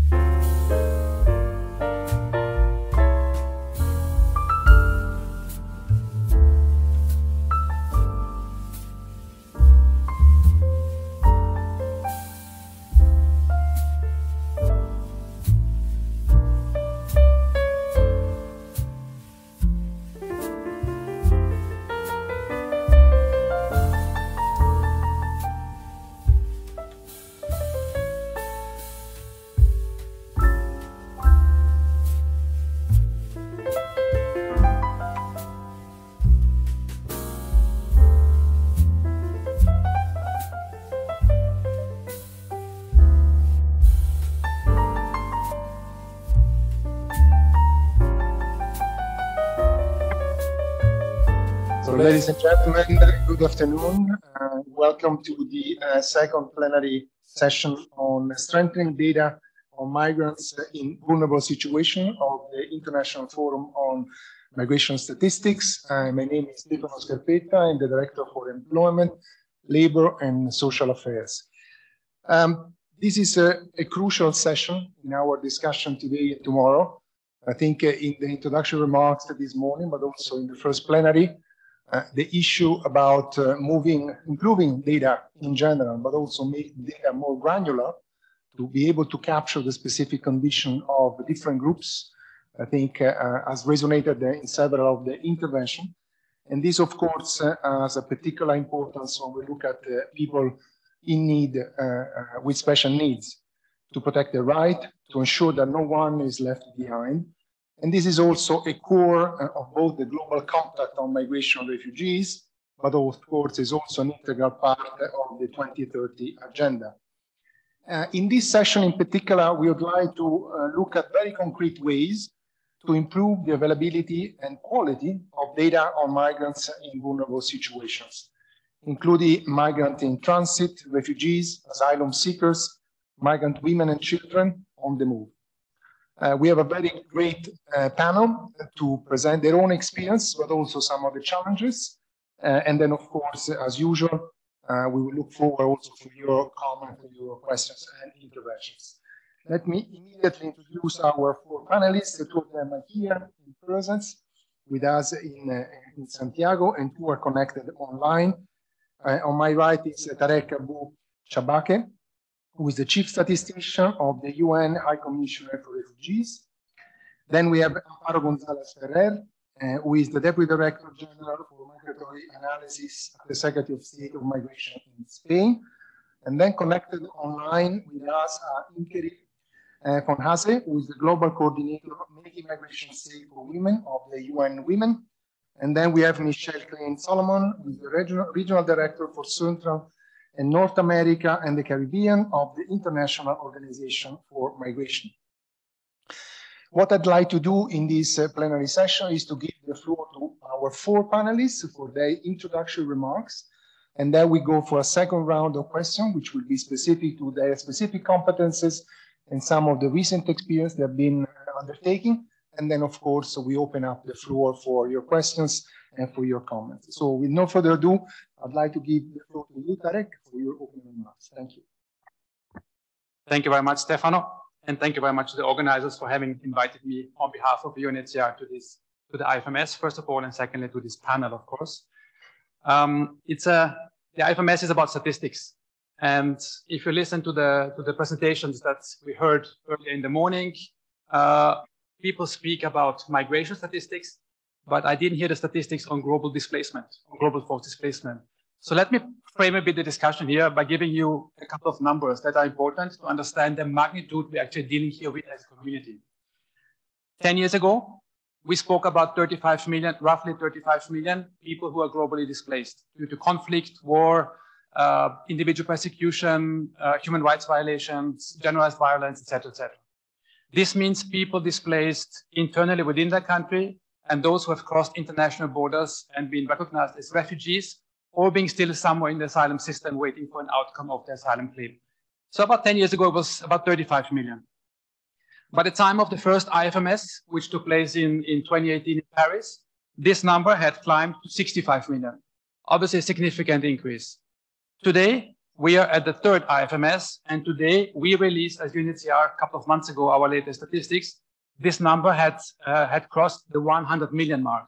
It stood at 103 million people who are globally displaced due to conflict, war, persecution, etc. So we have, within a time span of about a decade, we have seen almost a tripling of global displacement. And I think it should be no secret that the outlook for the future does not look very positive. You don't need to be a statistician to understand that trajectory the world is taking with regard to forced displacement and that solutions are actually drying up. May it be return of refugees to the home country or maybe being resettled to a third country as a solution. But the question is now is how do we turn a humanitarian challenge into a statistical success? And that's what I'm trying to, to kind of portray a bit what the community has done in, in improving uh, statistics on global forced displacement over the last couple of years. But let me phrase it a bit differently here. Uh, lawyers always need a legal framework to operate with a certain area of expertise. And so do statisticians. And within the legal and statistical framework, you wouldn't believe it, but the drafters of the 1951 Refugee Convention, they put a paragraph into the convention that makes explicit reference to statistics on refugees, which means any country signing up to the Refugee Convention, and of which they are now the majority in the world, they basically have a legal, legal obligation to collect statistics on refugees and disseminate them at the same time. So that was already more than 70 years ago. The drafters thought that statistics are an important protection mechanism for the global international community by looking at the world of statistics. So that's quite striking, I find, when you go back more than 70 years. More recently, and it was mentioned already several times, the Global Compact on Refugees reinforces the message on how to improve the lives of refugees and the host communities which host them. And here again, we have data as a cross-cutting issue. As was mentioned, the GCM has data as an integral part of its framework, and so does the GCR, the Global Compact on Refugees, which talks about data as a, as a very empowering aspect of improving lives of refugees and the host communities. So what have we done as a community? And we, I mean, we here, all of us together, those online and the rest of the statistical community. I will give you a couple of examples of what has actually been a success, a statistical success. One is International recommendations on refugee statistics have been endorsed in 2018 by the Statistical Commission in New York. The first framework that governs how to count refugees, how to enumerate them, how to define them, most importantly, and how to analyze refugee statistics related data. This was complemented in 2020 by the international recommendations on internally displaced person statistics. So within a couple of years, after 70 years, nothing has happened pretty much at the international statistical arena. Within a few years, the Statistical Commission endorsed two major important recommendations on refugees and IDPs, as we call them, internally displaced persons. So that's an important milestone. The next milestone is going to be hopefully very soon, the recommendations on statelessness statistics, which sometimes intersect between displacement and the legal aspect of not having a nationality. At the same time, also, recommendations itself are great, but collaboration has intensified. Uh, what we have seen over the years, more and more actors getting engaged. On the one side, because the humanitarian challenge and the magnitude it shows is quite tremendous. And different partners, partners and parties have stepped up to, to meet this uh, demand for, for data. The most successful success, I would say, is, and it has been coming up several times today, including by the, by the Director General of IOM, EGRISS the expert group on refugees, internally displaced persons, and statelessness statistics, which has a mandate from the Statistical Commission in New York to basically imp, uh, implement the recommendations on refugee and IDP statistics, and moving forward also help states in implementing those recommendations. So there's a framework, there's an expert group, and UNHCR is happy to host this expert group and will continue to do so, obviously, as a service to the international statistical community. Another good news is migration statistics on the one side as a community, forced displacement statistic as a community on the other side. And in the past, those two did not intersect by and large. But this is changing for the better. Those two communities are starting to intersect, to understand how both operate, how they can benefit from each other, how the different modalities to collect data, analyze, and disseminate actually intersect across migration and forced displacement. Um, also to understand, obviously, they intersect to understand what are the protection needs and the concerns of the individuals, in this case, refugees or migrants. Increasingly, and this is something that I'm really, you wouldn't have heard it, me saying about 10 years ago, is the, the upscaling of development partners, international development partners moving into the humanitarian space for the better. Meaning that development always was looking at uh, humanitarian situations let them deal with the situation. And when the moment comes down, development partners come on board and we see post-crisis, post-conflict situations, how can we improve? How can we help as a development agency in improving the lives of refugees, which often happen in the past years later? This is changing. Humanitarian and development partners are working together nowadays, hand in hand. And a classical example is the World Bank UNHCR Joint Data Center on Forced Displacement, which was established by those two agencies in Copenhagen has been in existence for almost four years now as a catalyst for change on data. Last but not least, And that's, I would say, is my most important point is national ownership of information is important. Meaning in our community, it would be the national statistical offices, which have a responsibility to understand what is happening on the territory, because that's the mandate given to them by the respective governments and given to them by international law, but also statistical regulations and law. And so national statistical offices for the, for the better of the last couple of decades have ignored forced displacement and have given this task to humanitarian agencies by and large. But this is changing, partly because of the international recommendations are available on, on statistics, refugee statistics and IDPs, but also national ownership is getting increasingly important for national statistical systems to understand what's happening on the territory.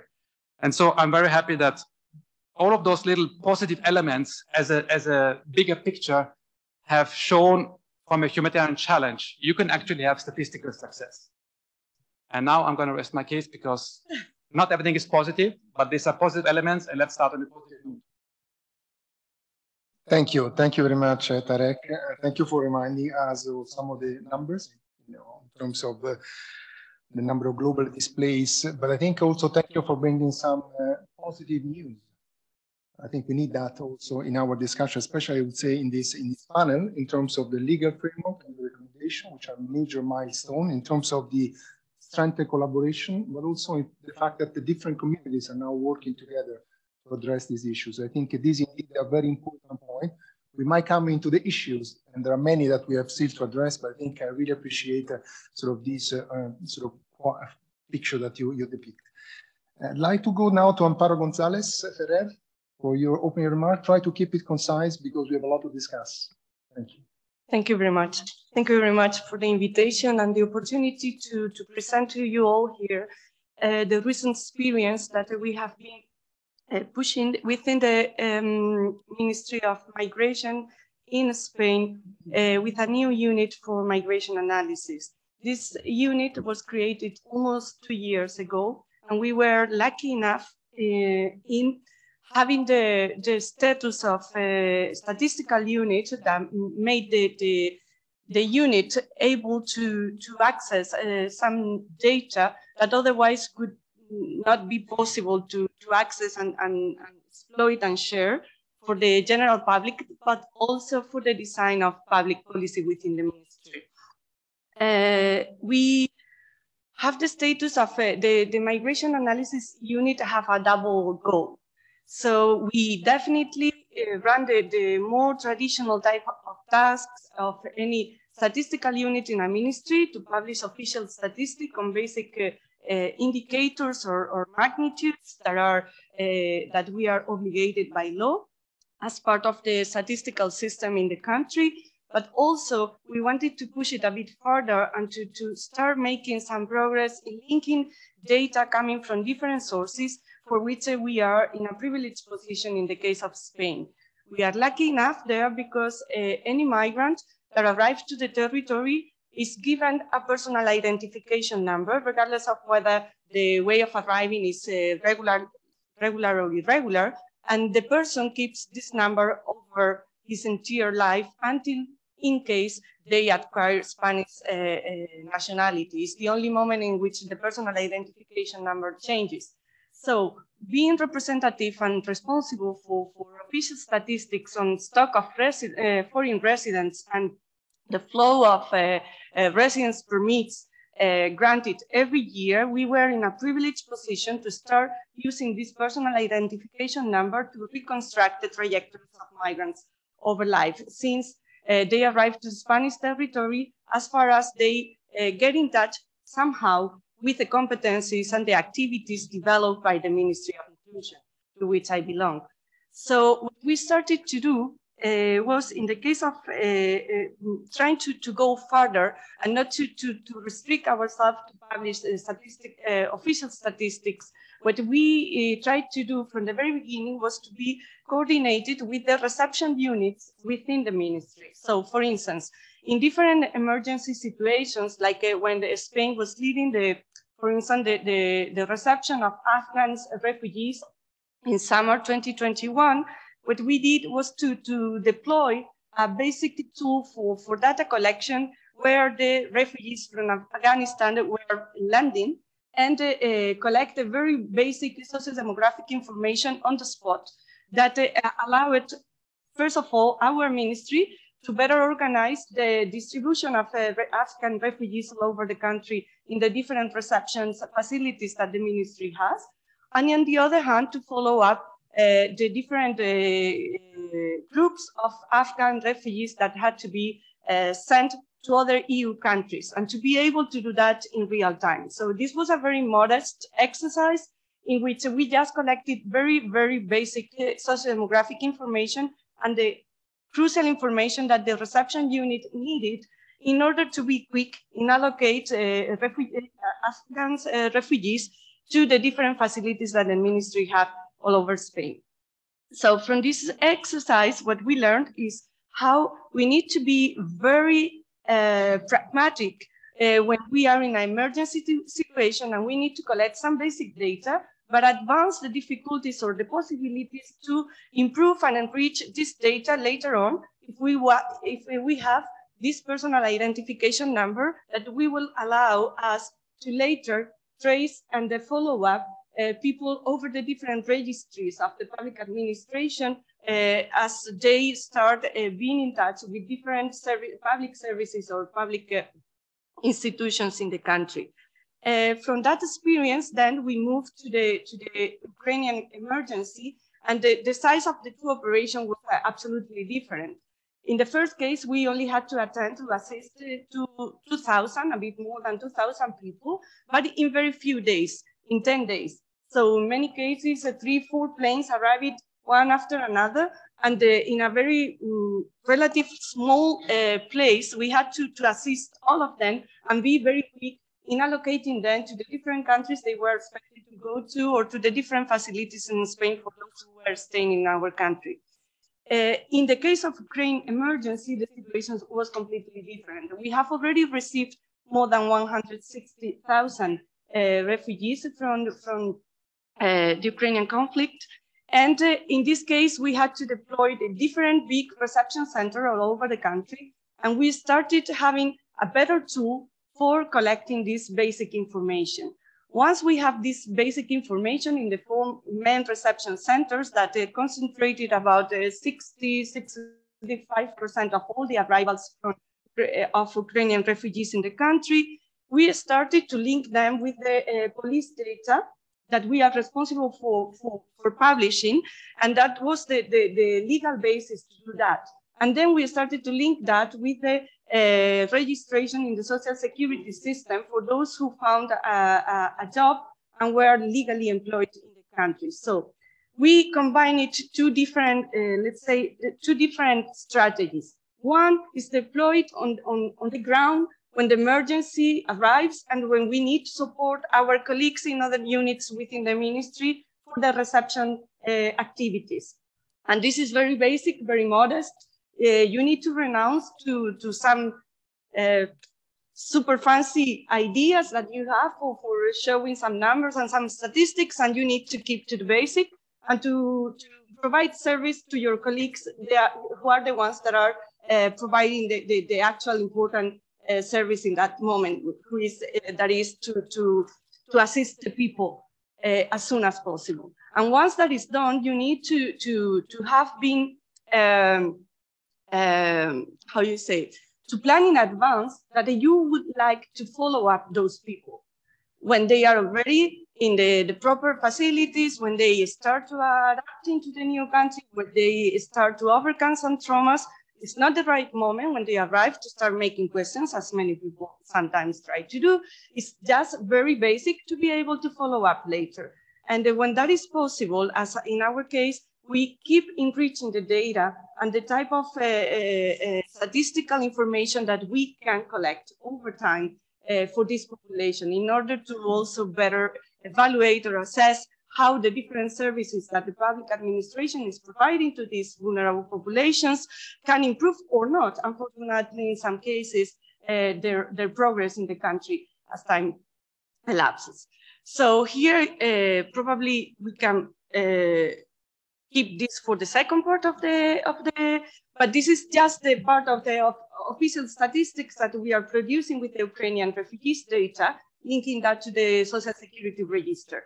And there is another one, which, uh, that is the one that we collect uh, on the spot, which is uh, much, uh, um, let's say, less rich, but uh, more important in the sense that we can there include questions that usually are not included in, in public register, like uh, the region of origin in Ukraine, the size of their family, how many people they are waiting to come later on, or uh, whether they have uh, uh, accommodation already arranged or not in the country. So we complemented one and another in different moments of time. And in this, uh, in this way, we were able to, to have a better understanding on how the situation of these vulnerable populations is developing in our country. Thank you very much. Thank you. Thank you very much, Amparo. I think that was extremely interesting, a concrete example about a major effort made in your country. Uh, you basically show that the data that do exist can be put together to actually provide much better information for, for policymakers. And the fact that you follow up by putting together the data also with the, uh, the rapid response and the fact this was uh, quite important also in the context of the recent crisis, including, of course, most recently to try to provide support to the Ukrainian refugees, is a very concrete example that I think all of us have benefit from. With that, I'd like to give the floor to our third uh, panelist. Uh, she's connected uh, online, is Inkeri von Hase from UN uh, Women. Over to you, Inke. Thank you so much, uh, and thanks for inviting me to this really important panel discussion. Will focus my intervention on the um, experience of gender-based violence against uh, migrant women and girls. And firstly, I'd like to uh, highlight that while women and girls make up approximately half of the 281 million international migrants, the continued lack of sex disaggregated data and gender statistics on migration, especially on gender-based violence against migrant women and girls, is a significant issue that really needs to be urgently addressed. So being a migrant accentuates the risk of women and girls to various forms of GBE, GBV in countries of origin, transit, destination, and return. Its structural and gender inequalities, including discriminatory laws and policies, as well as a lack of access to safe and regular migration pathways, which place women in greater situations of vulnerability and increase their risk to GBV. In fact, migrant women face an omnipresent risk of violence at all stages of migration. And that's committed by a variety of actors, uh, such as smugglers, human traffickers, criminal gangs, corrupt officials, and of course also other migrants and sometimes even family members. And incidences, incidences of violence are often not singular, but take place multiple times. For example, in one um, in the recent UN Secretary General's report on violence against women migrant workers, 30% um, of migrants who witnessed or in fact experienced violence traveling along the central Mediterranean route did so in more than one location. And the threat of violence against women and girls is especially high along certain migration routes. For instance, um, in one study uh, conducted with migrants who traveled from Northern Africa to Italy, 90% of the women and girls said that they were raped at some point during their journey. So these are one-stop studies, and actually, in fact, we we know very little um, about the experiences of uh, migrant women in relation to GBV. We not only lack information on the prevalence of violence against migrant women girls, but we also have very little data on the forms, frequency, the severity um, of violence against them, and hardly any data on the perpetrators nor do we have sex disaggregated data on uh, trafficking of, uh, uh, of in persons of migrants, um, which is really um, uh, critical. So this needs to really urgently change. And um, in my in, in my intervention um, shortly, I will explain why we have so much little data and what can be done in order to address the situation. Thank you so much. Thank you. Thank you very much, Gary. I think you put on the table a very important issue indeed. And I think I also look forward for the follow-up discussion, try to see how we can improve the information on something of, this importance. Thank you also for reminding us that it's not just one episode, but I think many, many women actually suffer from multiple episodes of violence against them. Um, I would like now to go to Michele Klein Solomon uh, from the uh, IOM for some opening remarks, please. Thank you very much. And it's a pleasure to be with you virtually. I only wish I could be with you in, in person. I very much appreciate the, the opportunity to address this issue today. So data and evidence are clearly critical components of an effective response to migrants in vulnerable situations, including through supporting evidence-based policymaking and program formulation. Data are invaluable for the identification of vulnerabilities as well as context-specific challenges for scaling up interventions and for defining long-term sustainable solutions to migrant vulnerability. In brief, it is not an overstatement to say that data saves lives. The international community has shown a firm commitment to protect vulnerable migrants, including victims of trafficking, notably through the Transnational Organized Crime Convention and its supplementary protocol on trafficking in persons. The Sustainable Development Goals 5.2, 8.7, and 16.2 that focus on elimination of violence, exploitation, and trafficking, and most significantly for the purposes of this discussion, in the Global Compact for Safe, Orderly, and Regular Migration. Its Objective 7 to address and reduce vulnerabilities in migration, Objective 8 to save lives and establish coordinated international efforts on missing migrants, and Objective 10 to prevent, combat, and eradicate trafficking in persons in the context of international migration. All of these efforts at the global level demonstrate a clear commitment to work towards the eradication of trafficking in persons and protection of the rights and well-being of migrants in vulnerable situations. It's important to underscore that migrant vulnerability can arise at all stages of migratory journeys in countries of origin, transit, destination, and return, and as a result of multiple factors, including external ones such, such as national hazards exacerbated by climate change, discrimination, exploitation, lack of secure jobs, education, housing, and much more, as well as personal characteristics of individual migrants, including, as Inkeri has said, gender, but also age, disability, ethnicity, and so much more. For the purpose of emphasizing the role of, my da of data, my remarks will focus primarily on one instance of migrants in vulnerable situations, trafficking persons, with examples in particular from the Americas. While it is difficult to quantify the magnitude of trafficking persons worldwide, estimates suggest that hundreds of thousands of persons are subjected to trafficking across borders, while many others suffer similar situations within their own countries. The subregion of Mexico and Central America is considered an origin, transit, and destination point for trafficking, and every country in the region is affected. In the Americas, more than two thirds of whom human trafficking victims are sexually exploited. More than 80% of the victims are women, and almost one third are children. In Central America and the Caribbean, women and girls account for 79% of detected cases. In addition, this subregion has the highest percentage of girl victims, 40%, and one of the highest proportions of minors in the world who suffer from trafficking, equivalent to 48% of all cases. IOM's displacement tracking matrix allows for the identification of the characteristics and conditions of vulnerable populations and their specific needs, and of course, serves as a complement to official um, statistical data. As an example, a survey in Panama City, which I am sitting in today, shows that 87% of migrants did not have access to health insurance, and then only 22% of children and adolescents attending schools.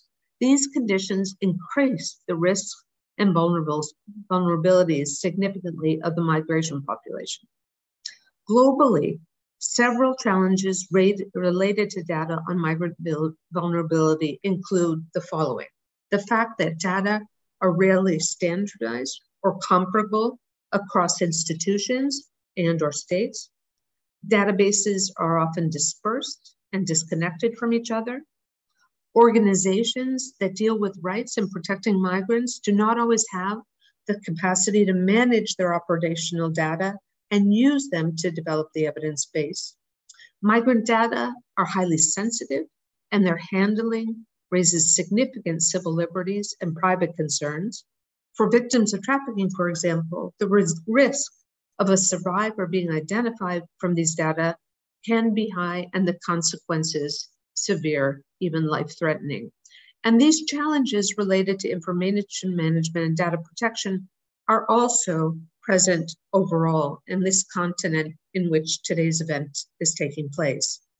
IOM is a key actor in the generation, sharing, use, and management of data regarding migrants in vulnerable situations. Provision of thematic guidance and building capacity to strengthen knowledge and competencies in data management is a priority for IOM offices together with key partners and especially frontline institutions. We aim to leverage data and evidence to allow for better protection of and assistance to migrants in vulnerable situations. This is consistent with IOM's overarching migration data strategy, which aims to improve the evidence base on migration, including through developing local capacities and promoting the US use of evidence across UN system-wide programming. One example of IOM's work in the Americas is assisting migrants in vulnerable situations is the role we play as one of the coordinators together with UNHCR in the R4V platform for Venezuelans out there outside of their country of origin. This is actually the world's largest geographical response and collects and publishes data, reports, and research related to vulnerable refugees and migrants from Venezuela. The R4V regional migrants needs assessment supports the identification of needs across 17 countries in Latin America and the Caribbean through both primary and secondary data. This helps uh, by providing an evidence base to uh, permit partners submissions to annual refugee and, and migrant response plan to support mobilization of funds based on vulnerability and needs at both national and local levels. The R4V structure includes nine thematic sectors just to get granular education, food security, health, humanitarian transportation, integration, nutrition, protection, shelter, and wash. Three subsectors of the protection sector child protection, gender based violence, and human trafficking and smuggling, and five thematic cross cutting working groups. There are focal points for gender, environment, and protection from sexual exploitation and abuse, and focusing on the centrality of protection. One other example, building on the work done by the Counter Trafficking Data Collaborative, we are working now on standardizing and, and building the capacity for the collection, management, and use of administrative data on trafficking persons. This is the source of some of those statistics I just mentioned. Through building the capacity of governments and other anti-trafficking actors to collect, manage, and share high quality, standardized human trafficking data, we aim to improve the, dev, uh, the evidence base for collective, the international community-wide counter trafficking responses. Working together with research, government, and NGO partners, the projects are developing and disseminating the first international standards and guidance on the definition, collection, management, and safe use of administrative data on trafficking persons so that governments around the world can collect data that are comparable, high quality, can be safely shared and used to develop the evidence base to inform policy pro- and making and programming by all relevant actors. I, let me quickly conclude by saying we're also working to develop and disseminate the first international standardized information management toolkit and guidance on collection and management of human trafficking data for frontline anti trafficking organizations providing direct assistance to, to victims. In addition, there's been a literature review on regulation and guidance, guidelines for management of trafficking cases and other protection related issues in the regions, together with needs assessment in selected countries to generate resources and evidence that orient to programmatic decisions. Let, as an example, and I'm concluding now, during 2022, IOM's regional data hub in Central America provided comprehensive training to frontline civil society organizations to improve data and information management capacities in Nicaragua, Honduras, Guatemala, El Salvador, and, so, and southern Mexico. We will continue this year with other civil society organizations in other selected countries and will also include governments from Central America and the Caribbean. As I said, data is essential to saving lives, and we are committed to use data to assist migrants in vulnerable situations, including trafficking persons, and to work together with civil society organizations, government institutions, including statistical offices, our partners in the UN, related organizations such as OECD, and other relevant partners to build capacity for the collection, management, and proper sharing of data related to trafficking in persons and more broadly, migrants in vulnerable situations. Thank you very much. I look forward to the discussion. Thank you. Thank you so much, Michele. Uh, thank you for your for your intervention. Data save lives. I'd like actually to, to mention this important point you made. Thank you for mentioning uh, how important it is to standardize data uh, to actually do a better service in understanding what are the issues and that to intervene. But also, I think the important point you mentioned is also that some of these data are very sensitive. So data man management is also an extremely important uh, issue that we have to address. Thank you to all the four panelists for their sort of opening remarks.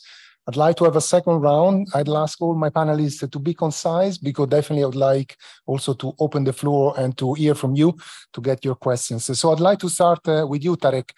Uh, in your opening remarks, you have stressed some of the important positive steps both in terms of the legislation, uh, the uh, recommendation, the greater collaboration we do observe. But of course, I think the question to you is that what do you think is the most important challenge in monitoring people in need of international protection? How can host countries and other stakeholders better support your work on UNHCR in the context of the Global Compact on Refugees? Thank you very much, Stefano, for a very important and pertinent question let me let me step out a bit for a second and say, imagine you go to a bookstore and you find a cookbook and you find a dish that is particular of interest to you. You look at the ingredients and then you say, this is probably going to taste extremely well based on what you have seen in a cookbook. And something similar then, and then you try it out and then you realize it may actually not taste the way you had expected it to be. In statistics, it's somehow similar. You get a statistical framework which provides the concept behind how to count, for example, refugees or internally displaced persons, because it has been adopted by the Stats Commission in New York. And then you are National Statistical Office, you're trying to implement what has been said in theory. And then the practice kicks in, and then you realize actually it's not as easy as the book says it should be. And so that's a that's a challenge and that's a dilemma we are all facing when you talk about theoretical frameworks, which is great to have, and I'm the first one to sign off on it. But the challenge is how to implement them in practice and how those implementations then eventually make a difference in the lives of refugees and other displaced populations in the world. So, and this is something we've been facing. We as UNHCR, we as humanitarian community, we as wider statistical community across the board. And it, it does not only apply to the refugee sort of dimension, but also applies obviously to other frame, statistical frameworks as well. So that's, I would say, is, it's an important challenge. Because when, when, when the international recommendations on refugee statistics were adopted in 2018, I got tons of questions back then, and people thought this is a revolution and tomorrow everything is changing. But we know this is a long term perspective. We have to keep in mind it takes time to change frameworks, to implement frameworks, and actually understand what those frameworks actually constitute. So, my aim was always think about long term perspectives. Hopefully, our kids will be there when everything will be internationally comparable in terms of refugee and displacement statistics.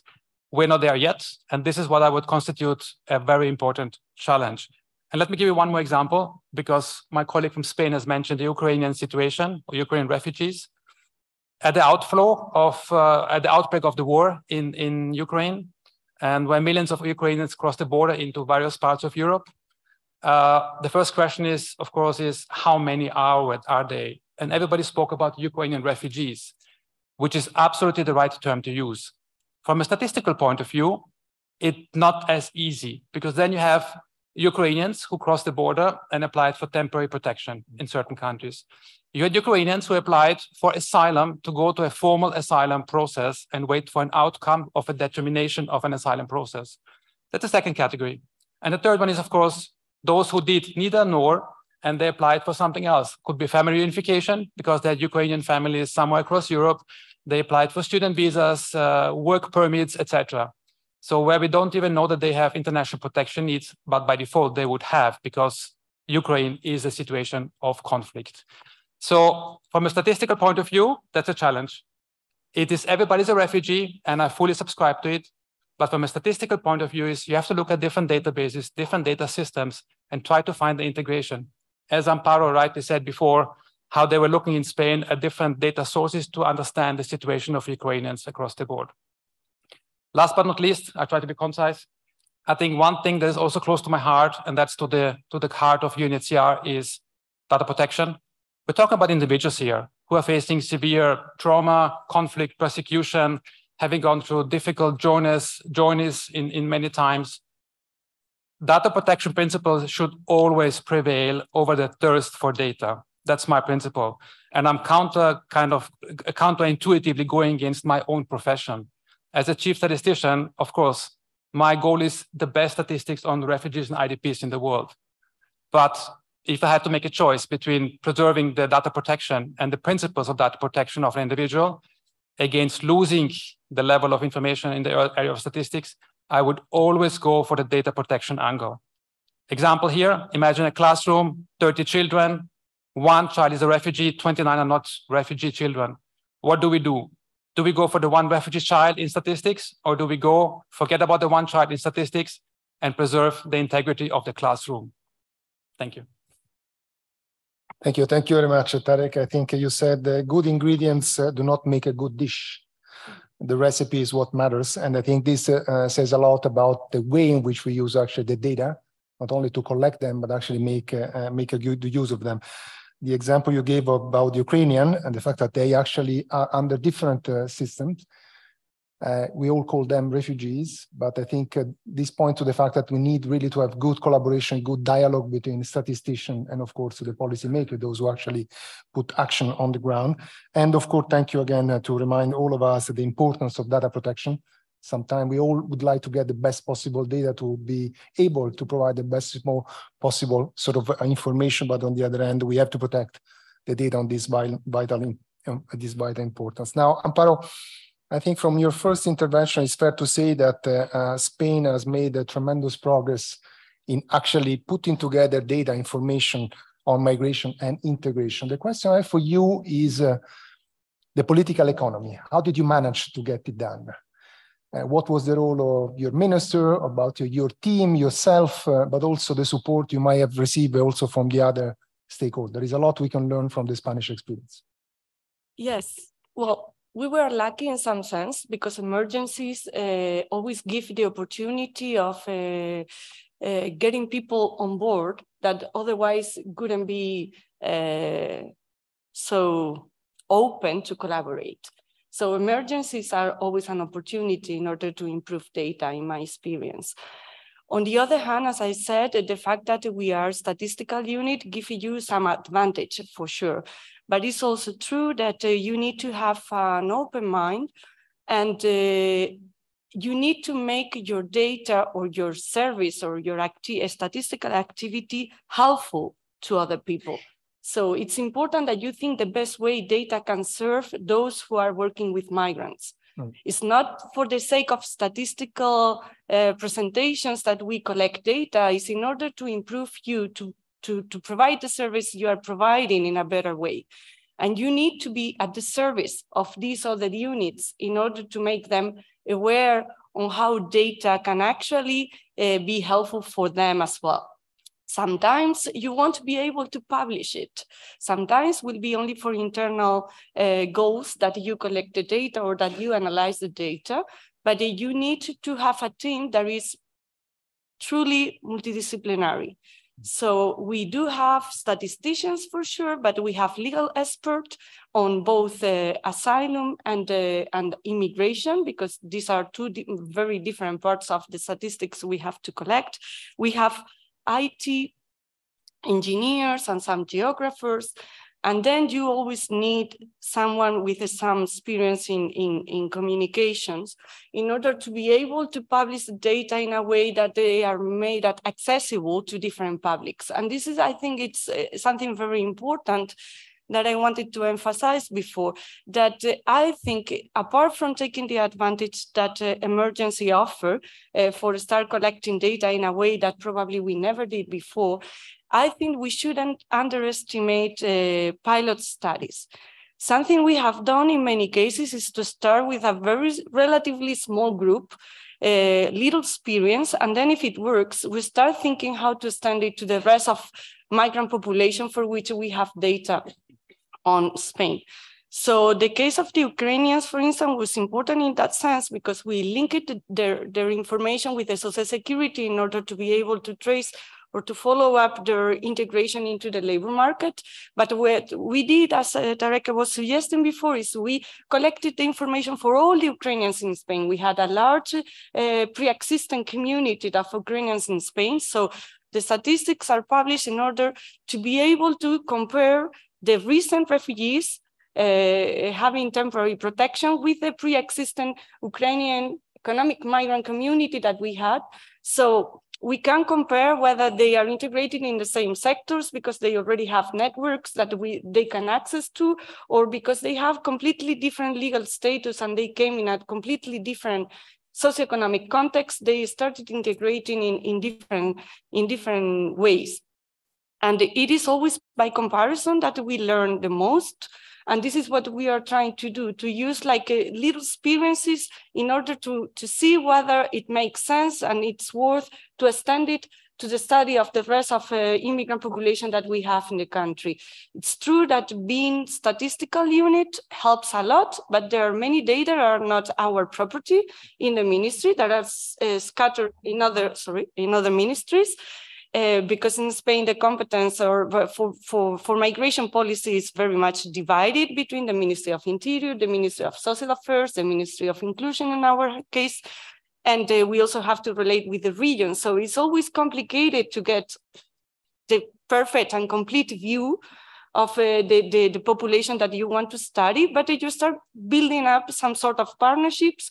Some works better than others, and you try to make progress with those who want to collaborate. And basic, basic, and probably the most, most crucial point for us has been to make always to publish something.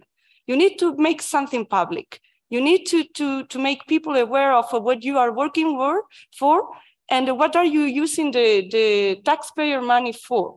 And uh, you also create the need for the data. And you also learned a lot for, for, for the comments or the requests that you receive through the website through different conferences or different meetings with other uh, civil servants on how you could improve the data or how you could uh, make them more useful for other uh, institutions that are looking at uh, your website and you didn't know before. So I think these are basically the experiences. Thank you. Thank you so much, Amparo. I think a number of very important points. So first of all, when we think about data, make sure we keep in mind how useful this data will be for those who actually are dealing with migrants. The second very important point, I can't agree more, multidisciplinarity. I think in the work you have done, also bring all the different kind of expertise in order to make sure not only you're putting together the right data, but also you put them for the great, for the good use. The other important point is accessibility and actually make them public. So actually involve to some extent the public in the way in which you use this data. And since we are also exploring different ways to put together different data set, the, the use of pilot, I think this was a very important point you made. Inkeri, I'd like to, to go back to you. Of course, uh, uh, the point you made before is very clear that we need to do much, much better to get data on gender-based violence against uh, migrant women the question to you is that how can we improve the collection of data and how the international community can help in this front? Yes, thank you so much. I think it's a very, very important question. And um, earlier I highlighted the lack of data. Um, and that this really needs to change uh, in, in, order to uh, address this uh, issue of gender-based violence. Um, um, but in order to make that change, uh, we need to first of all understand why data on GBV is so limited uh, against migrant women and girls. So um, I put together five key points that I'd like to share.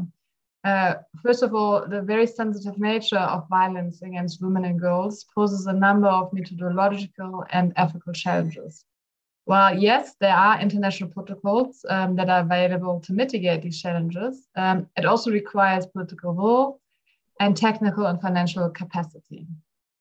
Secondly, data collection instruments on GBV, where they exist, are often designed to assess prevalence at an aggregate level with sampling methodology that cannot easily accommodate extensive subgroup analysis, including on migrant women. And thirdly, migrant women in vulnerable situations, such as live-in domestic uh, workers, migrants in transit, those in an irregular situation, and migrant, uh, migrant workers in the informal economy, may be more at risk of GBV, but are often isolated and very difficult to reach for data collection purposes. Fourth, migrant women must feel comfortable disclosing sensitive information during data collection which is often challenging given the social stigma and the shame attached to GBV in many countries. And in addition to that, many migrants are actually reluctant to seek services for fear of arrest and deportation. And fifthly, fifth, uh, which was also pointed out by Michele, um, there is a lack of standardization in GBV terminology, data collection tools, and incident classification, and a lack of uniformity in how and in what data are collected across governments, international organizations, and civil society organizations, making comparisons and summaries indeed very challenging. So now we know the challenges, but what can we do now um, based on uh, this understanding to concretely improve the reporting information system on GBV against migrant women and girls? Um, firstly, it's it's essential to increase the collection, analysis, and dissemination of sex disaggregated data and gender statistics on GBV against migrants through a combination of prevalence data, administrative data, and qualitative data, as on their own, they generate a limited picture of the experiences of GBV against migrants. In addition, it is critical to ensure that safety confidentiality and privacy of migrant women survivors of GBV um, is guaranteed and that adequate support services are offered to them. It is never recommended to collect information about a GBV survivor's migration document, documentation status because that can put them at risk some data points that could be safely collected instead are, for example, country of origin, country of citizenship, and geographical reference. In addition, it's critical to standardize GBV terminology, data collection tools, and incident classification to harmonize data and comparability across studies and regions.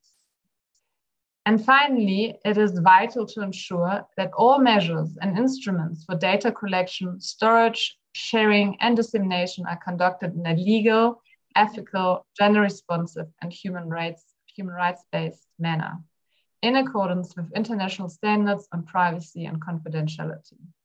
And of course, this requires extensive training of researchers.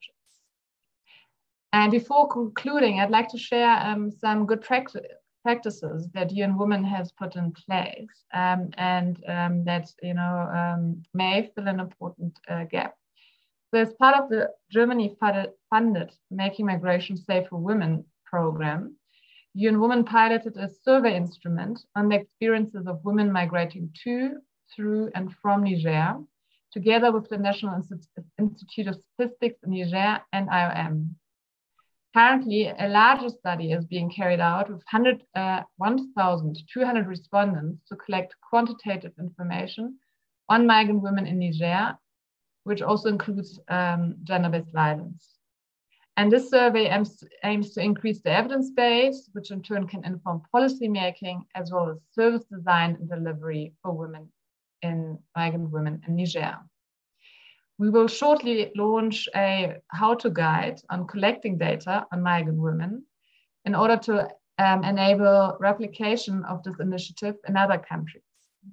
Because to our knowledge, um, this study um, has never been done in any uh, countries, and in fact is a very pioneering effort to better understand the experiences of migrant women.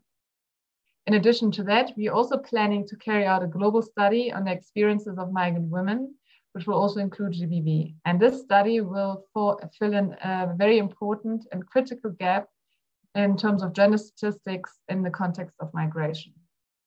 So to conclude, data is highly important to support efforts to end violence against migrant women and girls, such as developing evidence, evidence-based laws, um, policies and programs um, for improving the quality and availability of essential services, and increasing the protection of survivors and the prosecution of perpetrators.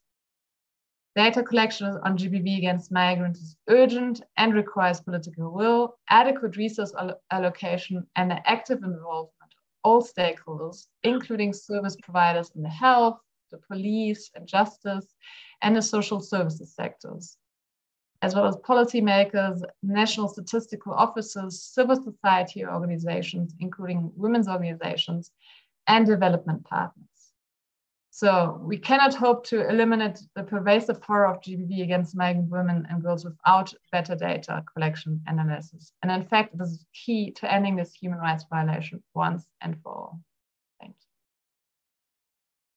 Thank you. Thank you very much, uh, Inkeri. I think uh, we all know how difficult it is to collect any data on gender-based violence in general and specifically, of course, for migrant women. But thank you so much for being very concrete in terms of the challenges, but also some of the way to, to, to try to make, uh, uh, make progress. Combine data, I think this is an issue that has resonated throughout our discussion. Make sure that we bring all the different uh, stakeholders, the safety and confidentiality, the standardization of data, uh, of course, the training of researchers to make sure we can respect the legal, of course, human right, uh, human rights. Uh, and thank you also for sharing the good practice, the example. We very much look forward to get the how-to guide uh, on, on that particular issue. Michele, let me uh, come to you. Uh, I think I'd like to ask you really what are the lessons we can learn from interagency work, in particular the interagency coordination platform for refugees and migrants for Venezuela. And the question is really, can this be replicated also in other regions? Thanks very much for the question. And I must say it's one we ask ourselves every day. and so um, we are still learning the lessons from the R4V platform. It's an extraordinary effort, interagency effort. Of course, it's co-led by IOM and UNHCR but many other agencies participate, as well as more than 200 civil society organizations. Now, it, of course, it has multiple aspects to it, not all related to data, uh, but the data component is, is quite a significant one.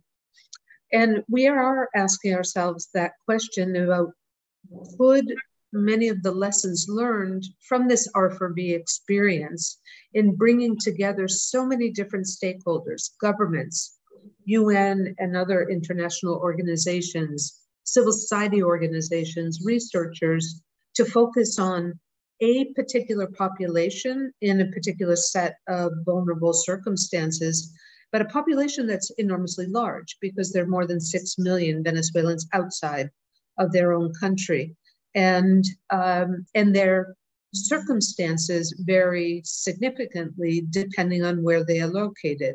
As just one example, and in South America, I want to congratulate many of the governments in South America who have worked really very hard to develop programs and policies to facilitate at least temporary, if not permanent, regularization of status and socioeconomic integration of Venezuelans, at least for the time being, where it's simply not possible to go back in large numbers to Venezuela.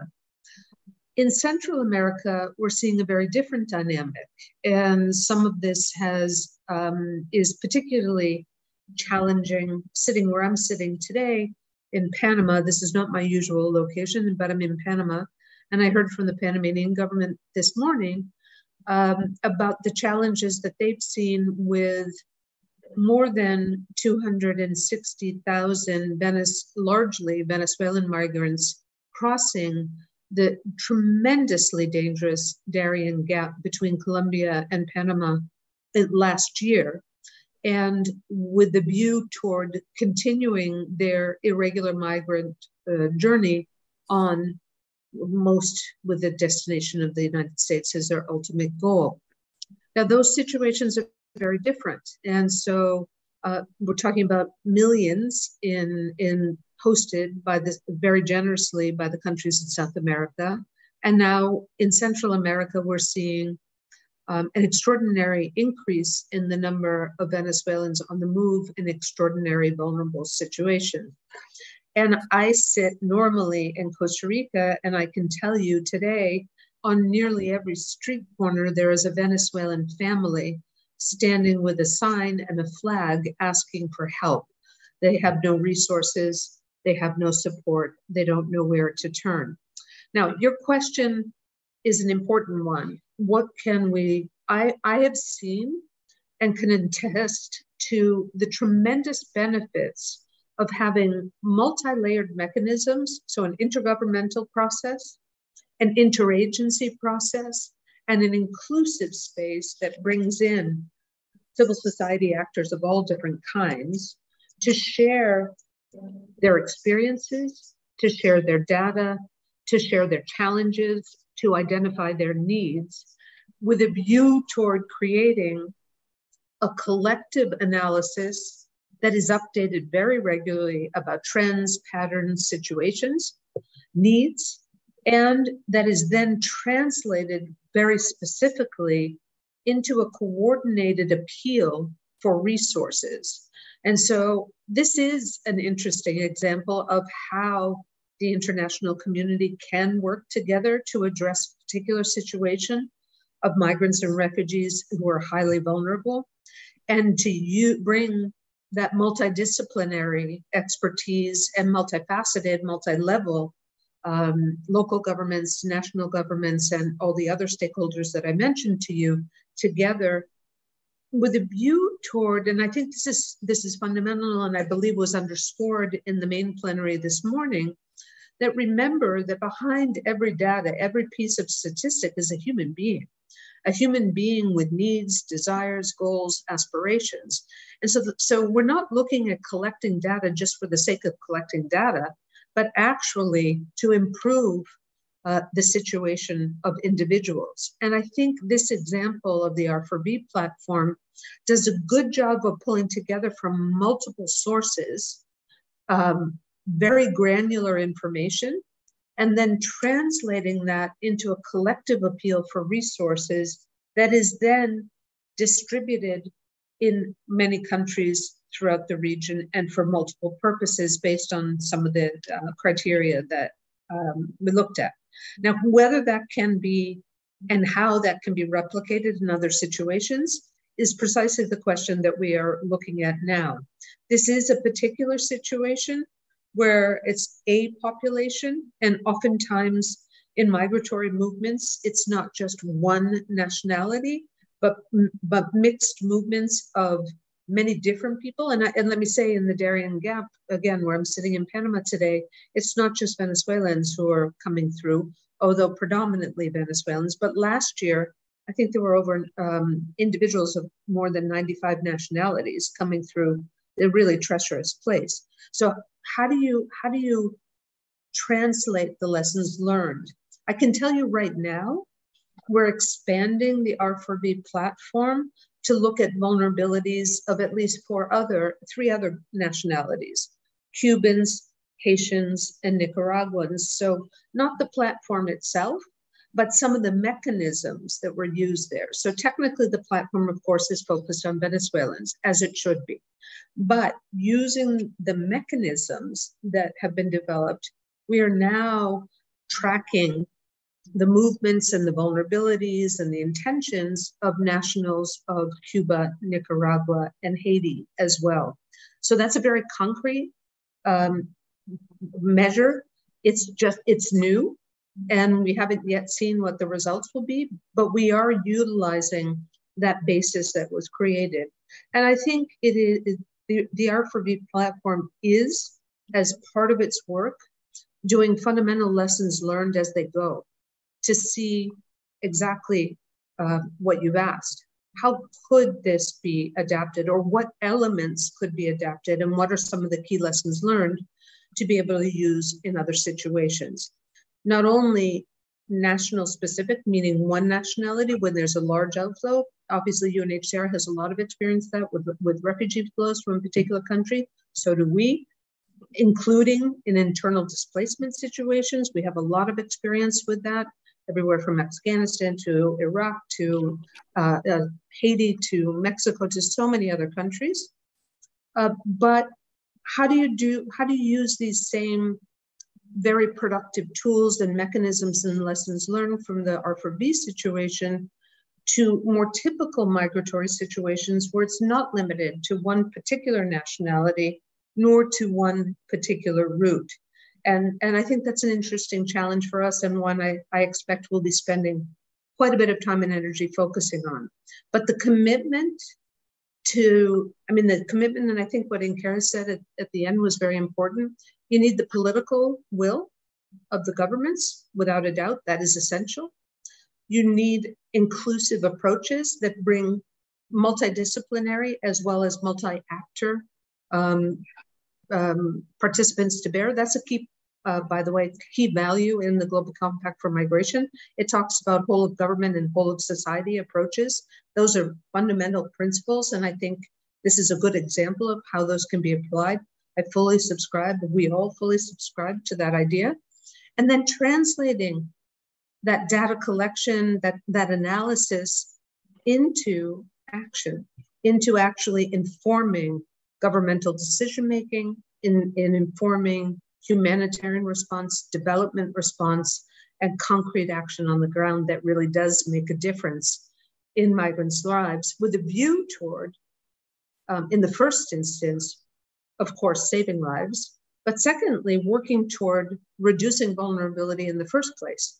And, and I think a lot of data and analysis can be done and is being done to try to address some of the root causes of vulnerability with a view toward very, very granular interventions based on data collection. And just to give you one last example, for in Guatemala right now, we're working with the government, but on a program that is addressed to look at the hyper local level what are the drivers of irregular migration with a view toward and working with indigenous populations and others to inform that and local mayors and, and, and local groups with a view toward then hearing directly from those stakeholders what would make the difference? What would they need in order to feel that they can remain safely at home and don't need to undertake a, a dangerous irregular journey so this is some of the directions that I think uh, we can go in. Thank you very much for the question.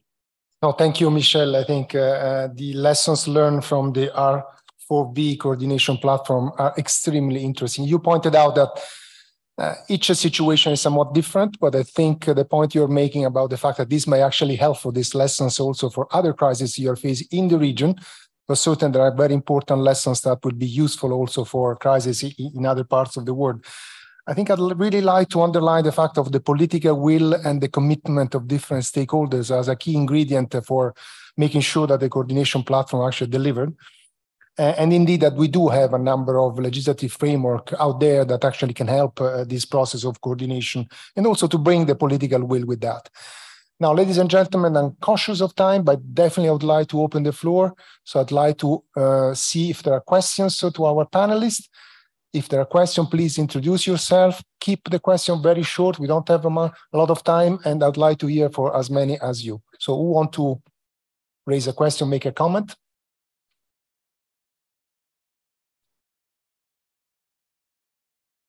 I'm looking around over there. Please, can you introduce yourself, please? Hello, uh, my name is Rebecca Napier-Moore from the ILO Regional Office for Asia and the Pacific. I have a question for Ms. Ferrer. Um, I found it very interesting that you talked about collecting data on irregular migrants.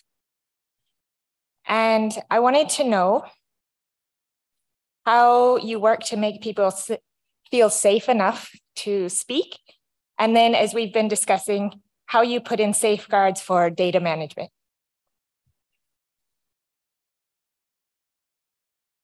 Thank you. Other questions? Over there, please.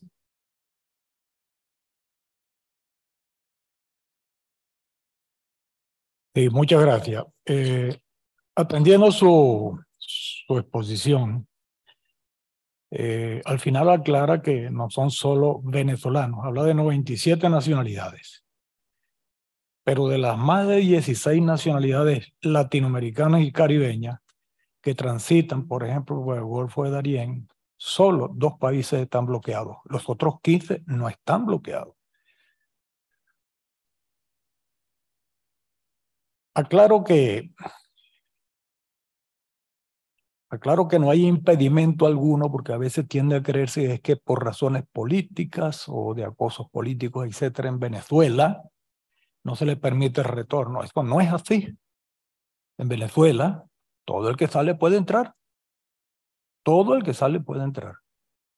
Y tanto que el gobierno apoya con las operaciones gratuitas de la de la operación Vuelta a la Patria gratuita y segura. Y con esto ocurre algo curioso también, que gran cantidad de gobiernos no permiten que el gobierno venezolano conduzca acciones de retorno a nuestro país. Es decir, el gobierno venezolano ofrece aviones permanentes todas las semanas gratuitos y hasta hoy en Latinoamérica solamente cuatro países están permitiendo la operación de la aerolínea estatal con Viasa para que los venezolanos regresen a nuestro país. Y a propósito de la, de la oferta de colaboración, Venezuela le ha propuesto a ACNUR y a la OIM que colaboren. Que colaboren. No vemos por qué, por ejemplo, y se les ha ofrecido que el Estado venezolano coloca a disposición de la OIM los aviones para que los venezolanos regresen y no tenemos respuesta, ni siquiera para combustible, ni siquiera para pago de, tasas en aeropuertos, etc. Entonces, eh, solicitamos a usted que, bien nos ha ilustrado sobre esto, que colaboren, que cooperen, como se lo hemos pedido. Muchas gracias.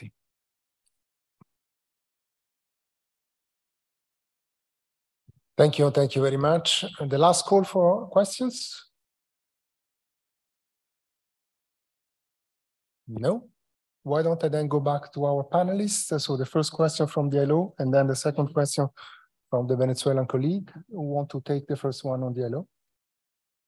Yeah, very briefly. In Spain, we have a, a, double situation with regard to irregular migration. We have the part that arrives by boat, which is the most vulnerable, and then we have a much bigger part that come by plane.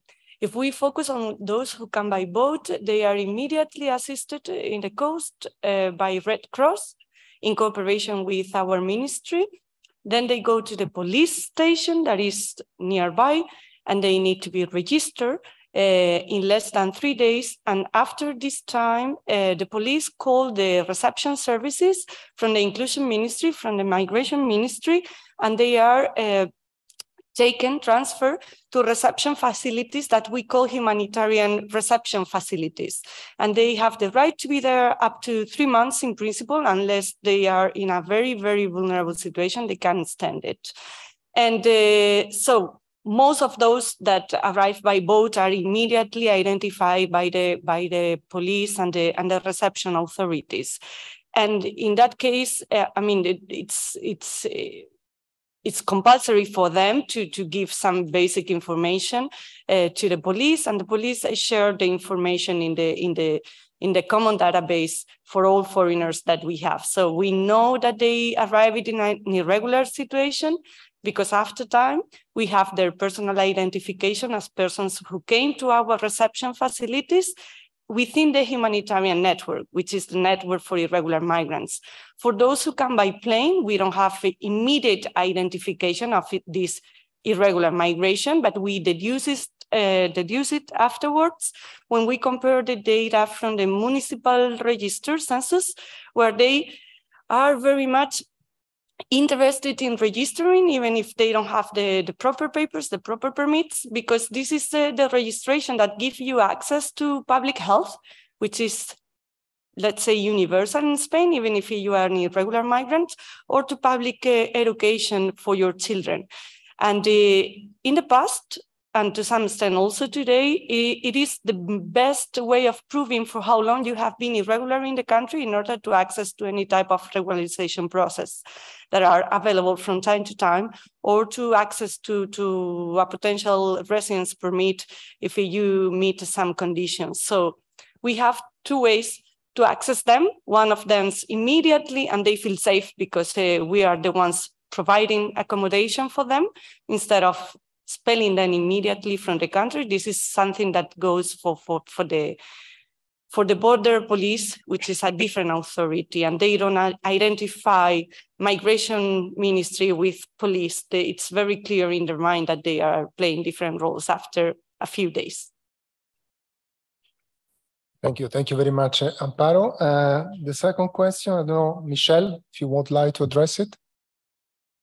Yes, thank you very much. Um, I quite agree with this statement of, of the individual. I'm, I'm, not sure where he was from, um, but uh, you're right that the, in the Darien Gap, uh, it is by no means only Venezuelan nationals who are transiting. And in 2021, only 2% of those who transited through the Darien Gap were of Venezuelan nationality. In fact, Haitian nationals were the largest group, but as I said, there was more than 90 nationalities of, of people going through there. I've spent quite a bit of time in the Darien and have seen people from as far away as Bangladesh, the Democratic Republic of Congo, uh, Turkmenistan, uh, and um, various different parts of, of Africa. It's quite it's quite striking um, to see this route that is pure jungle and extraordinarily dangerous being used. With respect to the comment about UNHCR and IOM collaborating on returns, let me be very clear from IOM's perspective. We have never stopped or opposed providing the assistance that we can to vulnerable migrants who choose to go home voluntarily.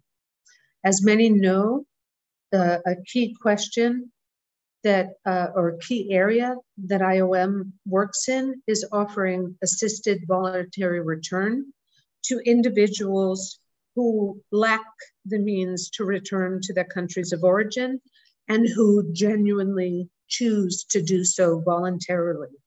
That is equally applicable um, to nationals of Venezuela.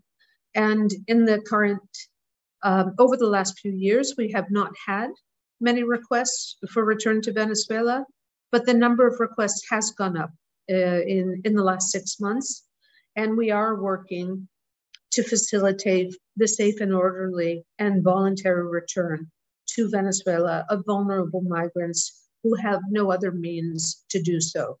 That is a complement to and not a substitute for. Obviously, it is not, not related directly to the program that the representative of the government of Venezuela mentioned. Uh, we don't take over the role of governments working in this area. Uh, we do not pretend to substitute for governments, but we offer service for migrants who are truly vulnerable and wish to go home and lack the means to do so. So let me clarify that. And we are, in fact, assisting small numbers of Venezuelans who are quite vulnerable and lack the means to return on their own. Thank you very much. Thank you. Thank you very, very much, Michele. These, uh, ladies and gentlemen, bring us to the end of this panel. But before closing, I really would like to go to give the floor back to our four panelists for a one minute final uh, observation you'd like to share with all of us. So we'll go in the same order. Tarek, I will start with you. 60 seconds sounds almost like hashtag something something. um, I think what is what I can see is that a lot of progress has been made, as I mentioned earlier in the, during this panel uh, session. Still, much more has to be done. Many more have to be engaged from the statistical community to make actually a difference in the life of refugees and other displaced populations, including status population.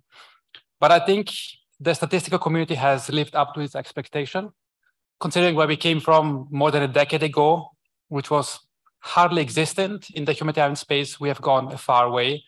And I think I'm very optimistic about the next decade and the next, the fourth or the fifth IFMS will demonstrate how far we have come as a community. And on that one, I would like to end. It has to end on a positive note. Thank you. Thank you very much. I also appreciate the closing positive note. Amparo, over to you. Thank you. I very much agree with Tarek. I think that uh, we have done a huge progress over the last decades in terms of statistics and data availability in, in migration area. And I would say, don't lose your hope and be positive and believe in tiny things because at some point they become big. Thank you so much. And Inkeri, over to you. Thank you. Yeah, uh, in terms of the collection of uh, data on GBV against migrant women and girls, the progress has unfortunately not been that great over the last 10 years. And I think uh, the call um, to action is now. And there are ways of collecting uh, data in a um, in a survivor-orientated human rights-based and gender responsive manner. Um, I outlined how this data can be collected. And I think what really is key now is political will, um, as well as the necessary resources to carry out this, uh, this research and make it available. And um, and yes, the time is now, as I said, we can do it together um, if we want to. And um, thank you very much. Thank you very much, Inkeri. And last but certainly not least, Michele, over to you. Thank you so much. So I will, uh, in the tradition of IOM's former Director General, make three quick points, always three. The first is keep the person at the center of our consideration, their needs, their vulnerabilities, and, and that never forget who we are focusing on and what we're trying to achieve. Second is ensure whole of government and whole of society approaches we need all of the stakeholders at the table. And third, echoing what Inkeri just said, is it's critical to maintain the political will and commitment to moving forward. And I believe that fora like this one, the IFMS, do exactly that. So thank you all for the commitment and showing that by showing up today. And we're committed to continuing with you. Thank you very much. And thanks to you, Michele. With that, ladies and gentlemen, we close this panel. Please join me in a round of applause for our four fantastic panelists.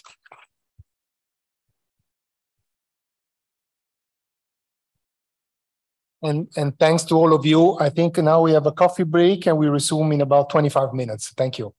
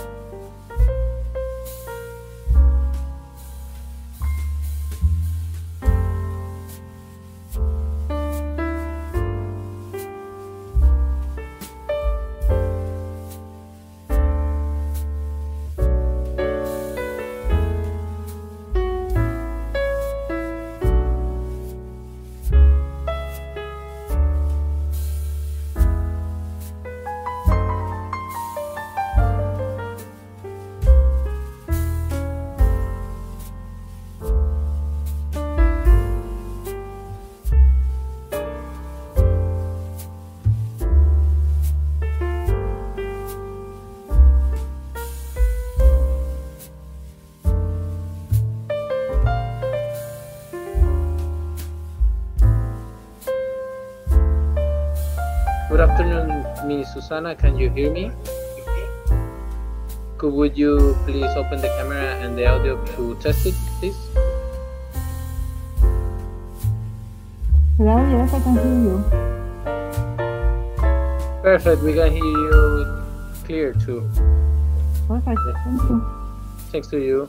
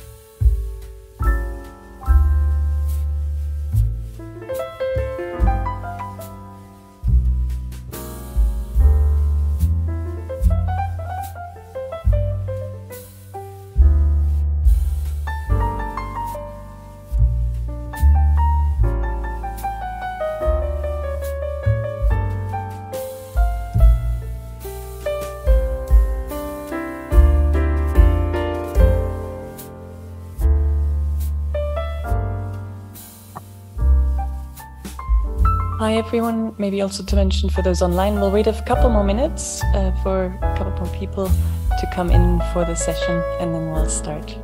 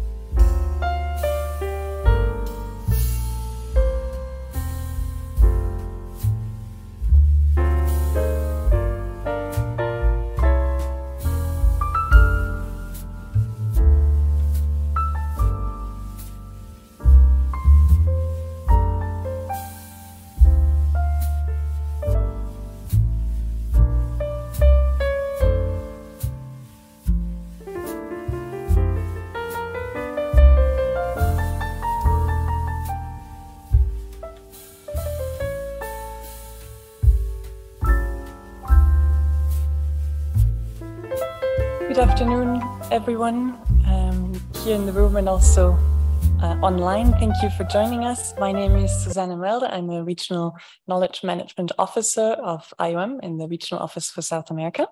And I would like to welcome you to this session on environmental migration data for policymaking, experiences and innovation in Latin America.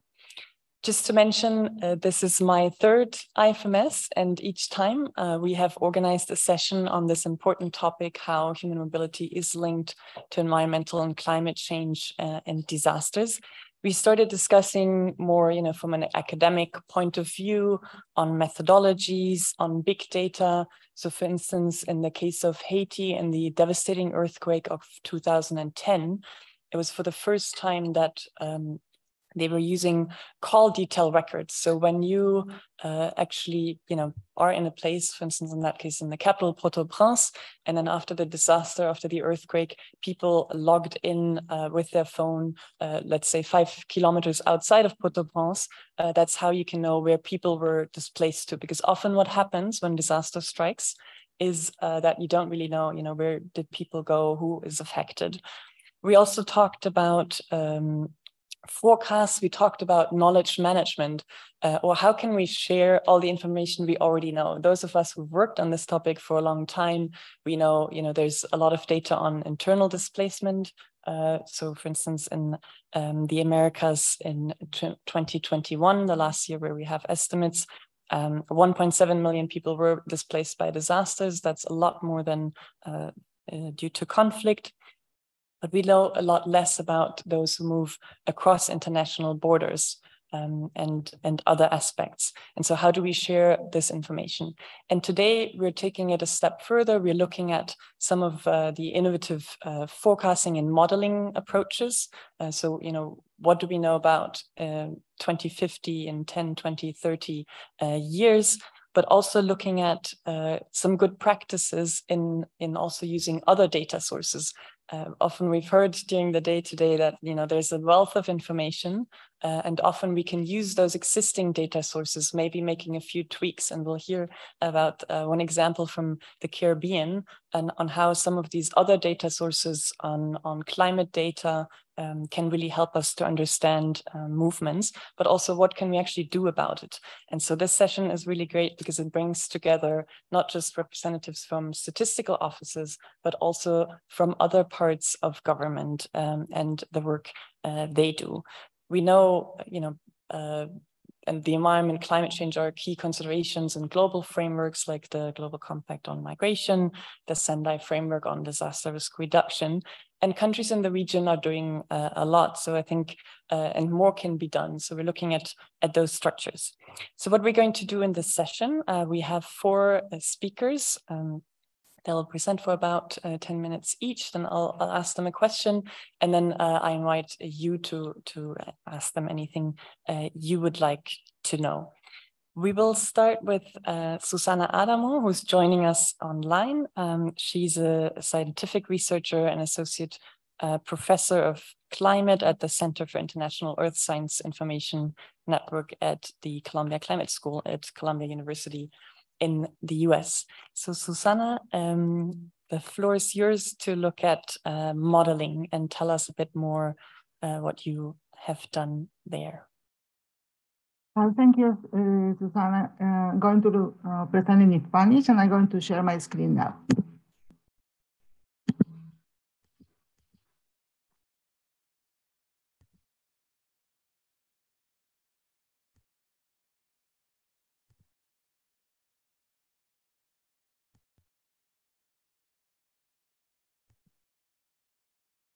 Can you see my, my screen now?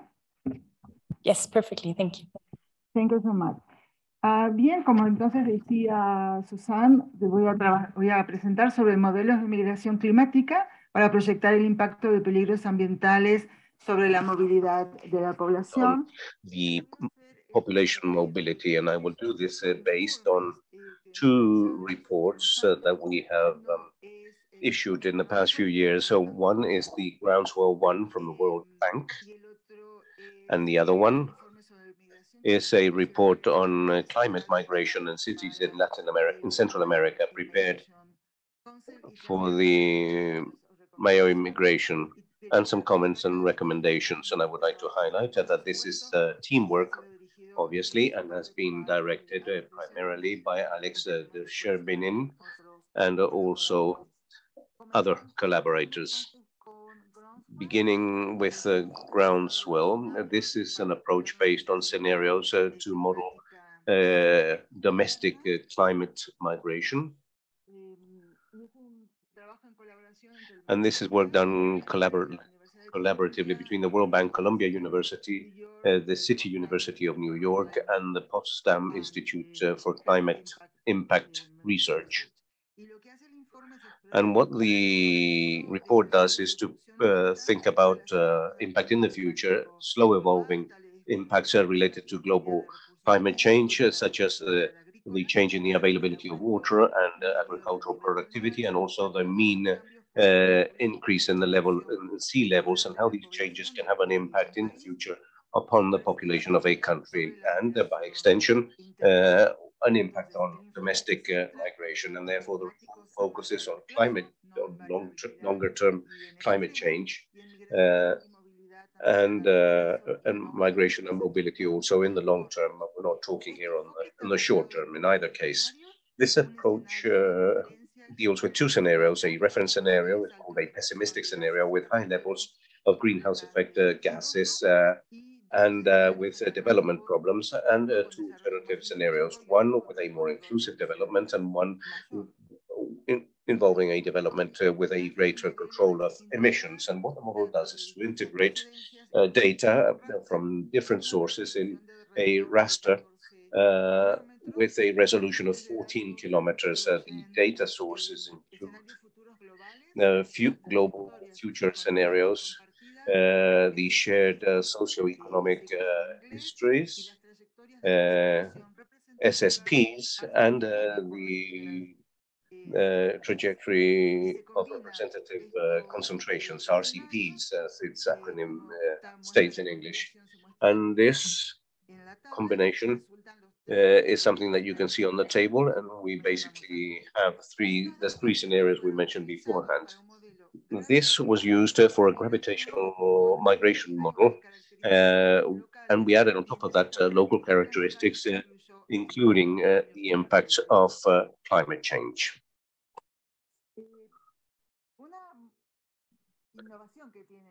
Uh, an innovation that the model has is that uh, climate changes are introduced uh, not based on modifications in rainfall, temperature, and so on, but rather on the impact of these modifications and changes upon water resources and upon the performance of uh, selected uh, crops, and therefore use the impact of not so much the modification of uh, parameters.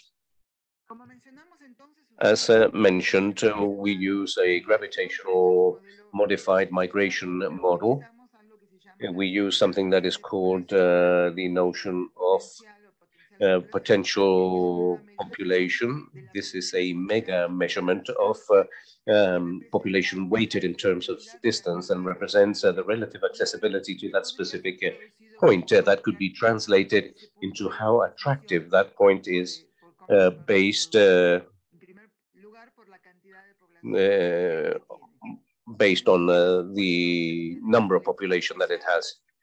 we have a spatial selection uh, the agglomeration of the population, and after that, environmental change as a modification to the different uh, assets that those uh, cities have. Uh, the slide shows other technical elements that you, if you're interested, you may review in uh, the report uh, that is that was mentioned. So now these are the general results based on the application of this model for Latin America. And uh, this is a result of scenarios uh, for 2050 and also for the three different uh, scenarios. And then from the numbers that we see here, we see that there's very 10.6 million in the case of a pessimistic scenario to 5.8 million uh, for a more uh, uh, for a, a more climate friendly scenario also bearing in mind the changes or variations in terms of results, this could actually reach a total of 17.1 million or all the way down to 2.2 million. So in addition to the fact that reducing emissions is important, because that is actually what the more climate friendly scenario represents, we also need to bear in mind that the more inclusive development scenario also refers to significant uh, differences when compared to the pessimistic scenario. So the changes are important. The differences are important. Here, I'm showing another example of the select results for Paraguay. We are looking at the localization of critical points or hotspots of immigration and migration triggered by climate change. And we can see that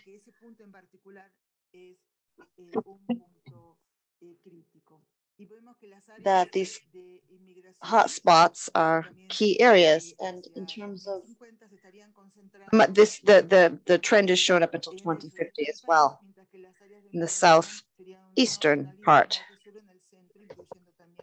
And then the central part, it's a north-south route. And this these results for Paraguay also include a series of maps that you can see on the screen as well.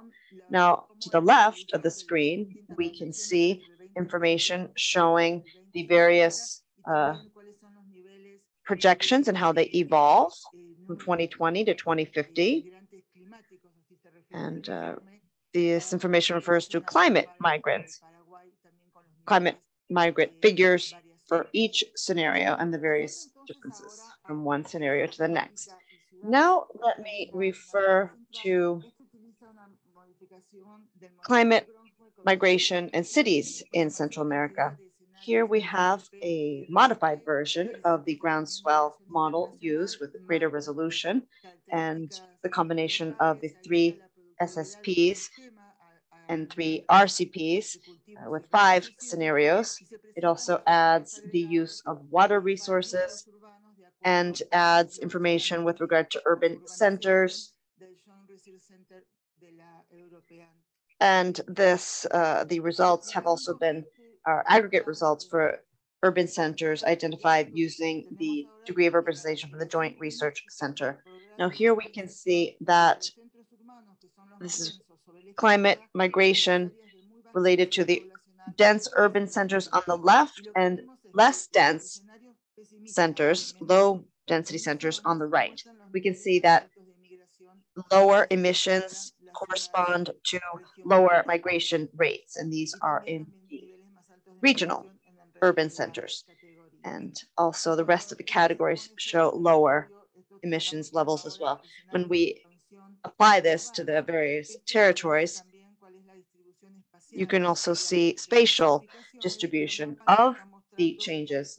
And what the maps are showing are the differences in population when you compare future scenarios showing or not showing the impact of climate change on migration for Mexico City and Guatemala City. Again, you can see differences depending on the scenario that you are studying. Now, I would like to quickly refer to the various attributes and limitations and positive aspects of these models. Now, by design, these models include uh, adaptation measures such as improved varieties, irrigation, etc. And some of the limitations include uh, the fact that the models may be considered deterministic and also they tend to oversimplify risk. But in terms of positive aspects, these models are based on impacts on relevant areas instead of or as well as climate variables. And they are flexible in terms of scale and data inputs, as one can see in the model that was created for Mexico and Central America regarding urbanization. And finally, it's important to clearly understand that in no case the climate factors will be uh, the predominant determinants of human mobility and that climate migration, internal climate migration actually could be, uh, maybe a reality, but it doesn't have to be a crisis. As, long as you have an, an appropriate uh, climate change adaptation strategy that uh, is also backed by appropriate development policies and specific investments. Also, it's important to understand migration as the population, why, why the population does not want to migrate. Now you can see that uh, the cities of the region need to be better prepared to receive more and new migrants. And we are actually working on developing better models that can uh, be more explicit and subjective so that the top-down approach can also include an interpretation of socio-cultural contexts.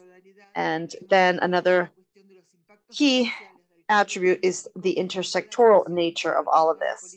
and uh, then you can apply um, the potential impacts of climate change to the population distribution.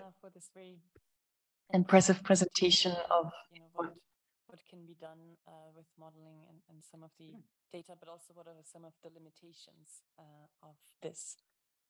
Um, I would now like to pass the floor uh, to Mr. Uh, Dwayne Dick from uh, the National Statistics Office of the Commonwealth of Dominica. He's um, a statistician, has been for more than 15 years, um, is uh, working on a lot of different topics, as many of you, uh, I assume, in the National Statistical Offices, from demographics uh, to national surveys, and is the Deputy Census Officer. So uh, very interesting profile. And he'll talk to us about um, an example from the Caribbean. Uh, that's very recent. Uh, Dwayne, please, the floor is yours. Yes, good afternoon, everyone. Um, as, as Suzanne indicated, my name is Dwayne Dick. I'm from the Central Statistics Office. I'm here to speak about the, the report on the uh, migration environment, um, disaster and climate data, sorry, in Eastern Caribbean. Thanks. Um, control. Some of the controls. Next slide, please.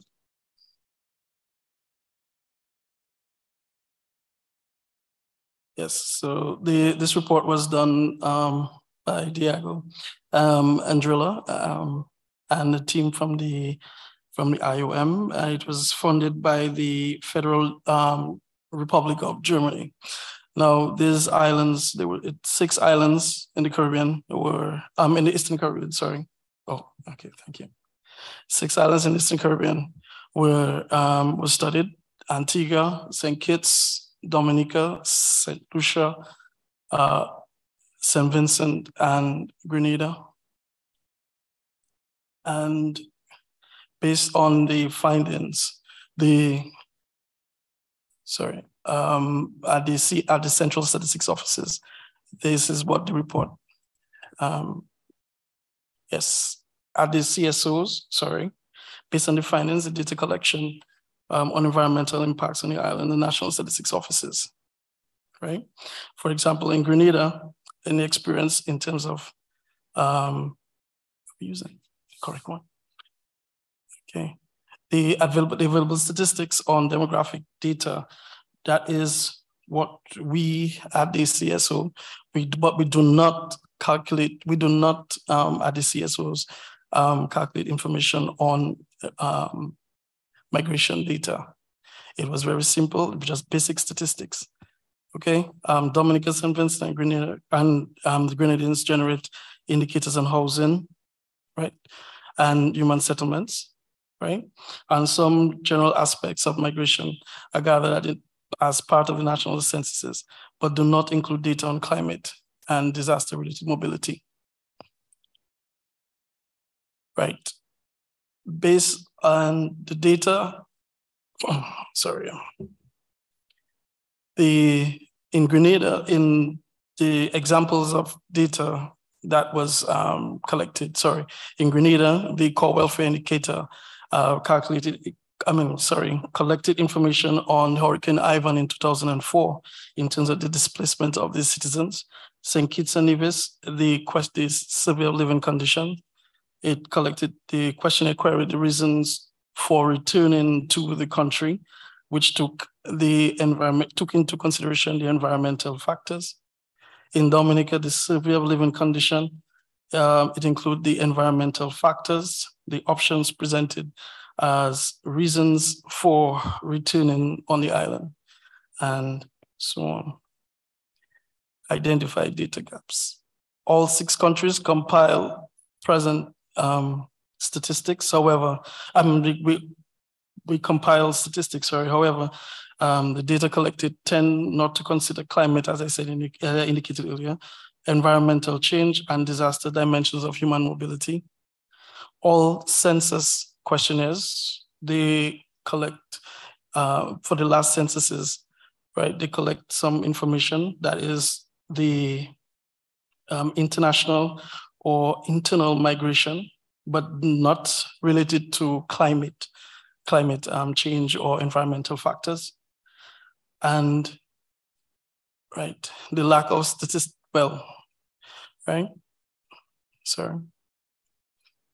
Okay, so based on the recommendations that the that was um, brought before us, we seek to promote the statistics. The report, sorry, recommended that we promote the inclusion, sorry, of statistics on indicators on climate change and disasters in the cluster um, dealing with environment. We promote the um, the collection of disaggregated data on human mobility in a household surveys, the revision of forms, um, um, the revision of immigration forms. One of the things that we have been that is very difficult for us at the the small island states, the modification of the immigration forms. Um, the it takes it, it's it's quite expensive to to to to change that form from the from the um, immigration department. Um, that is one of the problems we're having, um, but that was one of the recommendation. Then we collect data on persons who are departing, who are departing, sorry, or immig uh, immigrating due to environmental disaster place, um, displacement and establish or develop official rep um, repository on um, human mobility. Right. Now, based on the recommendations, the CSO, for example, in Dominica, and I think the core questionnaire for the Eastern Caribbean, or sorry, the CARICOM core questionnaire, we took into consideration the recommendations. And right now, like we are on the field doing the census, and it collects a lot of information. Um, it collects information on mobility, um, internal migration, which is the traditional data we have been collected, emigration. Dominica experienced three major shocks in the past decade. Hurricane Maria, um, tropical storm um, Erika, and like everyone else, the COVID experience. So the the the census takes into consideration that information the the immigration because we had a we had mass exodus during that time, and the information a lot of information was was um, missed. So households will be questioned. Households are being questioned on the persons who left, their their their, ex, their gender, um, the age, the sex, the well, sorry, the um, education level, the occupation um, status, the reasons for their departure, be it, be it environmental reasons or, um, and, it, and another thing that guided us into developing that instrument was the SDGs. We try our best to collect base, base data and the census will provide that type of information for us. The other, the other um, immigration data, we we are collecting information on persons who are here and who are in Dominica, sorry, and have returned or have returned, sorry, for environmental reasons, um, and not just environmental, for example, the, the pandemic persons who return based on all these other factors, right? Okay. Yes, and the at the CSO, we I mean, small the small island development states, we are trying our best to use the the geospatial data and overlaying all the the the geospatial information, the migration data on on hazard um, hazard prone areas, right? And that is using the administrative maps, etc. Okay, thank you very much. Thank you very much, Dwayne, for this really interesting example of how it's important to use, um, you know, existing census uh, forms and surveys to integrate uh, the environment and climate aspects there, but at the same time also including human mobility aspects in, in you know, data collection tools on disaster impacts. And I found it really interesting the example you mentioned about uh, modifying immigration forms, uh, what happens in the Caribbean when there's a disaster and people are displaced. Obviously, you know, for them being island uh, states, um, people go to another island and cross an international border, but often that wasn't accounted for because the immigration reasons didn't don't really list uh, environmental or climate or disaster reasons. So there are tools available um, and with a bit of tweaks. I mean, you you, you mentioned the challenge, you know, the the funding and so on, um, but there is some potential there. So we wanted to bring uh, this up, and it's also very interesting that you mentioned, you know, working with other uh, government. Um, entities uh, beyond national statistical offices uh, as migration is a very cross-cutting topic. And with that, I would like to lead uh, over to uh, the representative of Ecuador, um, Paula Echeverria, um, who is a um, an environmental engineer. She has a master in oceanography um, and is representing the National Institute of Meteorology and Hydrology. And she's a specialist in forecasting and early warning and she's going to talk about how uh, these kinds of uh, satellite images, Earth observations can help us uh, to actually, you know, prevent um, reduce the risk of disaster displacement. Uh, Paula, the floor is yours. Buenas tardes con todos. Eh, bueno, primero muchas gracias y qué gusto estar aquí compartiendo este espacio con ustedes. A pleasure to be sharing this uh, space uh, with you. I'll talk a little bit about the use of geospatial information at the National Institute of Meteorology and Hydrology of Ecuador, using the platform GEOGloWS uh, to report on disasters and the potential potential usage of these tools in order to warn the population in uh, risk of being displaced. INAMHI is uh, the institute or the entity uh, that is in charge of uh, providing timely warning to the population and uh, to the entities uh, that uh, conduct uh, risk management in Ecuador about the possible occurrence of adverse effects, strong rainfall, high temperatures, and so on. For this purpose, we have several tools, and one of these is the GEOGloWS, where GEOGloWS is a platform that contains, well, it's a an open source uh, um, uh, program has uh, forecasts for hydrological and meteorological forecasts, and we can observe hydrometeor historical uh, hydrometeorological data for Ecuador and hydrological models, also satellite uh, data, and also radar data. This platform contains 11 applications in all. Five have been uh, uh, tailored for Ecuador with the historical information that we have available. I would like to talk to you about the applications that are most commonly used by us for uh, meteorological and hydrological forecasting. We have a, an application that is useful for the exploration, viewing, and download of hydrological stations. We have three applications, hydrological applications for hydrological forecasts of both uh, uh, volume and uh, level of water, and a hydrological application that has also been tailored uh, for Ecuador and that contains satellite data for uh, climatic and weather forecasts and other applications involving data from uh, satellite sensors and other global models. As I said, uh, we are the entity that uh, generates uh, timely warnings uh, for decision making in the face of uh, the possible occurrence of a disaster. The applications that are most commonly used in hydrology are these three, HydroViewer, Historical Validation Tool, and the National Water Level Forecast.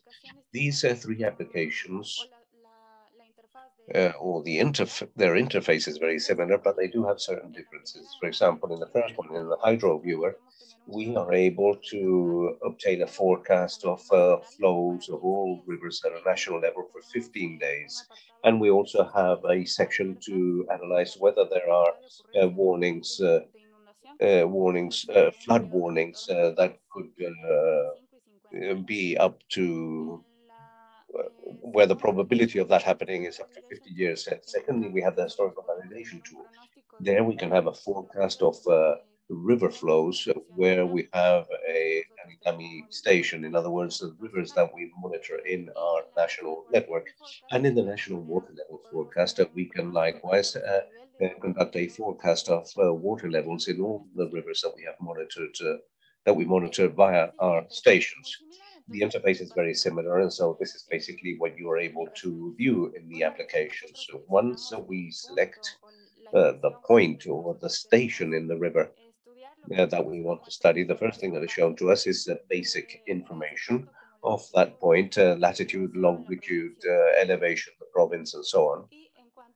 And in terms of the information that we're able to view on the left-hand side, on the left-hand side image, you have a hydrogram uh, that uh, shows historical flows and uh, also a, a, historical simulation of this data and the simulation with a corrected uh, bias. On uh, the right-hand side, you can see the forecast of, of flow for a 15-day period with variations between top and minimum levels that have been forecasted and also a, an average forecasted flow for 15 days and a high resolution flow forecasted for a 10-day period. Uh, this has been done based on uh, 50, uh, 52 um, assemblies for, uh, for 2, 5, 10, uh, 15, 20, and 25 years. And you can see the potential of these applications. Well, first of all, it provides tools for simulation corrections and for the viewing of warnings uh, about uh, levels and uh, flow. You can also download uh, data of these simulations to conduct uh, subsequent uh, studies. You can gain access to the metrics of the simulation in order to know the performance of these models. And these results may be applied in other strategic sector, sectors such as hydropower, risk and uh, drainage, risk management, uh, the control of water concessions and others and they are also adequate, uh, that is also adequate information for uh, research, since we also warn about uh, meteorological conditions and we conduct weather and, and, clim and climate forecasts. We use this application, which enables the exploration and download of spatial data from different uh, uh, predetermined uh, satellite libraries such as CHIRPS, CHIRTS, and GFS. And that has been tailored uh, for INAMHI as well. And we have included uh, data for meteorological forecast of the numerical uh, model uh, WRF, which has a spatial scale of uh, uh, three kilometers, and we can gain access to 18 variables. And other applications that are also interesting in this sphere is the climate trench, which enables us to, well, it, it, it can gain access to four uh, Uh, satellite uh, programs, the CHIRPS, uh, and two others, and uh, four meteorological variables, drainage, temperature, soil temperature, and evapotranspiration. And this has a registry of the past 30 years in, of all these four variables with these products, and one can compare a specific uh, period of interest and a special variable of interest, and thus assess what has happened in previous years or what its behavior has looked like.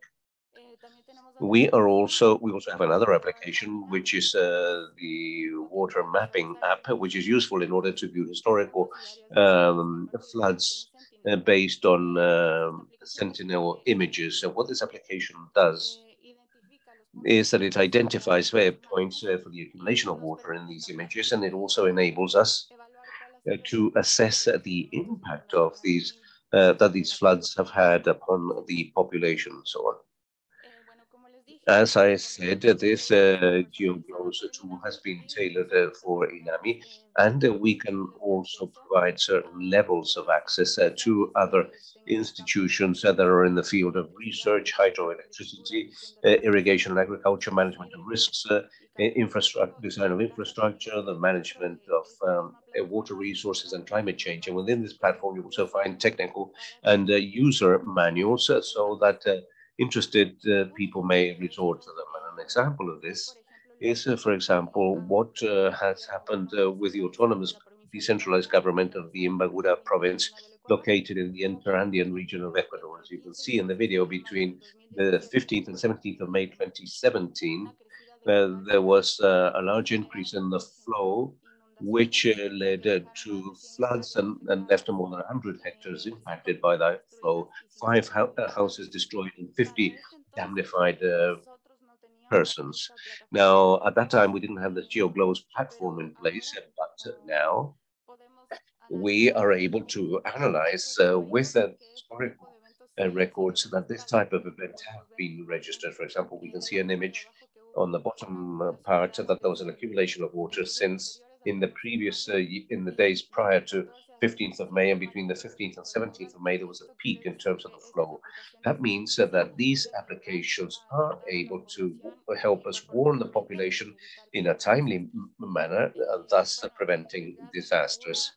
Uh, Imbabura has uh, included this platform in its uh, comprehensive uh, risk management uh, uh, plan to prevent uh, losses. Another example is what happens in River Indag, where we have human settlements very close to the riversides. And in the case of the overflow of these rivers, catastrophes may occur. The Loving Ahora is also implementing these forecasting tools uh, to be able to have uh, early warning if uh, there is a flood and in order to adequately warn the population. That would be all. Thank you. Very interesting presentation on how satellite images can be used uh, for forecasts um, like water levels, floods, and be integrated in disaster reduction plans. That's a nice uh, segue into the next uh, intervention by um, Luis Dolnias, who's the coordinator of the Intersectoral Coordination Unit and Foreign Affairs Liaison at Chile's National Disaster Prevention and Response Service, uh, uh, you know, as an acronym. And he is, has the role of advisor for humanitarian affairs. He's a human rights uh, focal point and coordinator of vulnerability disasters and climate change issues for Chile's national platform for disaster risk reduction. He's going to speak to us about a very concrete example of um, not the Dominican Republic, but Chile, and uh, about how uh, national guidelines on disaster displacement can be built and how uh, cooperation among different entities um, can be done. This is not the correct presentation. Maybe you can say a few words of opening while we're figuring out uh, where your presentation. Sure, thanks, Suzanne. Um, while we wait for the correct presentation to emerge there, um, just not to make a mess with our kind interpreters, uh, I'm going to conduct my presentation in Spanish. I'm going to conduct it in Spanish, but of course, I'll be more than happy to answer to your questions in English if they should arise. So, uh, are we ready? No? Well, let's start then. Uh, basically, the experience of Chile uh, in a bit of a way answers. Um, oh, sorry, since we're waiting for the presentation, I'm going to change to Spanish. Um, buenas tardes a todas y todos. Tengo el placer. Good afternoon, everyone. I have the pleasure of offering the Chilean experience around the mobilization and the establishment of an intersectorial space that for the first time in our history has dealt with the issue of human mobility within the context of climate change and disasters. A fundamental element in order to review this step by step and to understand how we have reached uh, today's situation is that it responds to the so what question. What is it? How is it that we can uh, make all these elements and progress that we're achieving in terms of information is reflected in public policy? Para este starting this was developing our national policy for disaster reduction and the 2030 20, 2030 plan. And there was a specific action, which was to identify the impact of climate change on human mobility. So, as a result of that work, we published an intersectoral document in keeping with the international guidelines that would have been ratified by Chile. Now, this was also the result of international consensus, the development agendas, specifically the SDG 2030 agenda, as well as the Paris Agreement and uh, the Sendai framework for disaster risk reduction. Now, in that, that backdrop, and in order to move forward this initiative, we created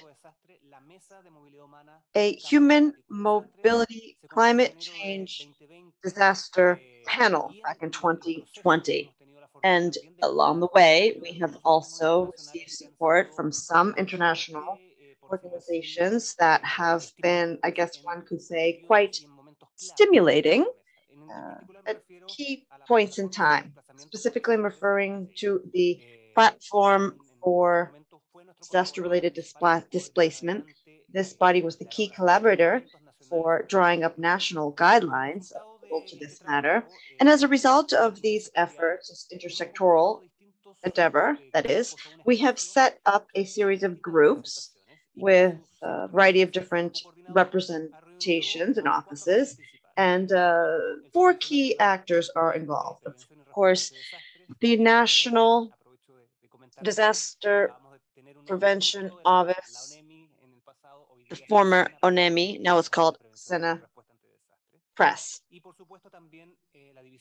and the Climate Change Division of the Ministry of the Environment, the Deputy Office of Disasters of the Foreign Affairs Office, and, and others. We also, so this is the core group, and then we have other sectors involved, for example, the production related ministries and the National Statistics Office as well. And of course, that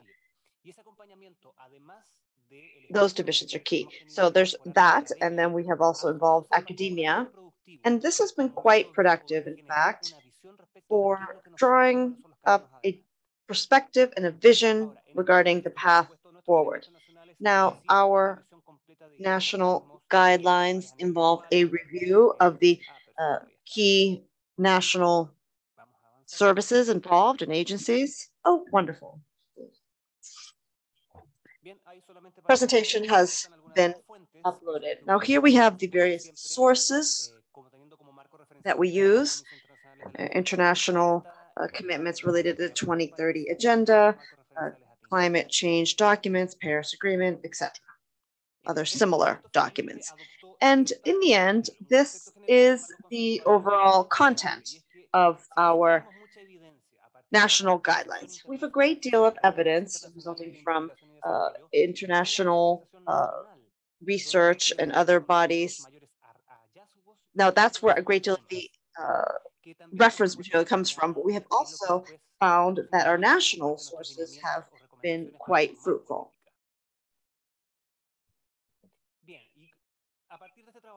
Now, basically, we have defined three key challenges. Number one, well, this is, by the way, was a proactive effort. Chile has a forward-looking perspective, and we are working on preventing some issues.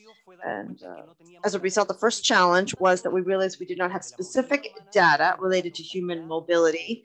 Well, not necessarily related to human mobility, but how climate change and disasters have an impact on that. We do not have data yet that allow us to be more specific and describe this phenomenon with specificity. Also, we do not have information exchange mechanisms related to uh, disaster-related displacement or climate change migration. There are also a variety of disparities regarding methodology. That's another issue that we have discovered. And we need to go beyond a intersectoral or cross-sectoral approach. And then the second challenge is that we need to complete the national subnational interface. So the data and the way the issue is ma managed is one thing, but the shocks occur locally. So we need to address this interface to collect data. That's something that is to be addressed in the future. Challenge three is to consolidate further intersectoral actions. So we have come up with a list of enablers. to further study the phenomenon and to come up with solutions as well, given the lack of consolidated data or public policy. First of all, we have the intersectoral spaces for opportunities. Now, we have been quite fortunate that we have a national platform for disaster risk reduction, and this allowed us to pull together all the key players in one place and have enough players to uh, have a consolidated approach. And then we have public agencies that address this triad, disciplinary triad. For example, the Disaster Risk Reduction Agency, the Ministry of the Environment, the Ministry of Foreign Affairs, and the National Migration Service. So human mobility, climate change adaptation, and disaster risk management. Also, we know that the uh, actors involved, the agencies are quite mature. Therefore, we were able to identify other key stakeholders, academia, for example, and we also received support by the PDD when necessary. So here we have some information with regard to the path forward. Planning for knowledge, that's key. With regard to defining national public policy and also in order to ensure that we have momentum for international cooperation, we need to define the research agenda for data purposes. We need to characterize the situation. Secondly, we need to go local, go back to the local route. In Chile, we are consolidating, uh, making process on consolidating the information regarding uh, municipal level displacement. Now there's a challenge to find intermediate uh, scope tools as well. And at least this is on our agenda. And of course, we are looking into the opportunity of expanding this collaborative effort to academia, regional, university academia. And then we have also collaborated closely with IDMC, and we aim to expand this partnership uh, beyond and include the PDD and others. We also realize that it's very helpful to use proven arrangements. For example, we have the disaster risk reduction platform in place, and that was key for bringing the key players to the table. Also, it's important to look forward, to look beyond the horizon. And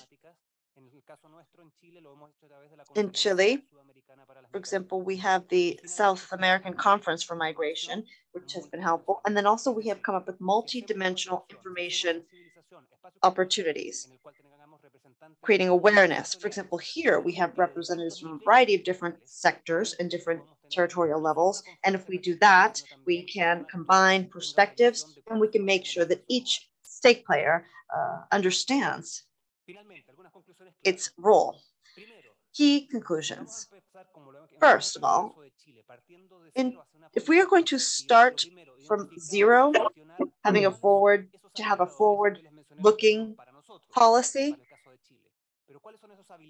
it's important to define what your national level enablers are and manage these. And secondly, you need to come up with an intersectoral ecosystem, including the migration related bodies, disaster risk reduction, stakeholders, climate change adaptation, border control management, and statistics. That was very important for Chile. In Chile, the NSO has played a key role. And then thirdly, it's important to act locally to manage the phenomenon and the data. It's very important to make sure you have community level awareness and to work with bottom up dynamics. Our colleague from Dominica talked about this as well. And collecting data specifically during migratory shocks and disasters takes place primarily in border regions. And so every stakeholder needs to know who to go to and what needs to be done to gather data. Those are vital opportunities and very beneficial down the line with regard to following up on the phenomenon. And also, fourthly, it's important to work across borders uh, to make sure that we cooperate in order to close the climate related mobility data gap. There's a lot more to do going forward. So thank you for listening, and I am available for your questions. Thank you very much, uh, Louise. I'll ask the panelists um, each a question, but do get ready here in the room if you have any questions. I'll, I'll open up. And, and thanks for that really interesting presentation on how you mapped you know, the different actors, enablers, different sources and frameworks at the national, international, and local level. So starting going backwards, starting with you, Louise. Um, you mentioned this national roundtable or intersectoral roundtable um, that gathers experts from multiple uh, government agencies to discuss climate and mobility issues. And what is the role of the National Statistical Office and um, other you know, data providers in this approach. We heard this morning, uh, just also for your information, the director of the National Statistical Office of uh, Chile, who was on the opening uh, panel, mentioned they also have an intersectoral uh, working group. So how, how does that work together? Okay, thank you, Suzanne. Um, I would say that basically the chance we have to have these different participants uh, and, and such a, a, representation there sort of covers different roles. Um, the, the data, uh, first of all, we need to identify where to get it from. And, and in this case, I would say the sectoral representatives have been paramount in terms of getting to know what are the chances, what are the instruments that actually we can take hands of, uh, just for starters. Um, for example, the agricultural sector and the agricultural ministry does have a sort of a database, an important one, in terms of what are the uh, damage and losses, and of course, mobility has been uh, produced and generated because of the uh, hydrological deficit in the north of the country. So we have there uh, a study in terms of the effects of uh, different economical activities. We have discovered that in terms of how these phenomena unfold, uh, first and, and the, the, the, first indicator, we are having um, um, sort of a, a shock point at a certain point is when people start moving further or changing uh, activities. For example, in Chile, it's quite usual that people abandoning agricultural sectors actually go for mining sectors. So having this sort of first approach in terms of economic activities and uh, losses and damages actually give us hints on where to look for. Um, it's also been happening with the fishery industry, particularly the small and medium fishery. Mm-hmm. We there have been even sort of with our colleagues from the uh, development ministry, uh, we have been able to uh, identify programs that actually are, are, calling for transformation and adaptation for certain communities that have been involved for generations instead of just um, little uh, operations on, of fishing and small sort of very traditional, you know, conclaves there that actually dedicated for generations to that activity are transforming into tourism, for example. Mm-hmm. So having those hints, the having the National Statistic, Statistic Institute that actually is helping us develop or identify intermediate instruments. Mm? Our, of course, our goal is to um, not only set sort of a framework of tasks, for example, for migration authorities or for adaptation plans, but to actually gather the data that enable us at certain point to make the right questions in the national uh, population housing uh, census. Mm-hmm. But that's a long, long, long way to go. Uh, first of all, we have first uh, reached an, ag- an, agreement of description and gener- the general um, sort of uh, conceptualization of the phenomena. Now we're going for the data for characterization of the phenomena. We're um, right now we're uh, going through um, a consultant experience that is actually trying to gather the first evidence uh, on the ground uh, in terms of uh, what are the expellers, sort of the factors that motivate mobility, and what's happening and what's going on in terms of the uh, management of risk to those places where the people are actually getting to. So that's going to be a first uh, approach to actually refining the characterization of the phenomena here in Chile. And of course, the National Statistic Institute is actually accompanying this process. It's going to be, of course, qualitative in the beginning, but our hope is that in the end, it enables us to uh, reach opportunities and to identify um, quantitative data breaches to start on. We do have the evidence, having all the people at the table actually facilitates a lot and, it, and goes a long way in terms of having all the elements present. Uh, but yet, sort of our final advisor in this topic is, of course, mm, the National Statistic Office, but it also it's a great enabler to have all information providers at the same table. That's why I was so adamant about the importance of trying to ensure when you're building, uh, particularly in this in this topic, when you're building uh, policy from scratch, to have all the uh, stakeholders, particularly uh, the state stakeholders, in place. So that would be that. Thank you. Thanks a lot for sharing this really interesting example of um, bringing everyone, you know, different entities of the government together in a whole of government approach and in a very concrete, uh, good practice that others can get inspired from.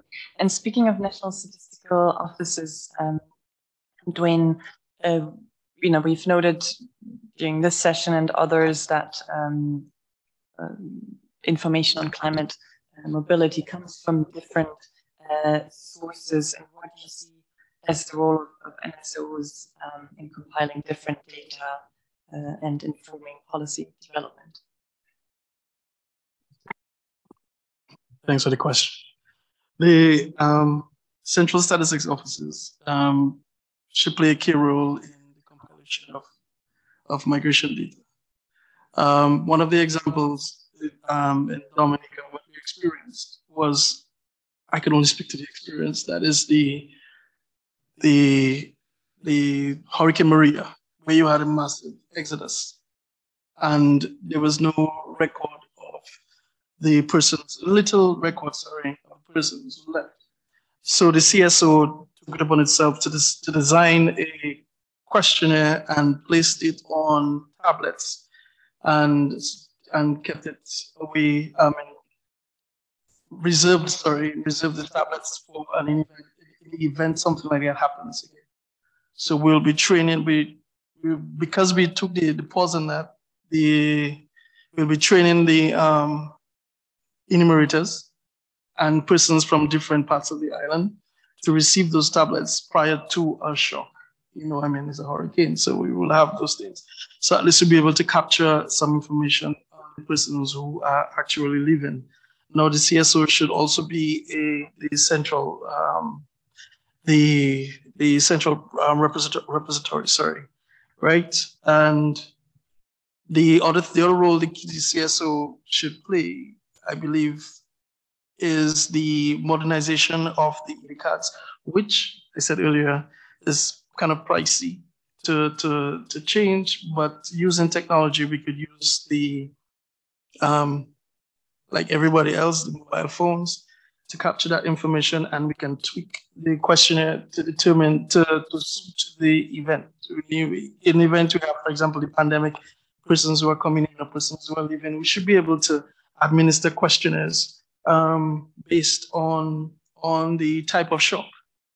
Unlike the the sort of static questionnaire that is the um, the ID cards from the migration, we could amend, we can create a, a more dynamic um, questionnaire.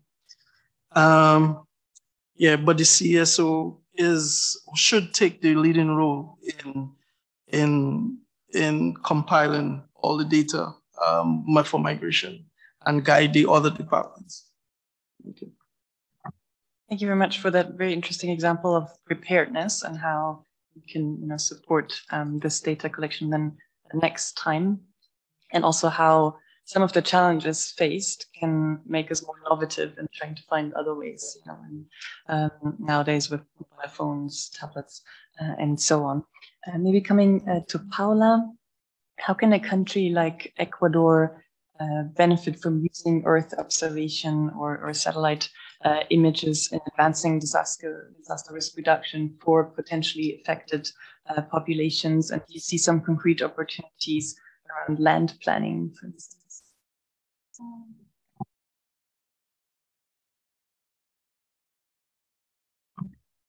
Um, ok.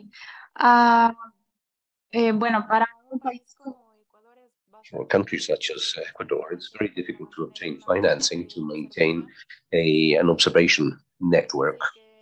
In other words, in many places, uh, we do not uh, cover the whole national territory and uh, we don't have um, surface data. In these cases, what is very useful is satellite information because we can uh, reach these uh, places, uh, undertake a correct monitoring of those territories, and inform the population if something is going to happen, so, so that actions may be taken on the ground. One of the advantages of satellite information is that it is uh, its resolution is increasingly better, and the greater the resolution of these images or of this information, uh, we are able to um, obtain better products. For example, global medal models that enable us uh, to have uh, more reliable forecasts. In other words, we can improve uh, the warnings that are issued uh, to the national risk management uh, system, for example.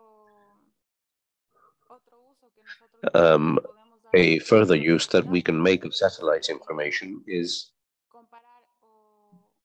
to compare or determine the areas uh, that are prone to disasters, to landslides, uh, drought areas, flood areas, and all this can help uh, those in charge of territorial planning to prevent uh, human settlements from being established in those areas and thus prevent uh, disasters. A further example in coastal areas, for example,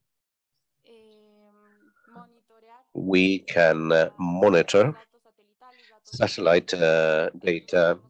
Uh, we can relate this with uh, the um, data obtained from ocean buoys and know in advance whether what is being generated is a large scale uh, climatic uh, phenomenon such as the El Nino phenomenon, which has a tremendous impact on the coastline of uh, the region.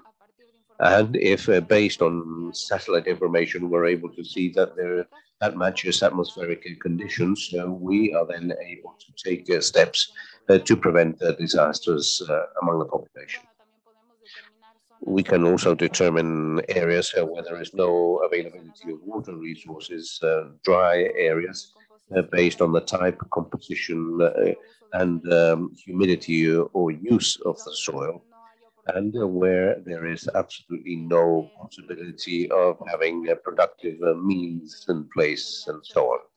So those would be unsuitable um, areas for human settlement, and not only in Ecuador, but in the region as a whole.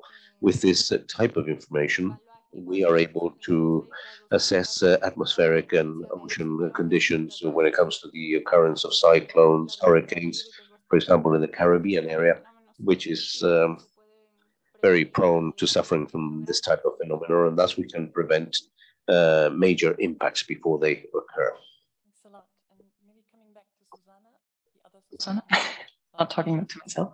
Um, if uh, you were describing uh, the modeling, uh, which is really cutting edge um, and has been very influential in, our thinking uh, about the potential future of climate mobilities um, and is being applied in multiple contexts. Uh, what are the differences um, in different settings, such as maybe landlocked countries um, or small small island developing states in Latin America And how does that influence the findings? And then maybe another question um, I was interested in, in, you mentioned you looked at distance and one challenge we have faced when doing a comparative, comparative study on studying the impact of human mobility on adaptation to environmental changes was the distance. So as of when, you know, do you consider someone to be displaced? Is the person, you know, can the person be displaced within the same city, for instance, or does the person need to uh, cross, you know, an administrative boundary. Um, so if you have any views on that, uh, Susanna, please.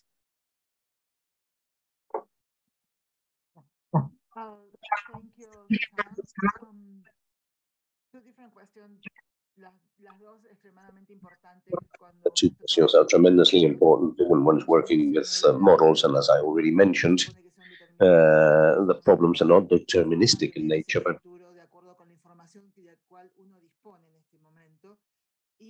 uh, available. And as occurs with other cases of models, so the data that one works with are fundamental. And therefore, the biggest difference that we have found between different places is uh, the availability of basic information.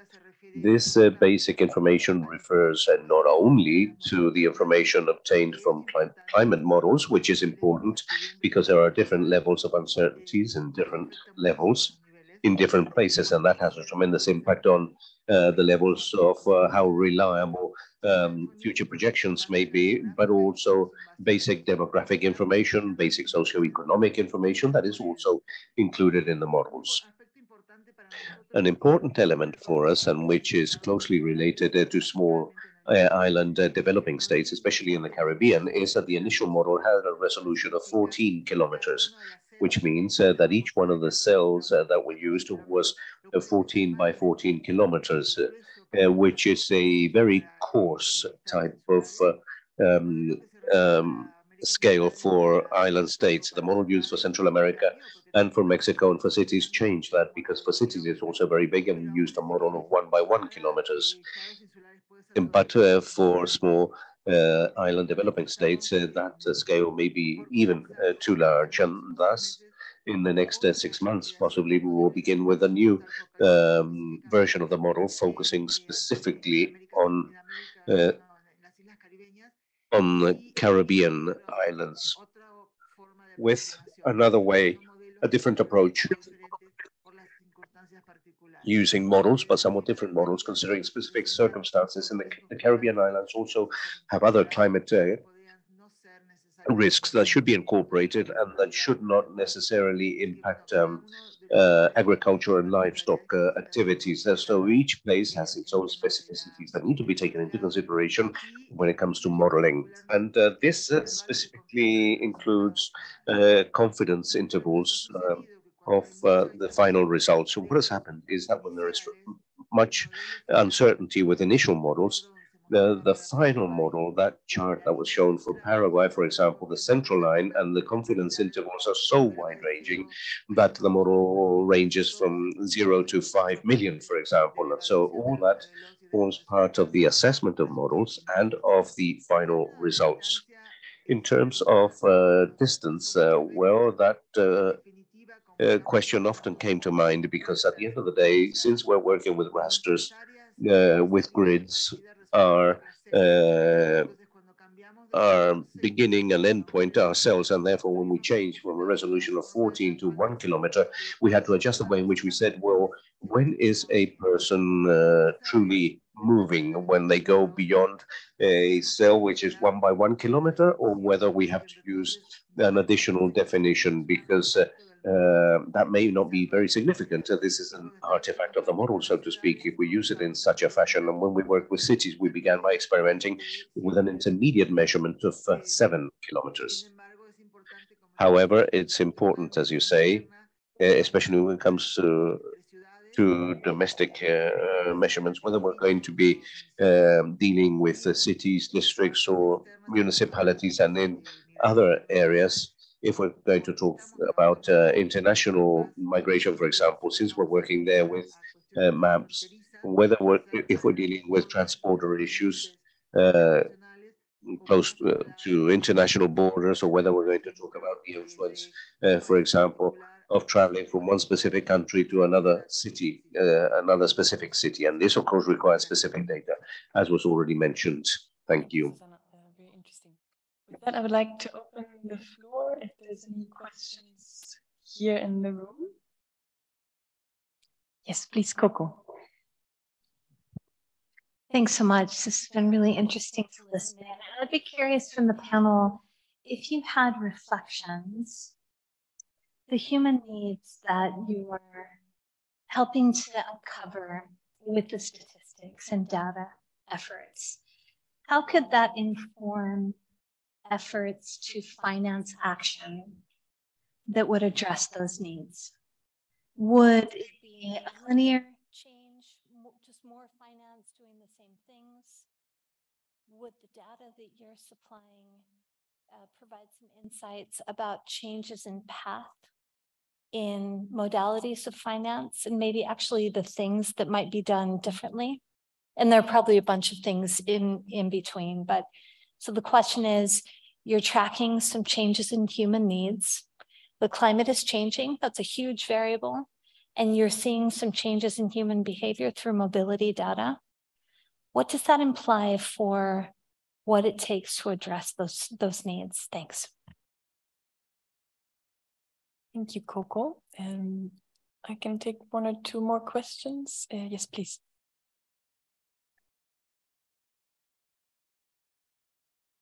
Thanks a lot. Uh, my name is Elvino Nhantumbo from Mozambique National Institute of Statistics.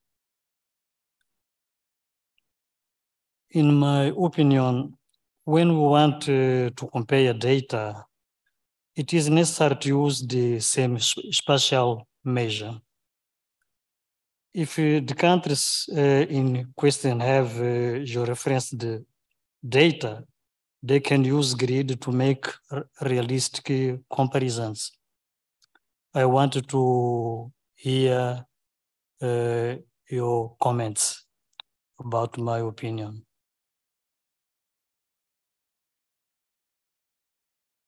Thank you for that question. And I had one last question from the floor, please.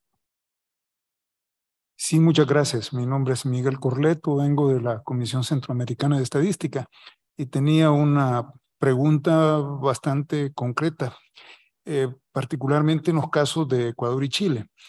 Eh, quisiera saber si en materia de reducción de riesgo de desastres, si no se ha evaluado la posibilidad de utilizar la cartografía digital del censo de población y vivienda, particularmente a nivel de segmento, ¿verdad? que me permite identificar en áreas trozos de territorio pequeñísimos eh, sobre las características de la población. Eh, esto con el propósito de evaluar el impacto que podrían tener los desastres naturales. Por ejemplo, se puede superponer la capa de información satelital de sequía, de inundaciones, terremotos sobre la capa de población del Censo de Población y Vivienda y tener pues estimados de qué impactos en términos de población habría. Este, por ejemplo, este, podemos saber el impacto potencial de desplazamiento de población que puede haber ante un desastre natural. Podemos también eh, planificar la atención del desastre en términos de prestación de servicios de salud, de emergencia, etcétera. Eso eh, quisiera pues, saber si, si se ha desarrollado en algunos países digamos, creo que no se explota, eh, no quiero decir que sea el caso de Ecuador y Chile, sino que, pero eh, al menos en la región, en el SICA, en el Sistema de Integración Centroamericana, pues creo que tenemos un eh, espacio para poder aprovechar la cartografía digital de vivienda con información satelital y poder pues prever estimaciones de desplazamientos de población. Gracias. Thank you very much. Um, and we actually got some questions beforehand from those who are joining online. One is from um, Mr. Tarkbar from the Federal University Gusau of Nigeria, and he's asking what the UN is doing to ensure that countries, especially in Africa, have put in place laws and policies on environmentally induced displacement, and what are measures towards mapping these laws with the aim of strengthening them and ensuring their work. And then there's another question from um, Mr. Mohammed, who's a statistician at the Migration Data Unit of CAPMAS of Egypt. Um, and he's asking if there's any statistical survey measures, um, sorry, that if there's any statistical surveys that measure the impacts of climate change on migration. I think we already heard a bit um, in the session. So maybe I'll start with Susanna um, online. If you maybe want to get back to one of the questions maybe from the uh, representative of the NSO of Mozambique on comparability and using the same spatial measure? Yeah, I wanted to be sure I understood the question. The question is about using gridded data as a way of integrating data coming from many different sources. Is that correct? Okay. So would you like to, Claire, was that the question? So your question? Did you understand the question correctly? Sorry. Yes, you did. Okay, uh, so yes, and actually that's the reason why we are using the, the, the in our in our model is, is using gridded data. So the socioeconomic data, the population data is gridded, and the um, climate data, the impacts of climate change are also gridded data. So we are using that raster environment as a way of integrated data coming from many different sources. Um, and that's one of the intermediate is, steps. Deciding in the size of the grid is also part of the decision making in order to make the model and not trivial because a lot of what you can see, and particularly for the question before about mobility has to do with that. But yes, we are using gridded data for that. Thank you, Susana. Uh, maybe Paula, would you like to answer any of the questions raised? Eh, sí, bueno, con respecto a la, a la pregunta de, del cruce de información, en el Ecuador es, sí se hace, se cruzan, por ejemplo, tenemos determinadas zonas donde, eh, bueno, determinadas las zonas por umbrales, por ejemplo, de em, altas precipitaciones, nivel intermedio, nivel bajo, eso se cruza con información eh, de impacto, de inundaciones o deslizamientos que ya esa información tiene el Servicio Nacional de Gestión de Riesgos y Emergencias en el caso de Ecuador. Eh, y también se ha cruzado con eh, alguna, algún tipo de información poblacional. Sin embargo, en el Ecuador, eh, desgraciadamente, no tenemos información actualizada del censo, recién se está haciendo en el 2022, bueno, desde el 2022 hasta inicios del 2023, el, el último censo, y esa información sí deberá ser actualizada, pero sí, sí cruzamos información. De lo que tengo entendido, también ahora se están desarrollando o se pretende desarrollar algunos eh, proyectos eh, que relacionen los factores climáticos, meteorológicos, eh, con em, con la migración, la movilidad humana. Eso se pretende hacer también en zonas de alta montaña y en zonas eh, costeras en el litoral del Ecuador. Thank you, Paula. Maybe Louise, if you can also, if you want that question, maybe the one on finance as well. I know you had some ideas. Um, quisiera responder a dos preguntas. Primero al colega también, ya que preguntó sobre el caso de Chile. En nuestro caso, sí, si tenemos ese tipo de cruces. pero todavía en forma incipiente respecto de cómo se aplican estrictamente a, las, dinámicas de movilidad humana es más sencillo. Ahora, aquellas dinámicas particulares derivadas de los desastres y el cambio climático, empieza a ponerse el tema un, poco más de, requirente de precisión. Tenemos, por supuesto, un instrumento que nosotros llamamos el visor Chile preparado, en el cual tenemos mapeado por distintas amenazas prácticamente todo el territorio nacional, tenemos además una metodología para identificar condiciones de vulnerabilidad en el territorio, pero lo que está en construcción, y eso viene a, a partir de nuestro nuevo ordenamiento legal, es que esa apreciación que ya tenemos respecto de los mapas de amenaza, esa apreciación que ya tenemos respecto de zonas de vulnerabilidad, poder generar ahora sí mapas de riesgo probablemente tal, con una metodología eh, unificada dentro de todos los organismos del Estado, y que además a partir de eso nos permitan llegar al mapa de impacto, es en ese punto donde vamos a poder efectivamente empezar ya a diferenciar eh, cuáles son las causalidades que están produciendo ahí, si hay causalidades mixtas, si no, si es objeto de una política pública en lo particular o no. Por eso les hablaba de que en, el caso de Chile estamos enfrentándolo de una manera prospectiva, precisamente adelantándonos a una variable que es creciente, que está siendo más ostensible, pero que cuando ya lleguemos ya a ese otro nivel, por decirlo así, a la tercera derivada, Vamos a requerir, como bien decía nuestra colega de la Universidad de Columbia, información particular y más específica para poder determinar una causalidad directa. Podemos tener una visión general respecto de hotspots y pretendemos llegar a eso, aspiramos a eso durante al menos en el curso del trabajo de la mesa durante los próximos años, pero sabemos que tenemos que ir quemando etapas de acuerdo a estas metodologías y al uso de estas herramientas, que ahí vamos a llegar a puntos donde información más específica que nos permita precisar esa causalidad va a ser necesario. And for the other questions, for changes in human needs and what are detecting when we actually are looking for data and financing? And that's a great question. That's a sort of a tantrum and a dilemma. Because uh, basically, uh, what we watch when we're dealing with states organization, governmental organization are quite, uh, I would say, inertial, and they tend to be so. Um, the, we hope and we aspire to actually get the practice of you know, data-based, statistic-based policy. Um, but there are, of course, and, and in, in certain, such an, uh, a contingent topic, particularly in, in South America, as migration itself, actually trying to tell it apart in the case of climate migration from just um, uh, economically, society, politically induced migration is quite difficult. Mm? Uh, our hope and aim is to actually be able to do so on the basis of data, evidence, and statistics. Yet we do have the political component of all of these processes that actually are quite challenging. Mm? So will it be an enabler? We hope so.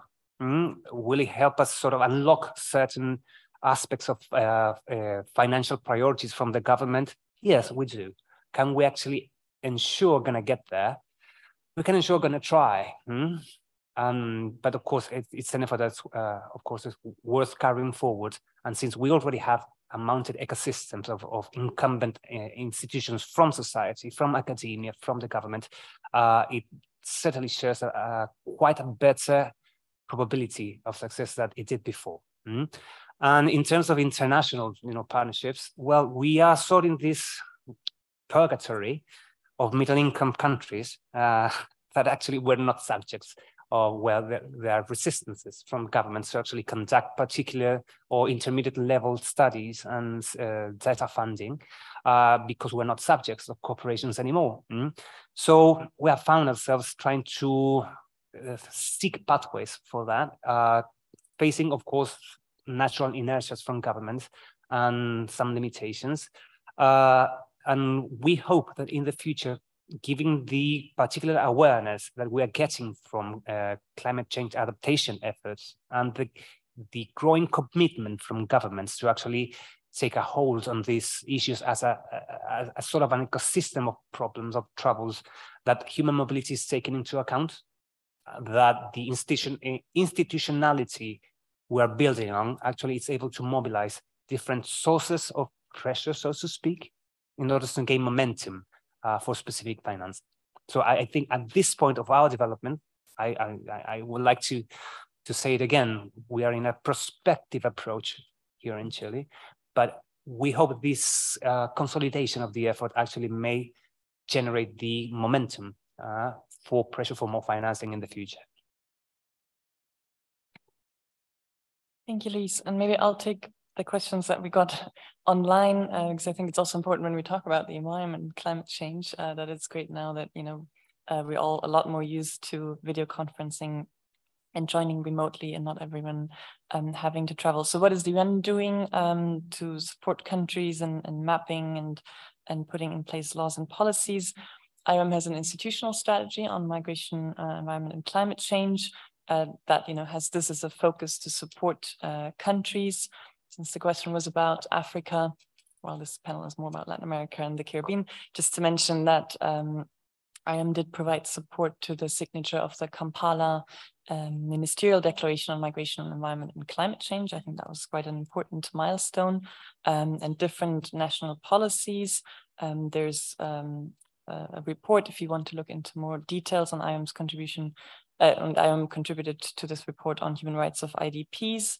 Uh, there's sectoral policies such as disaster displacement planned uh, relocation. And there was also a mapping done here in the Americas in 2019.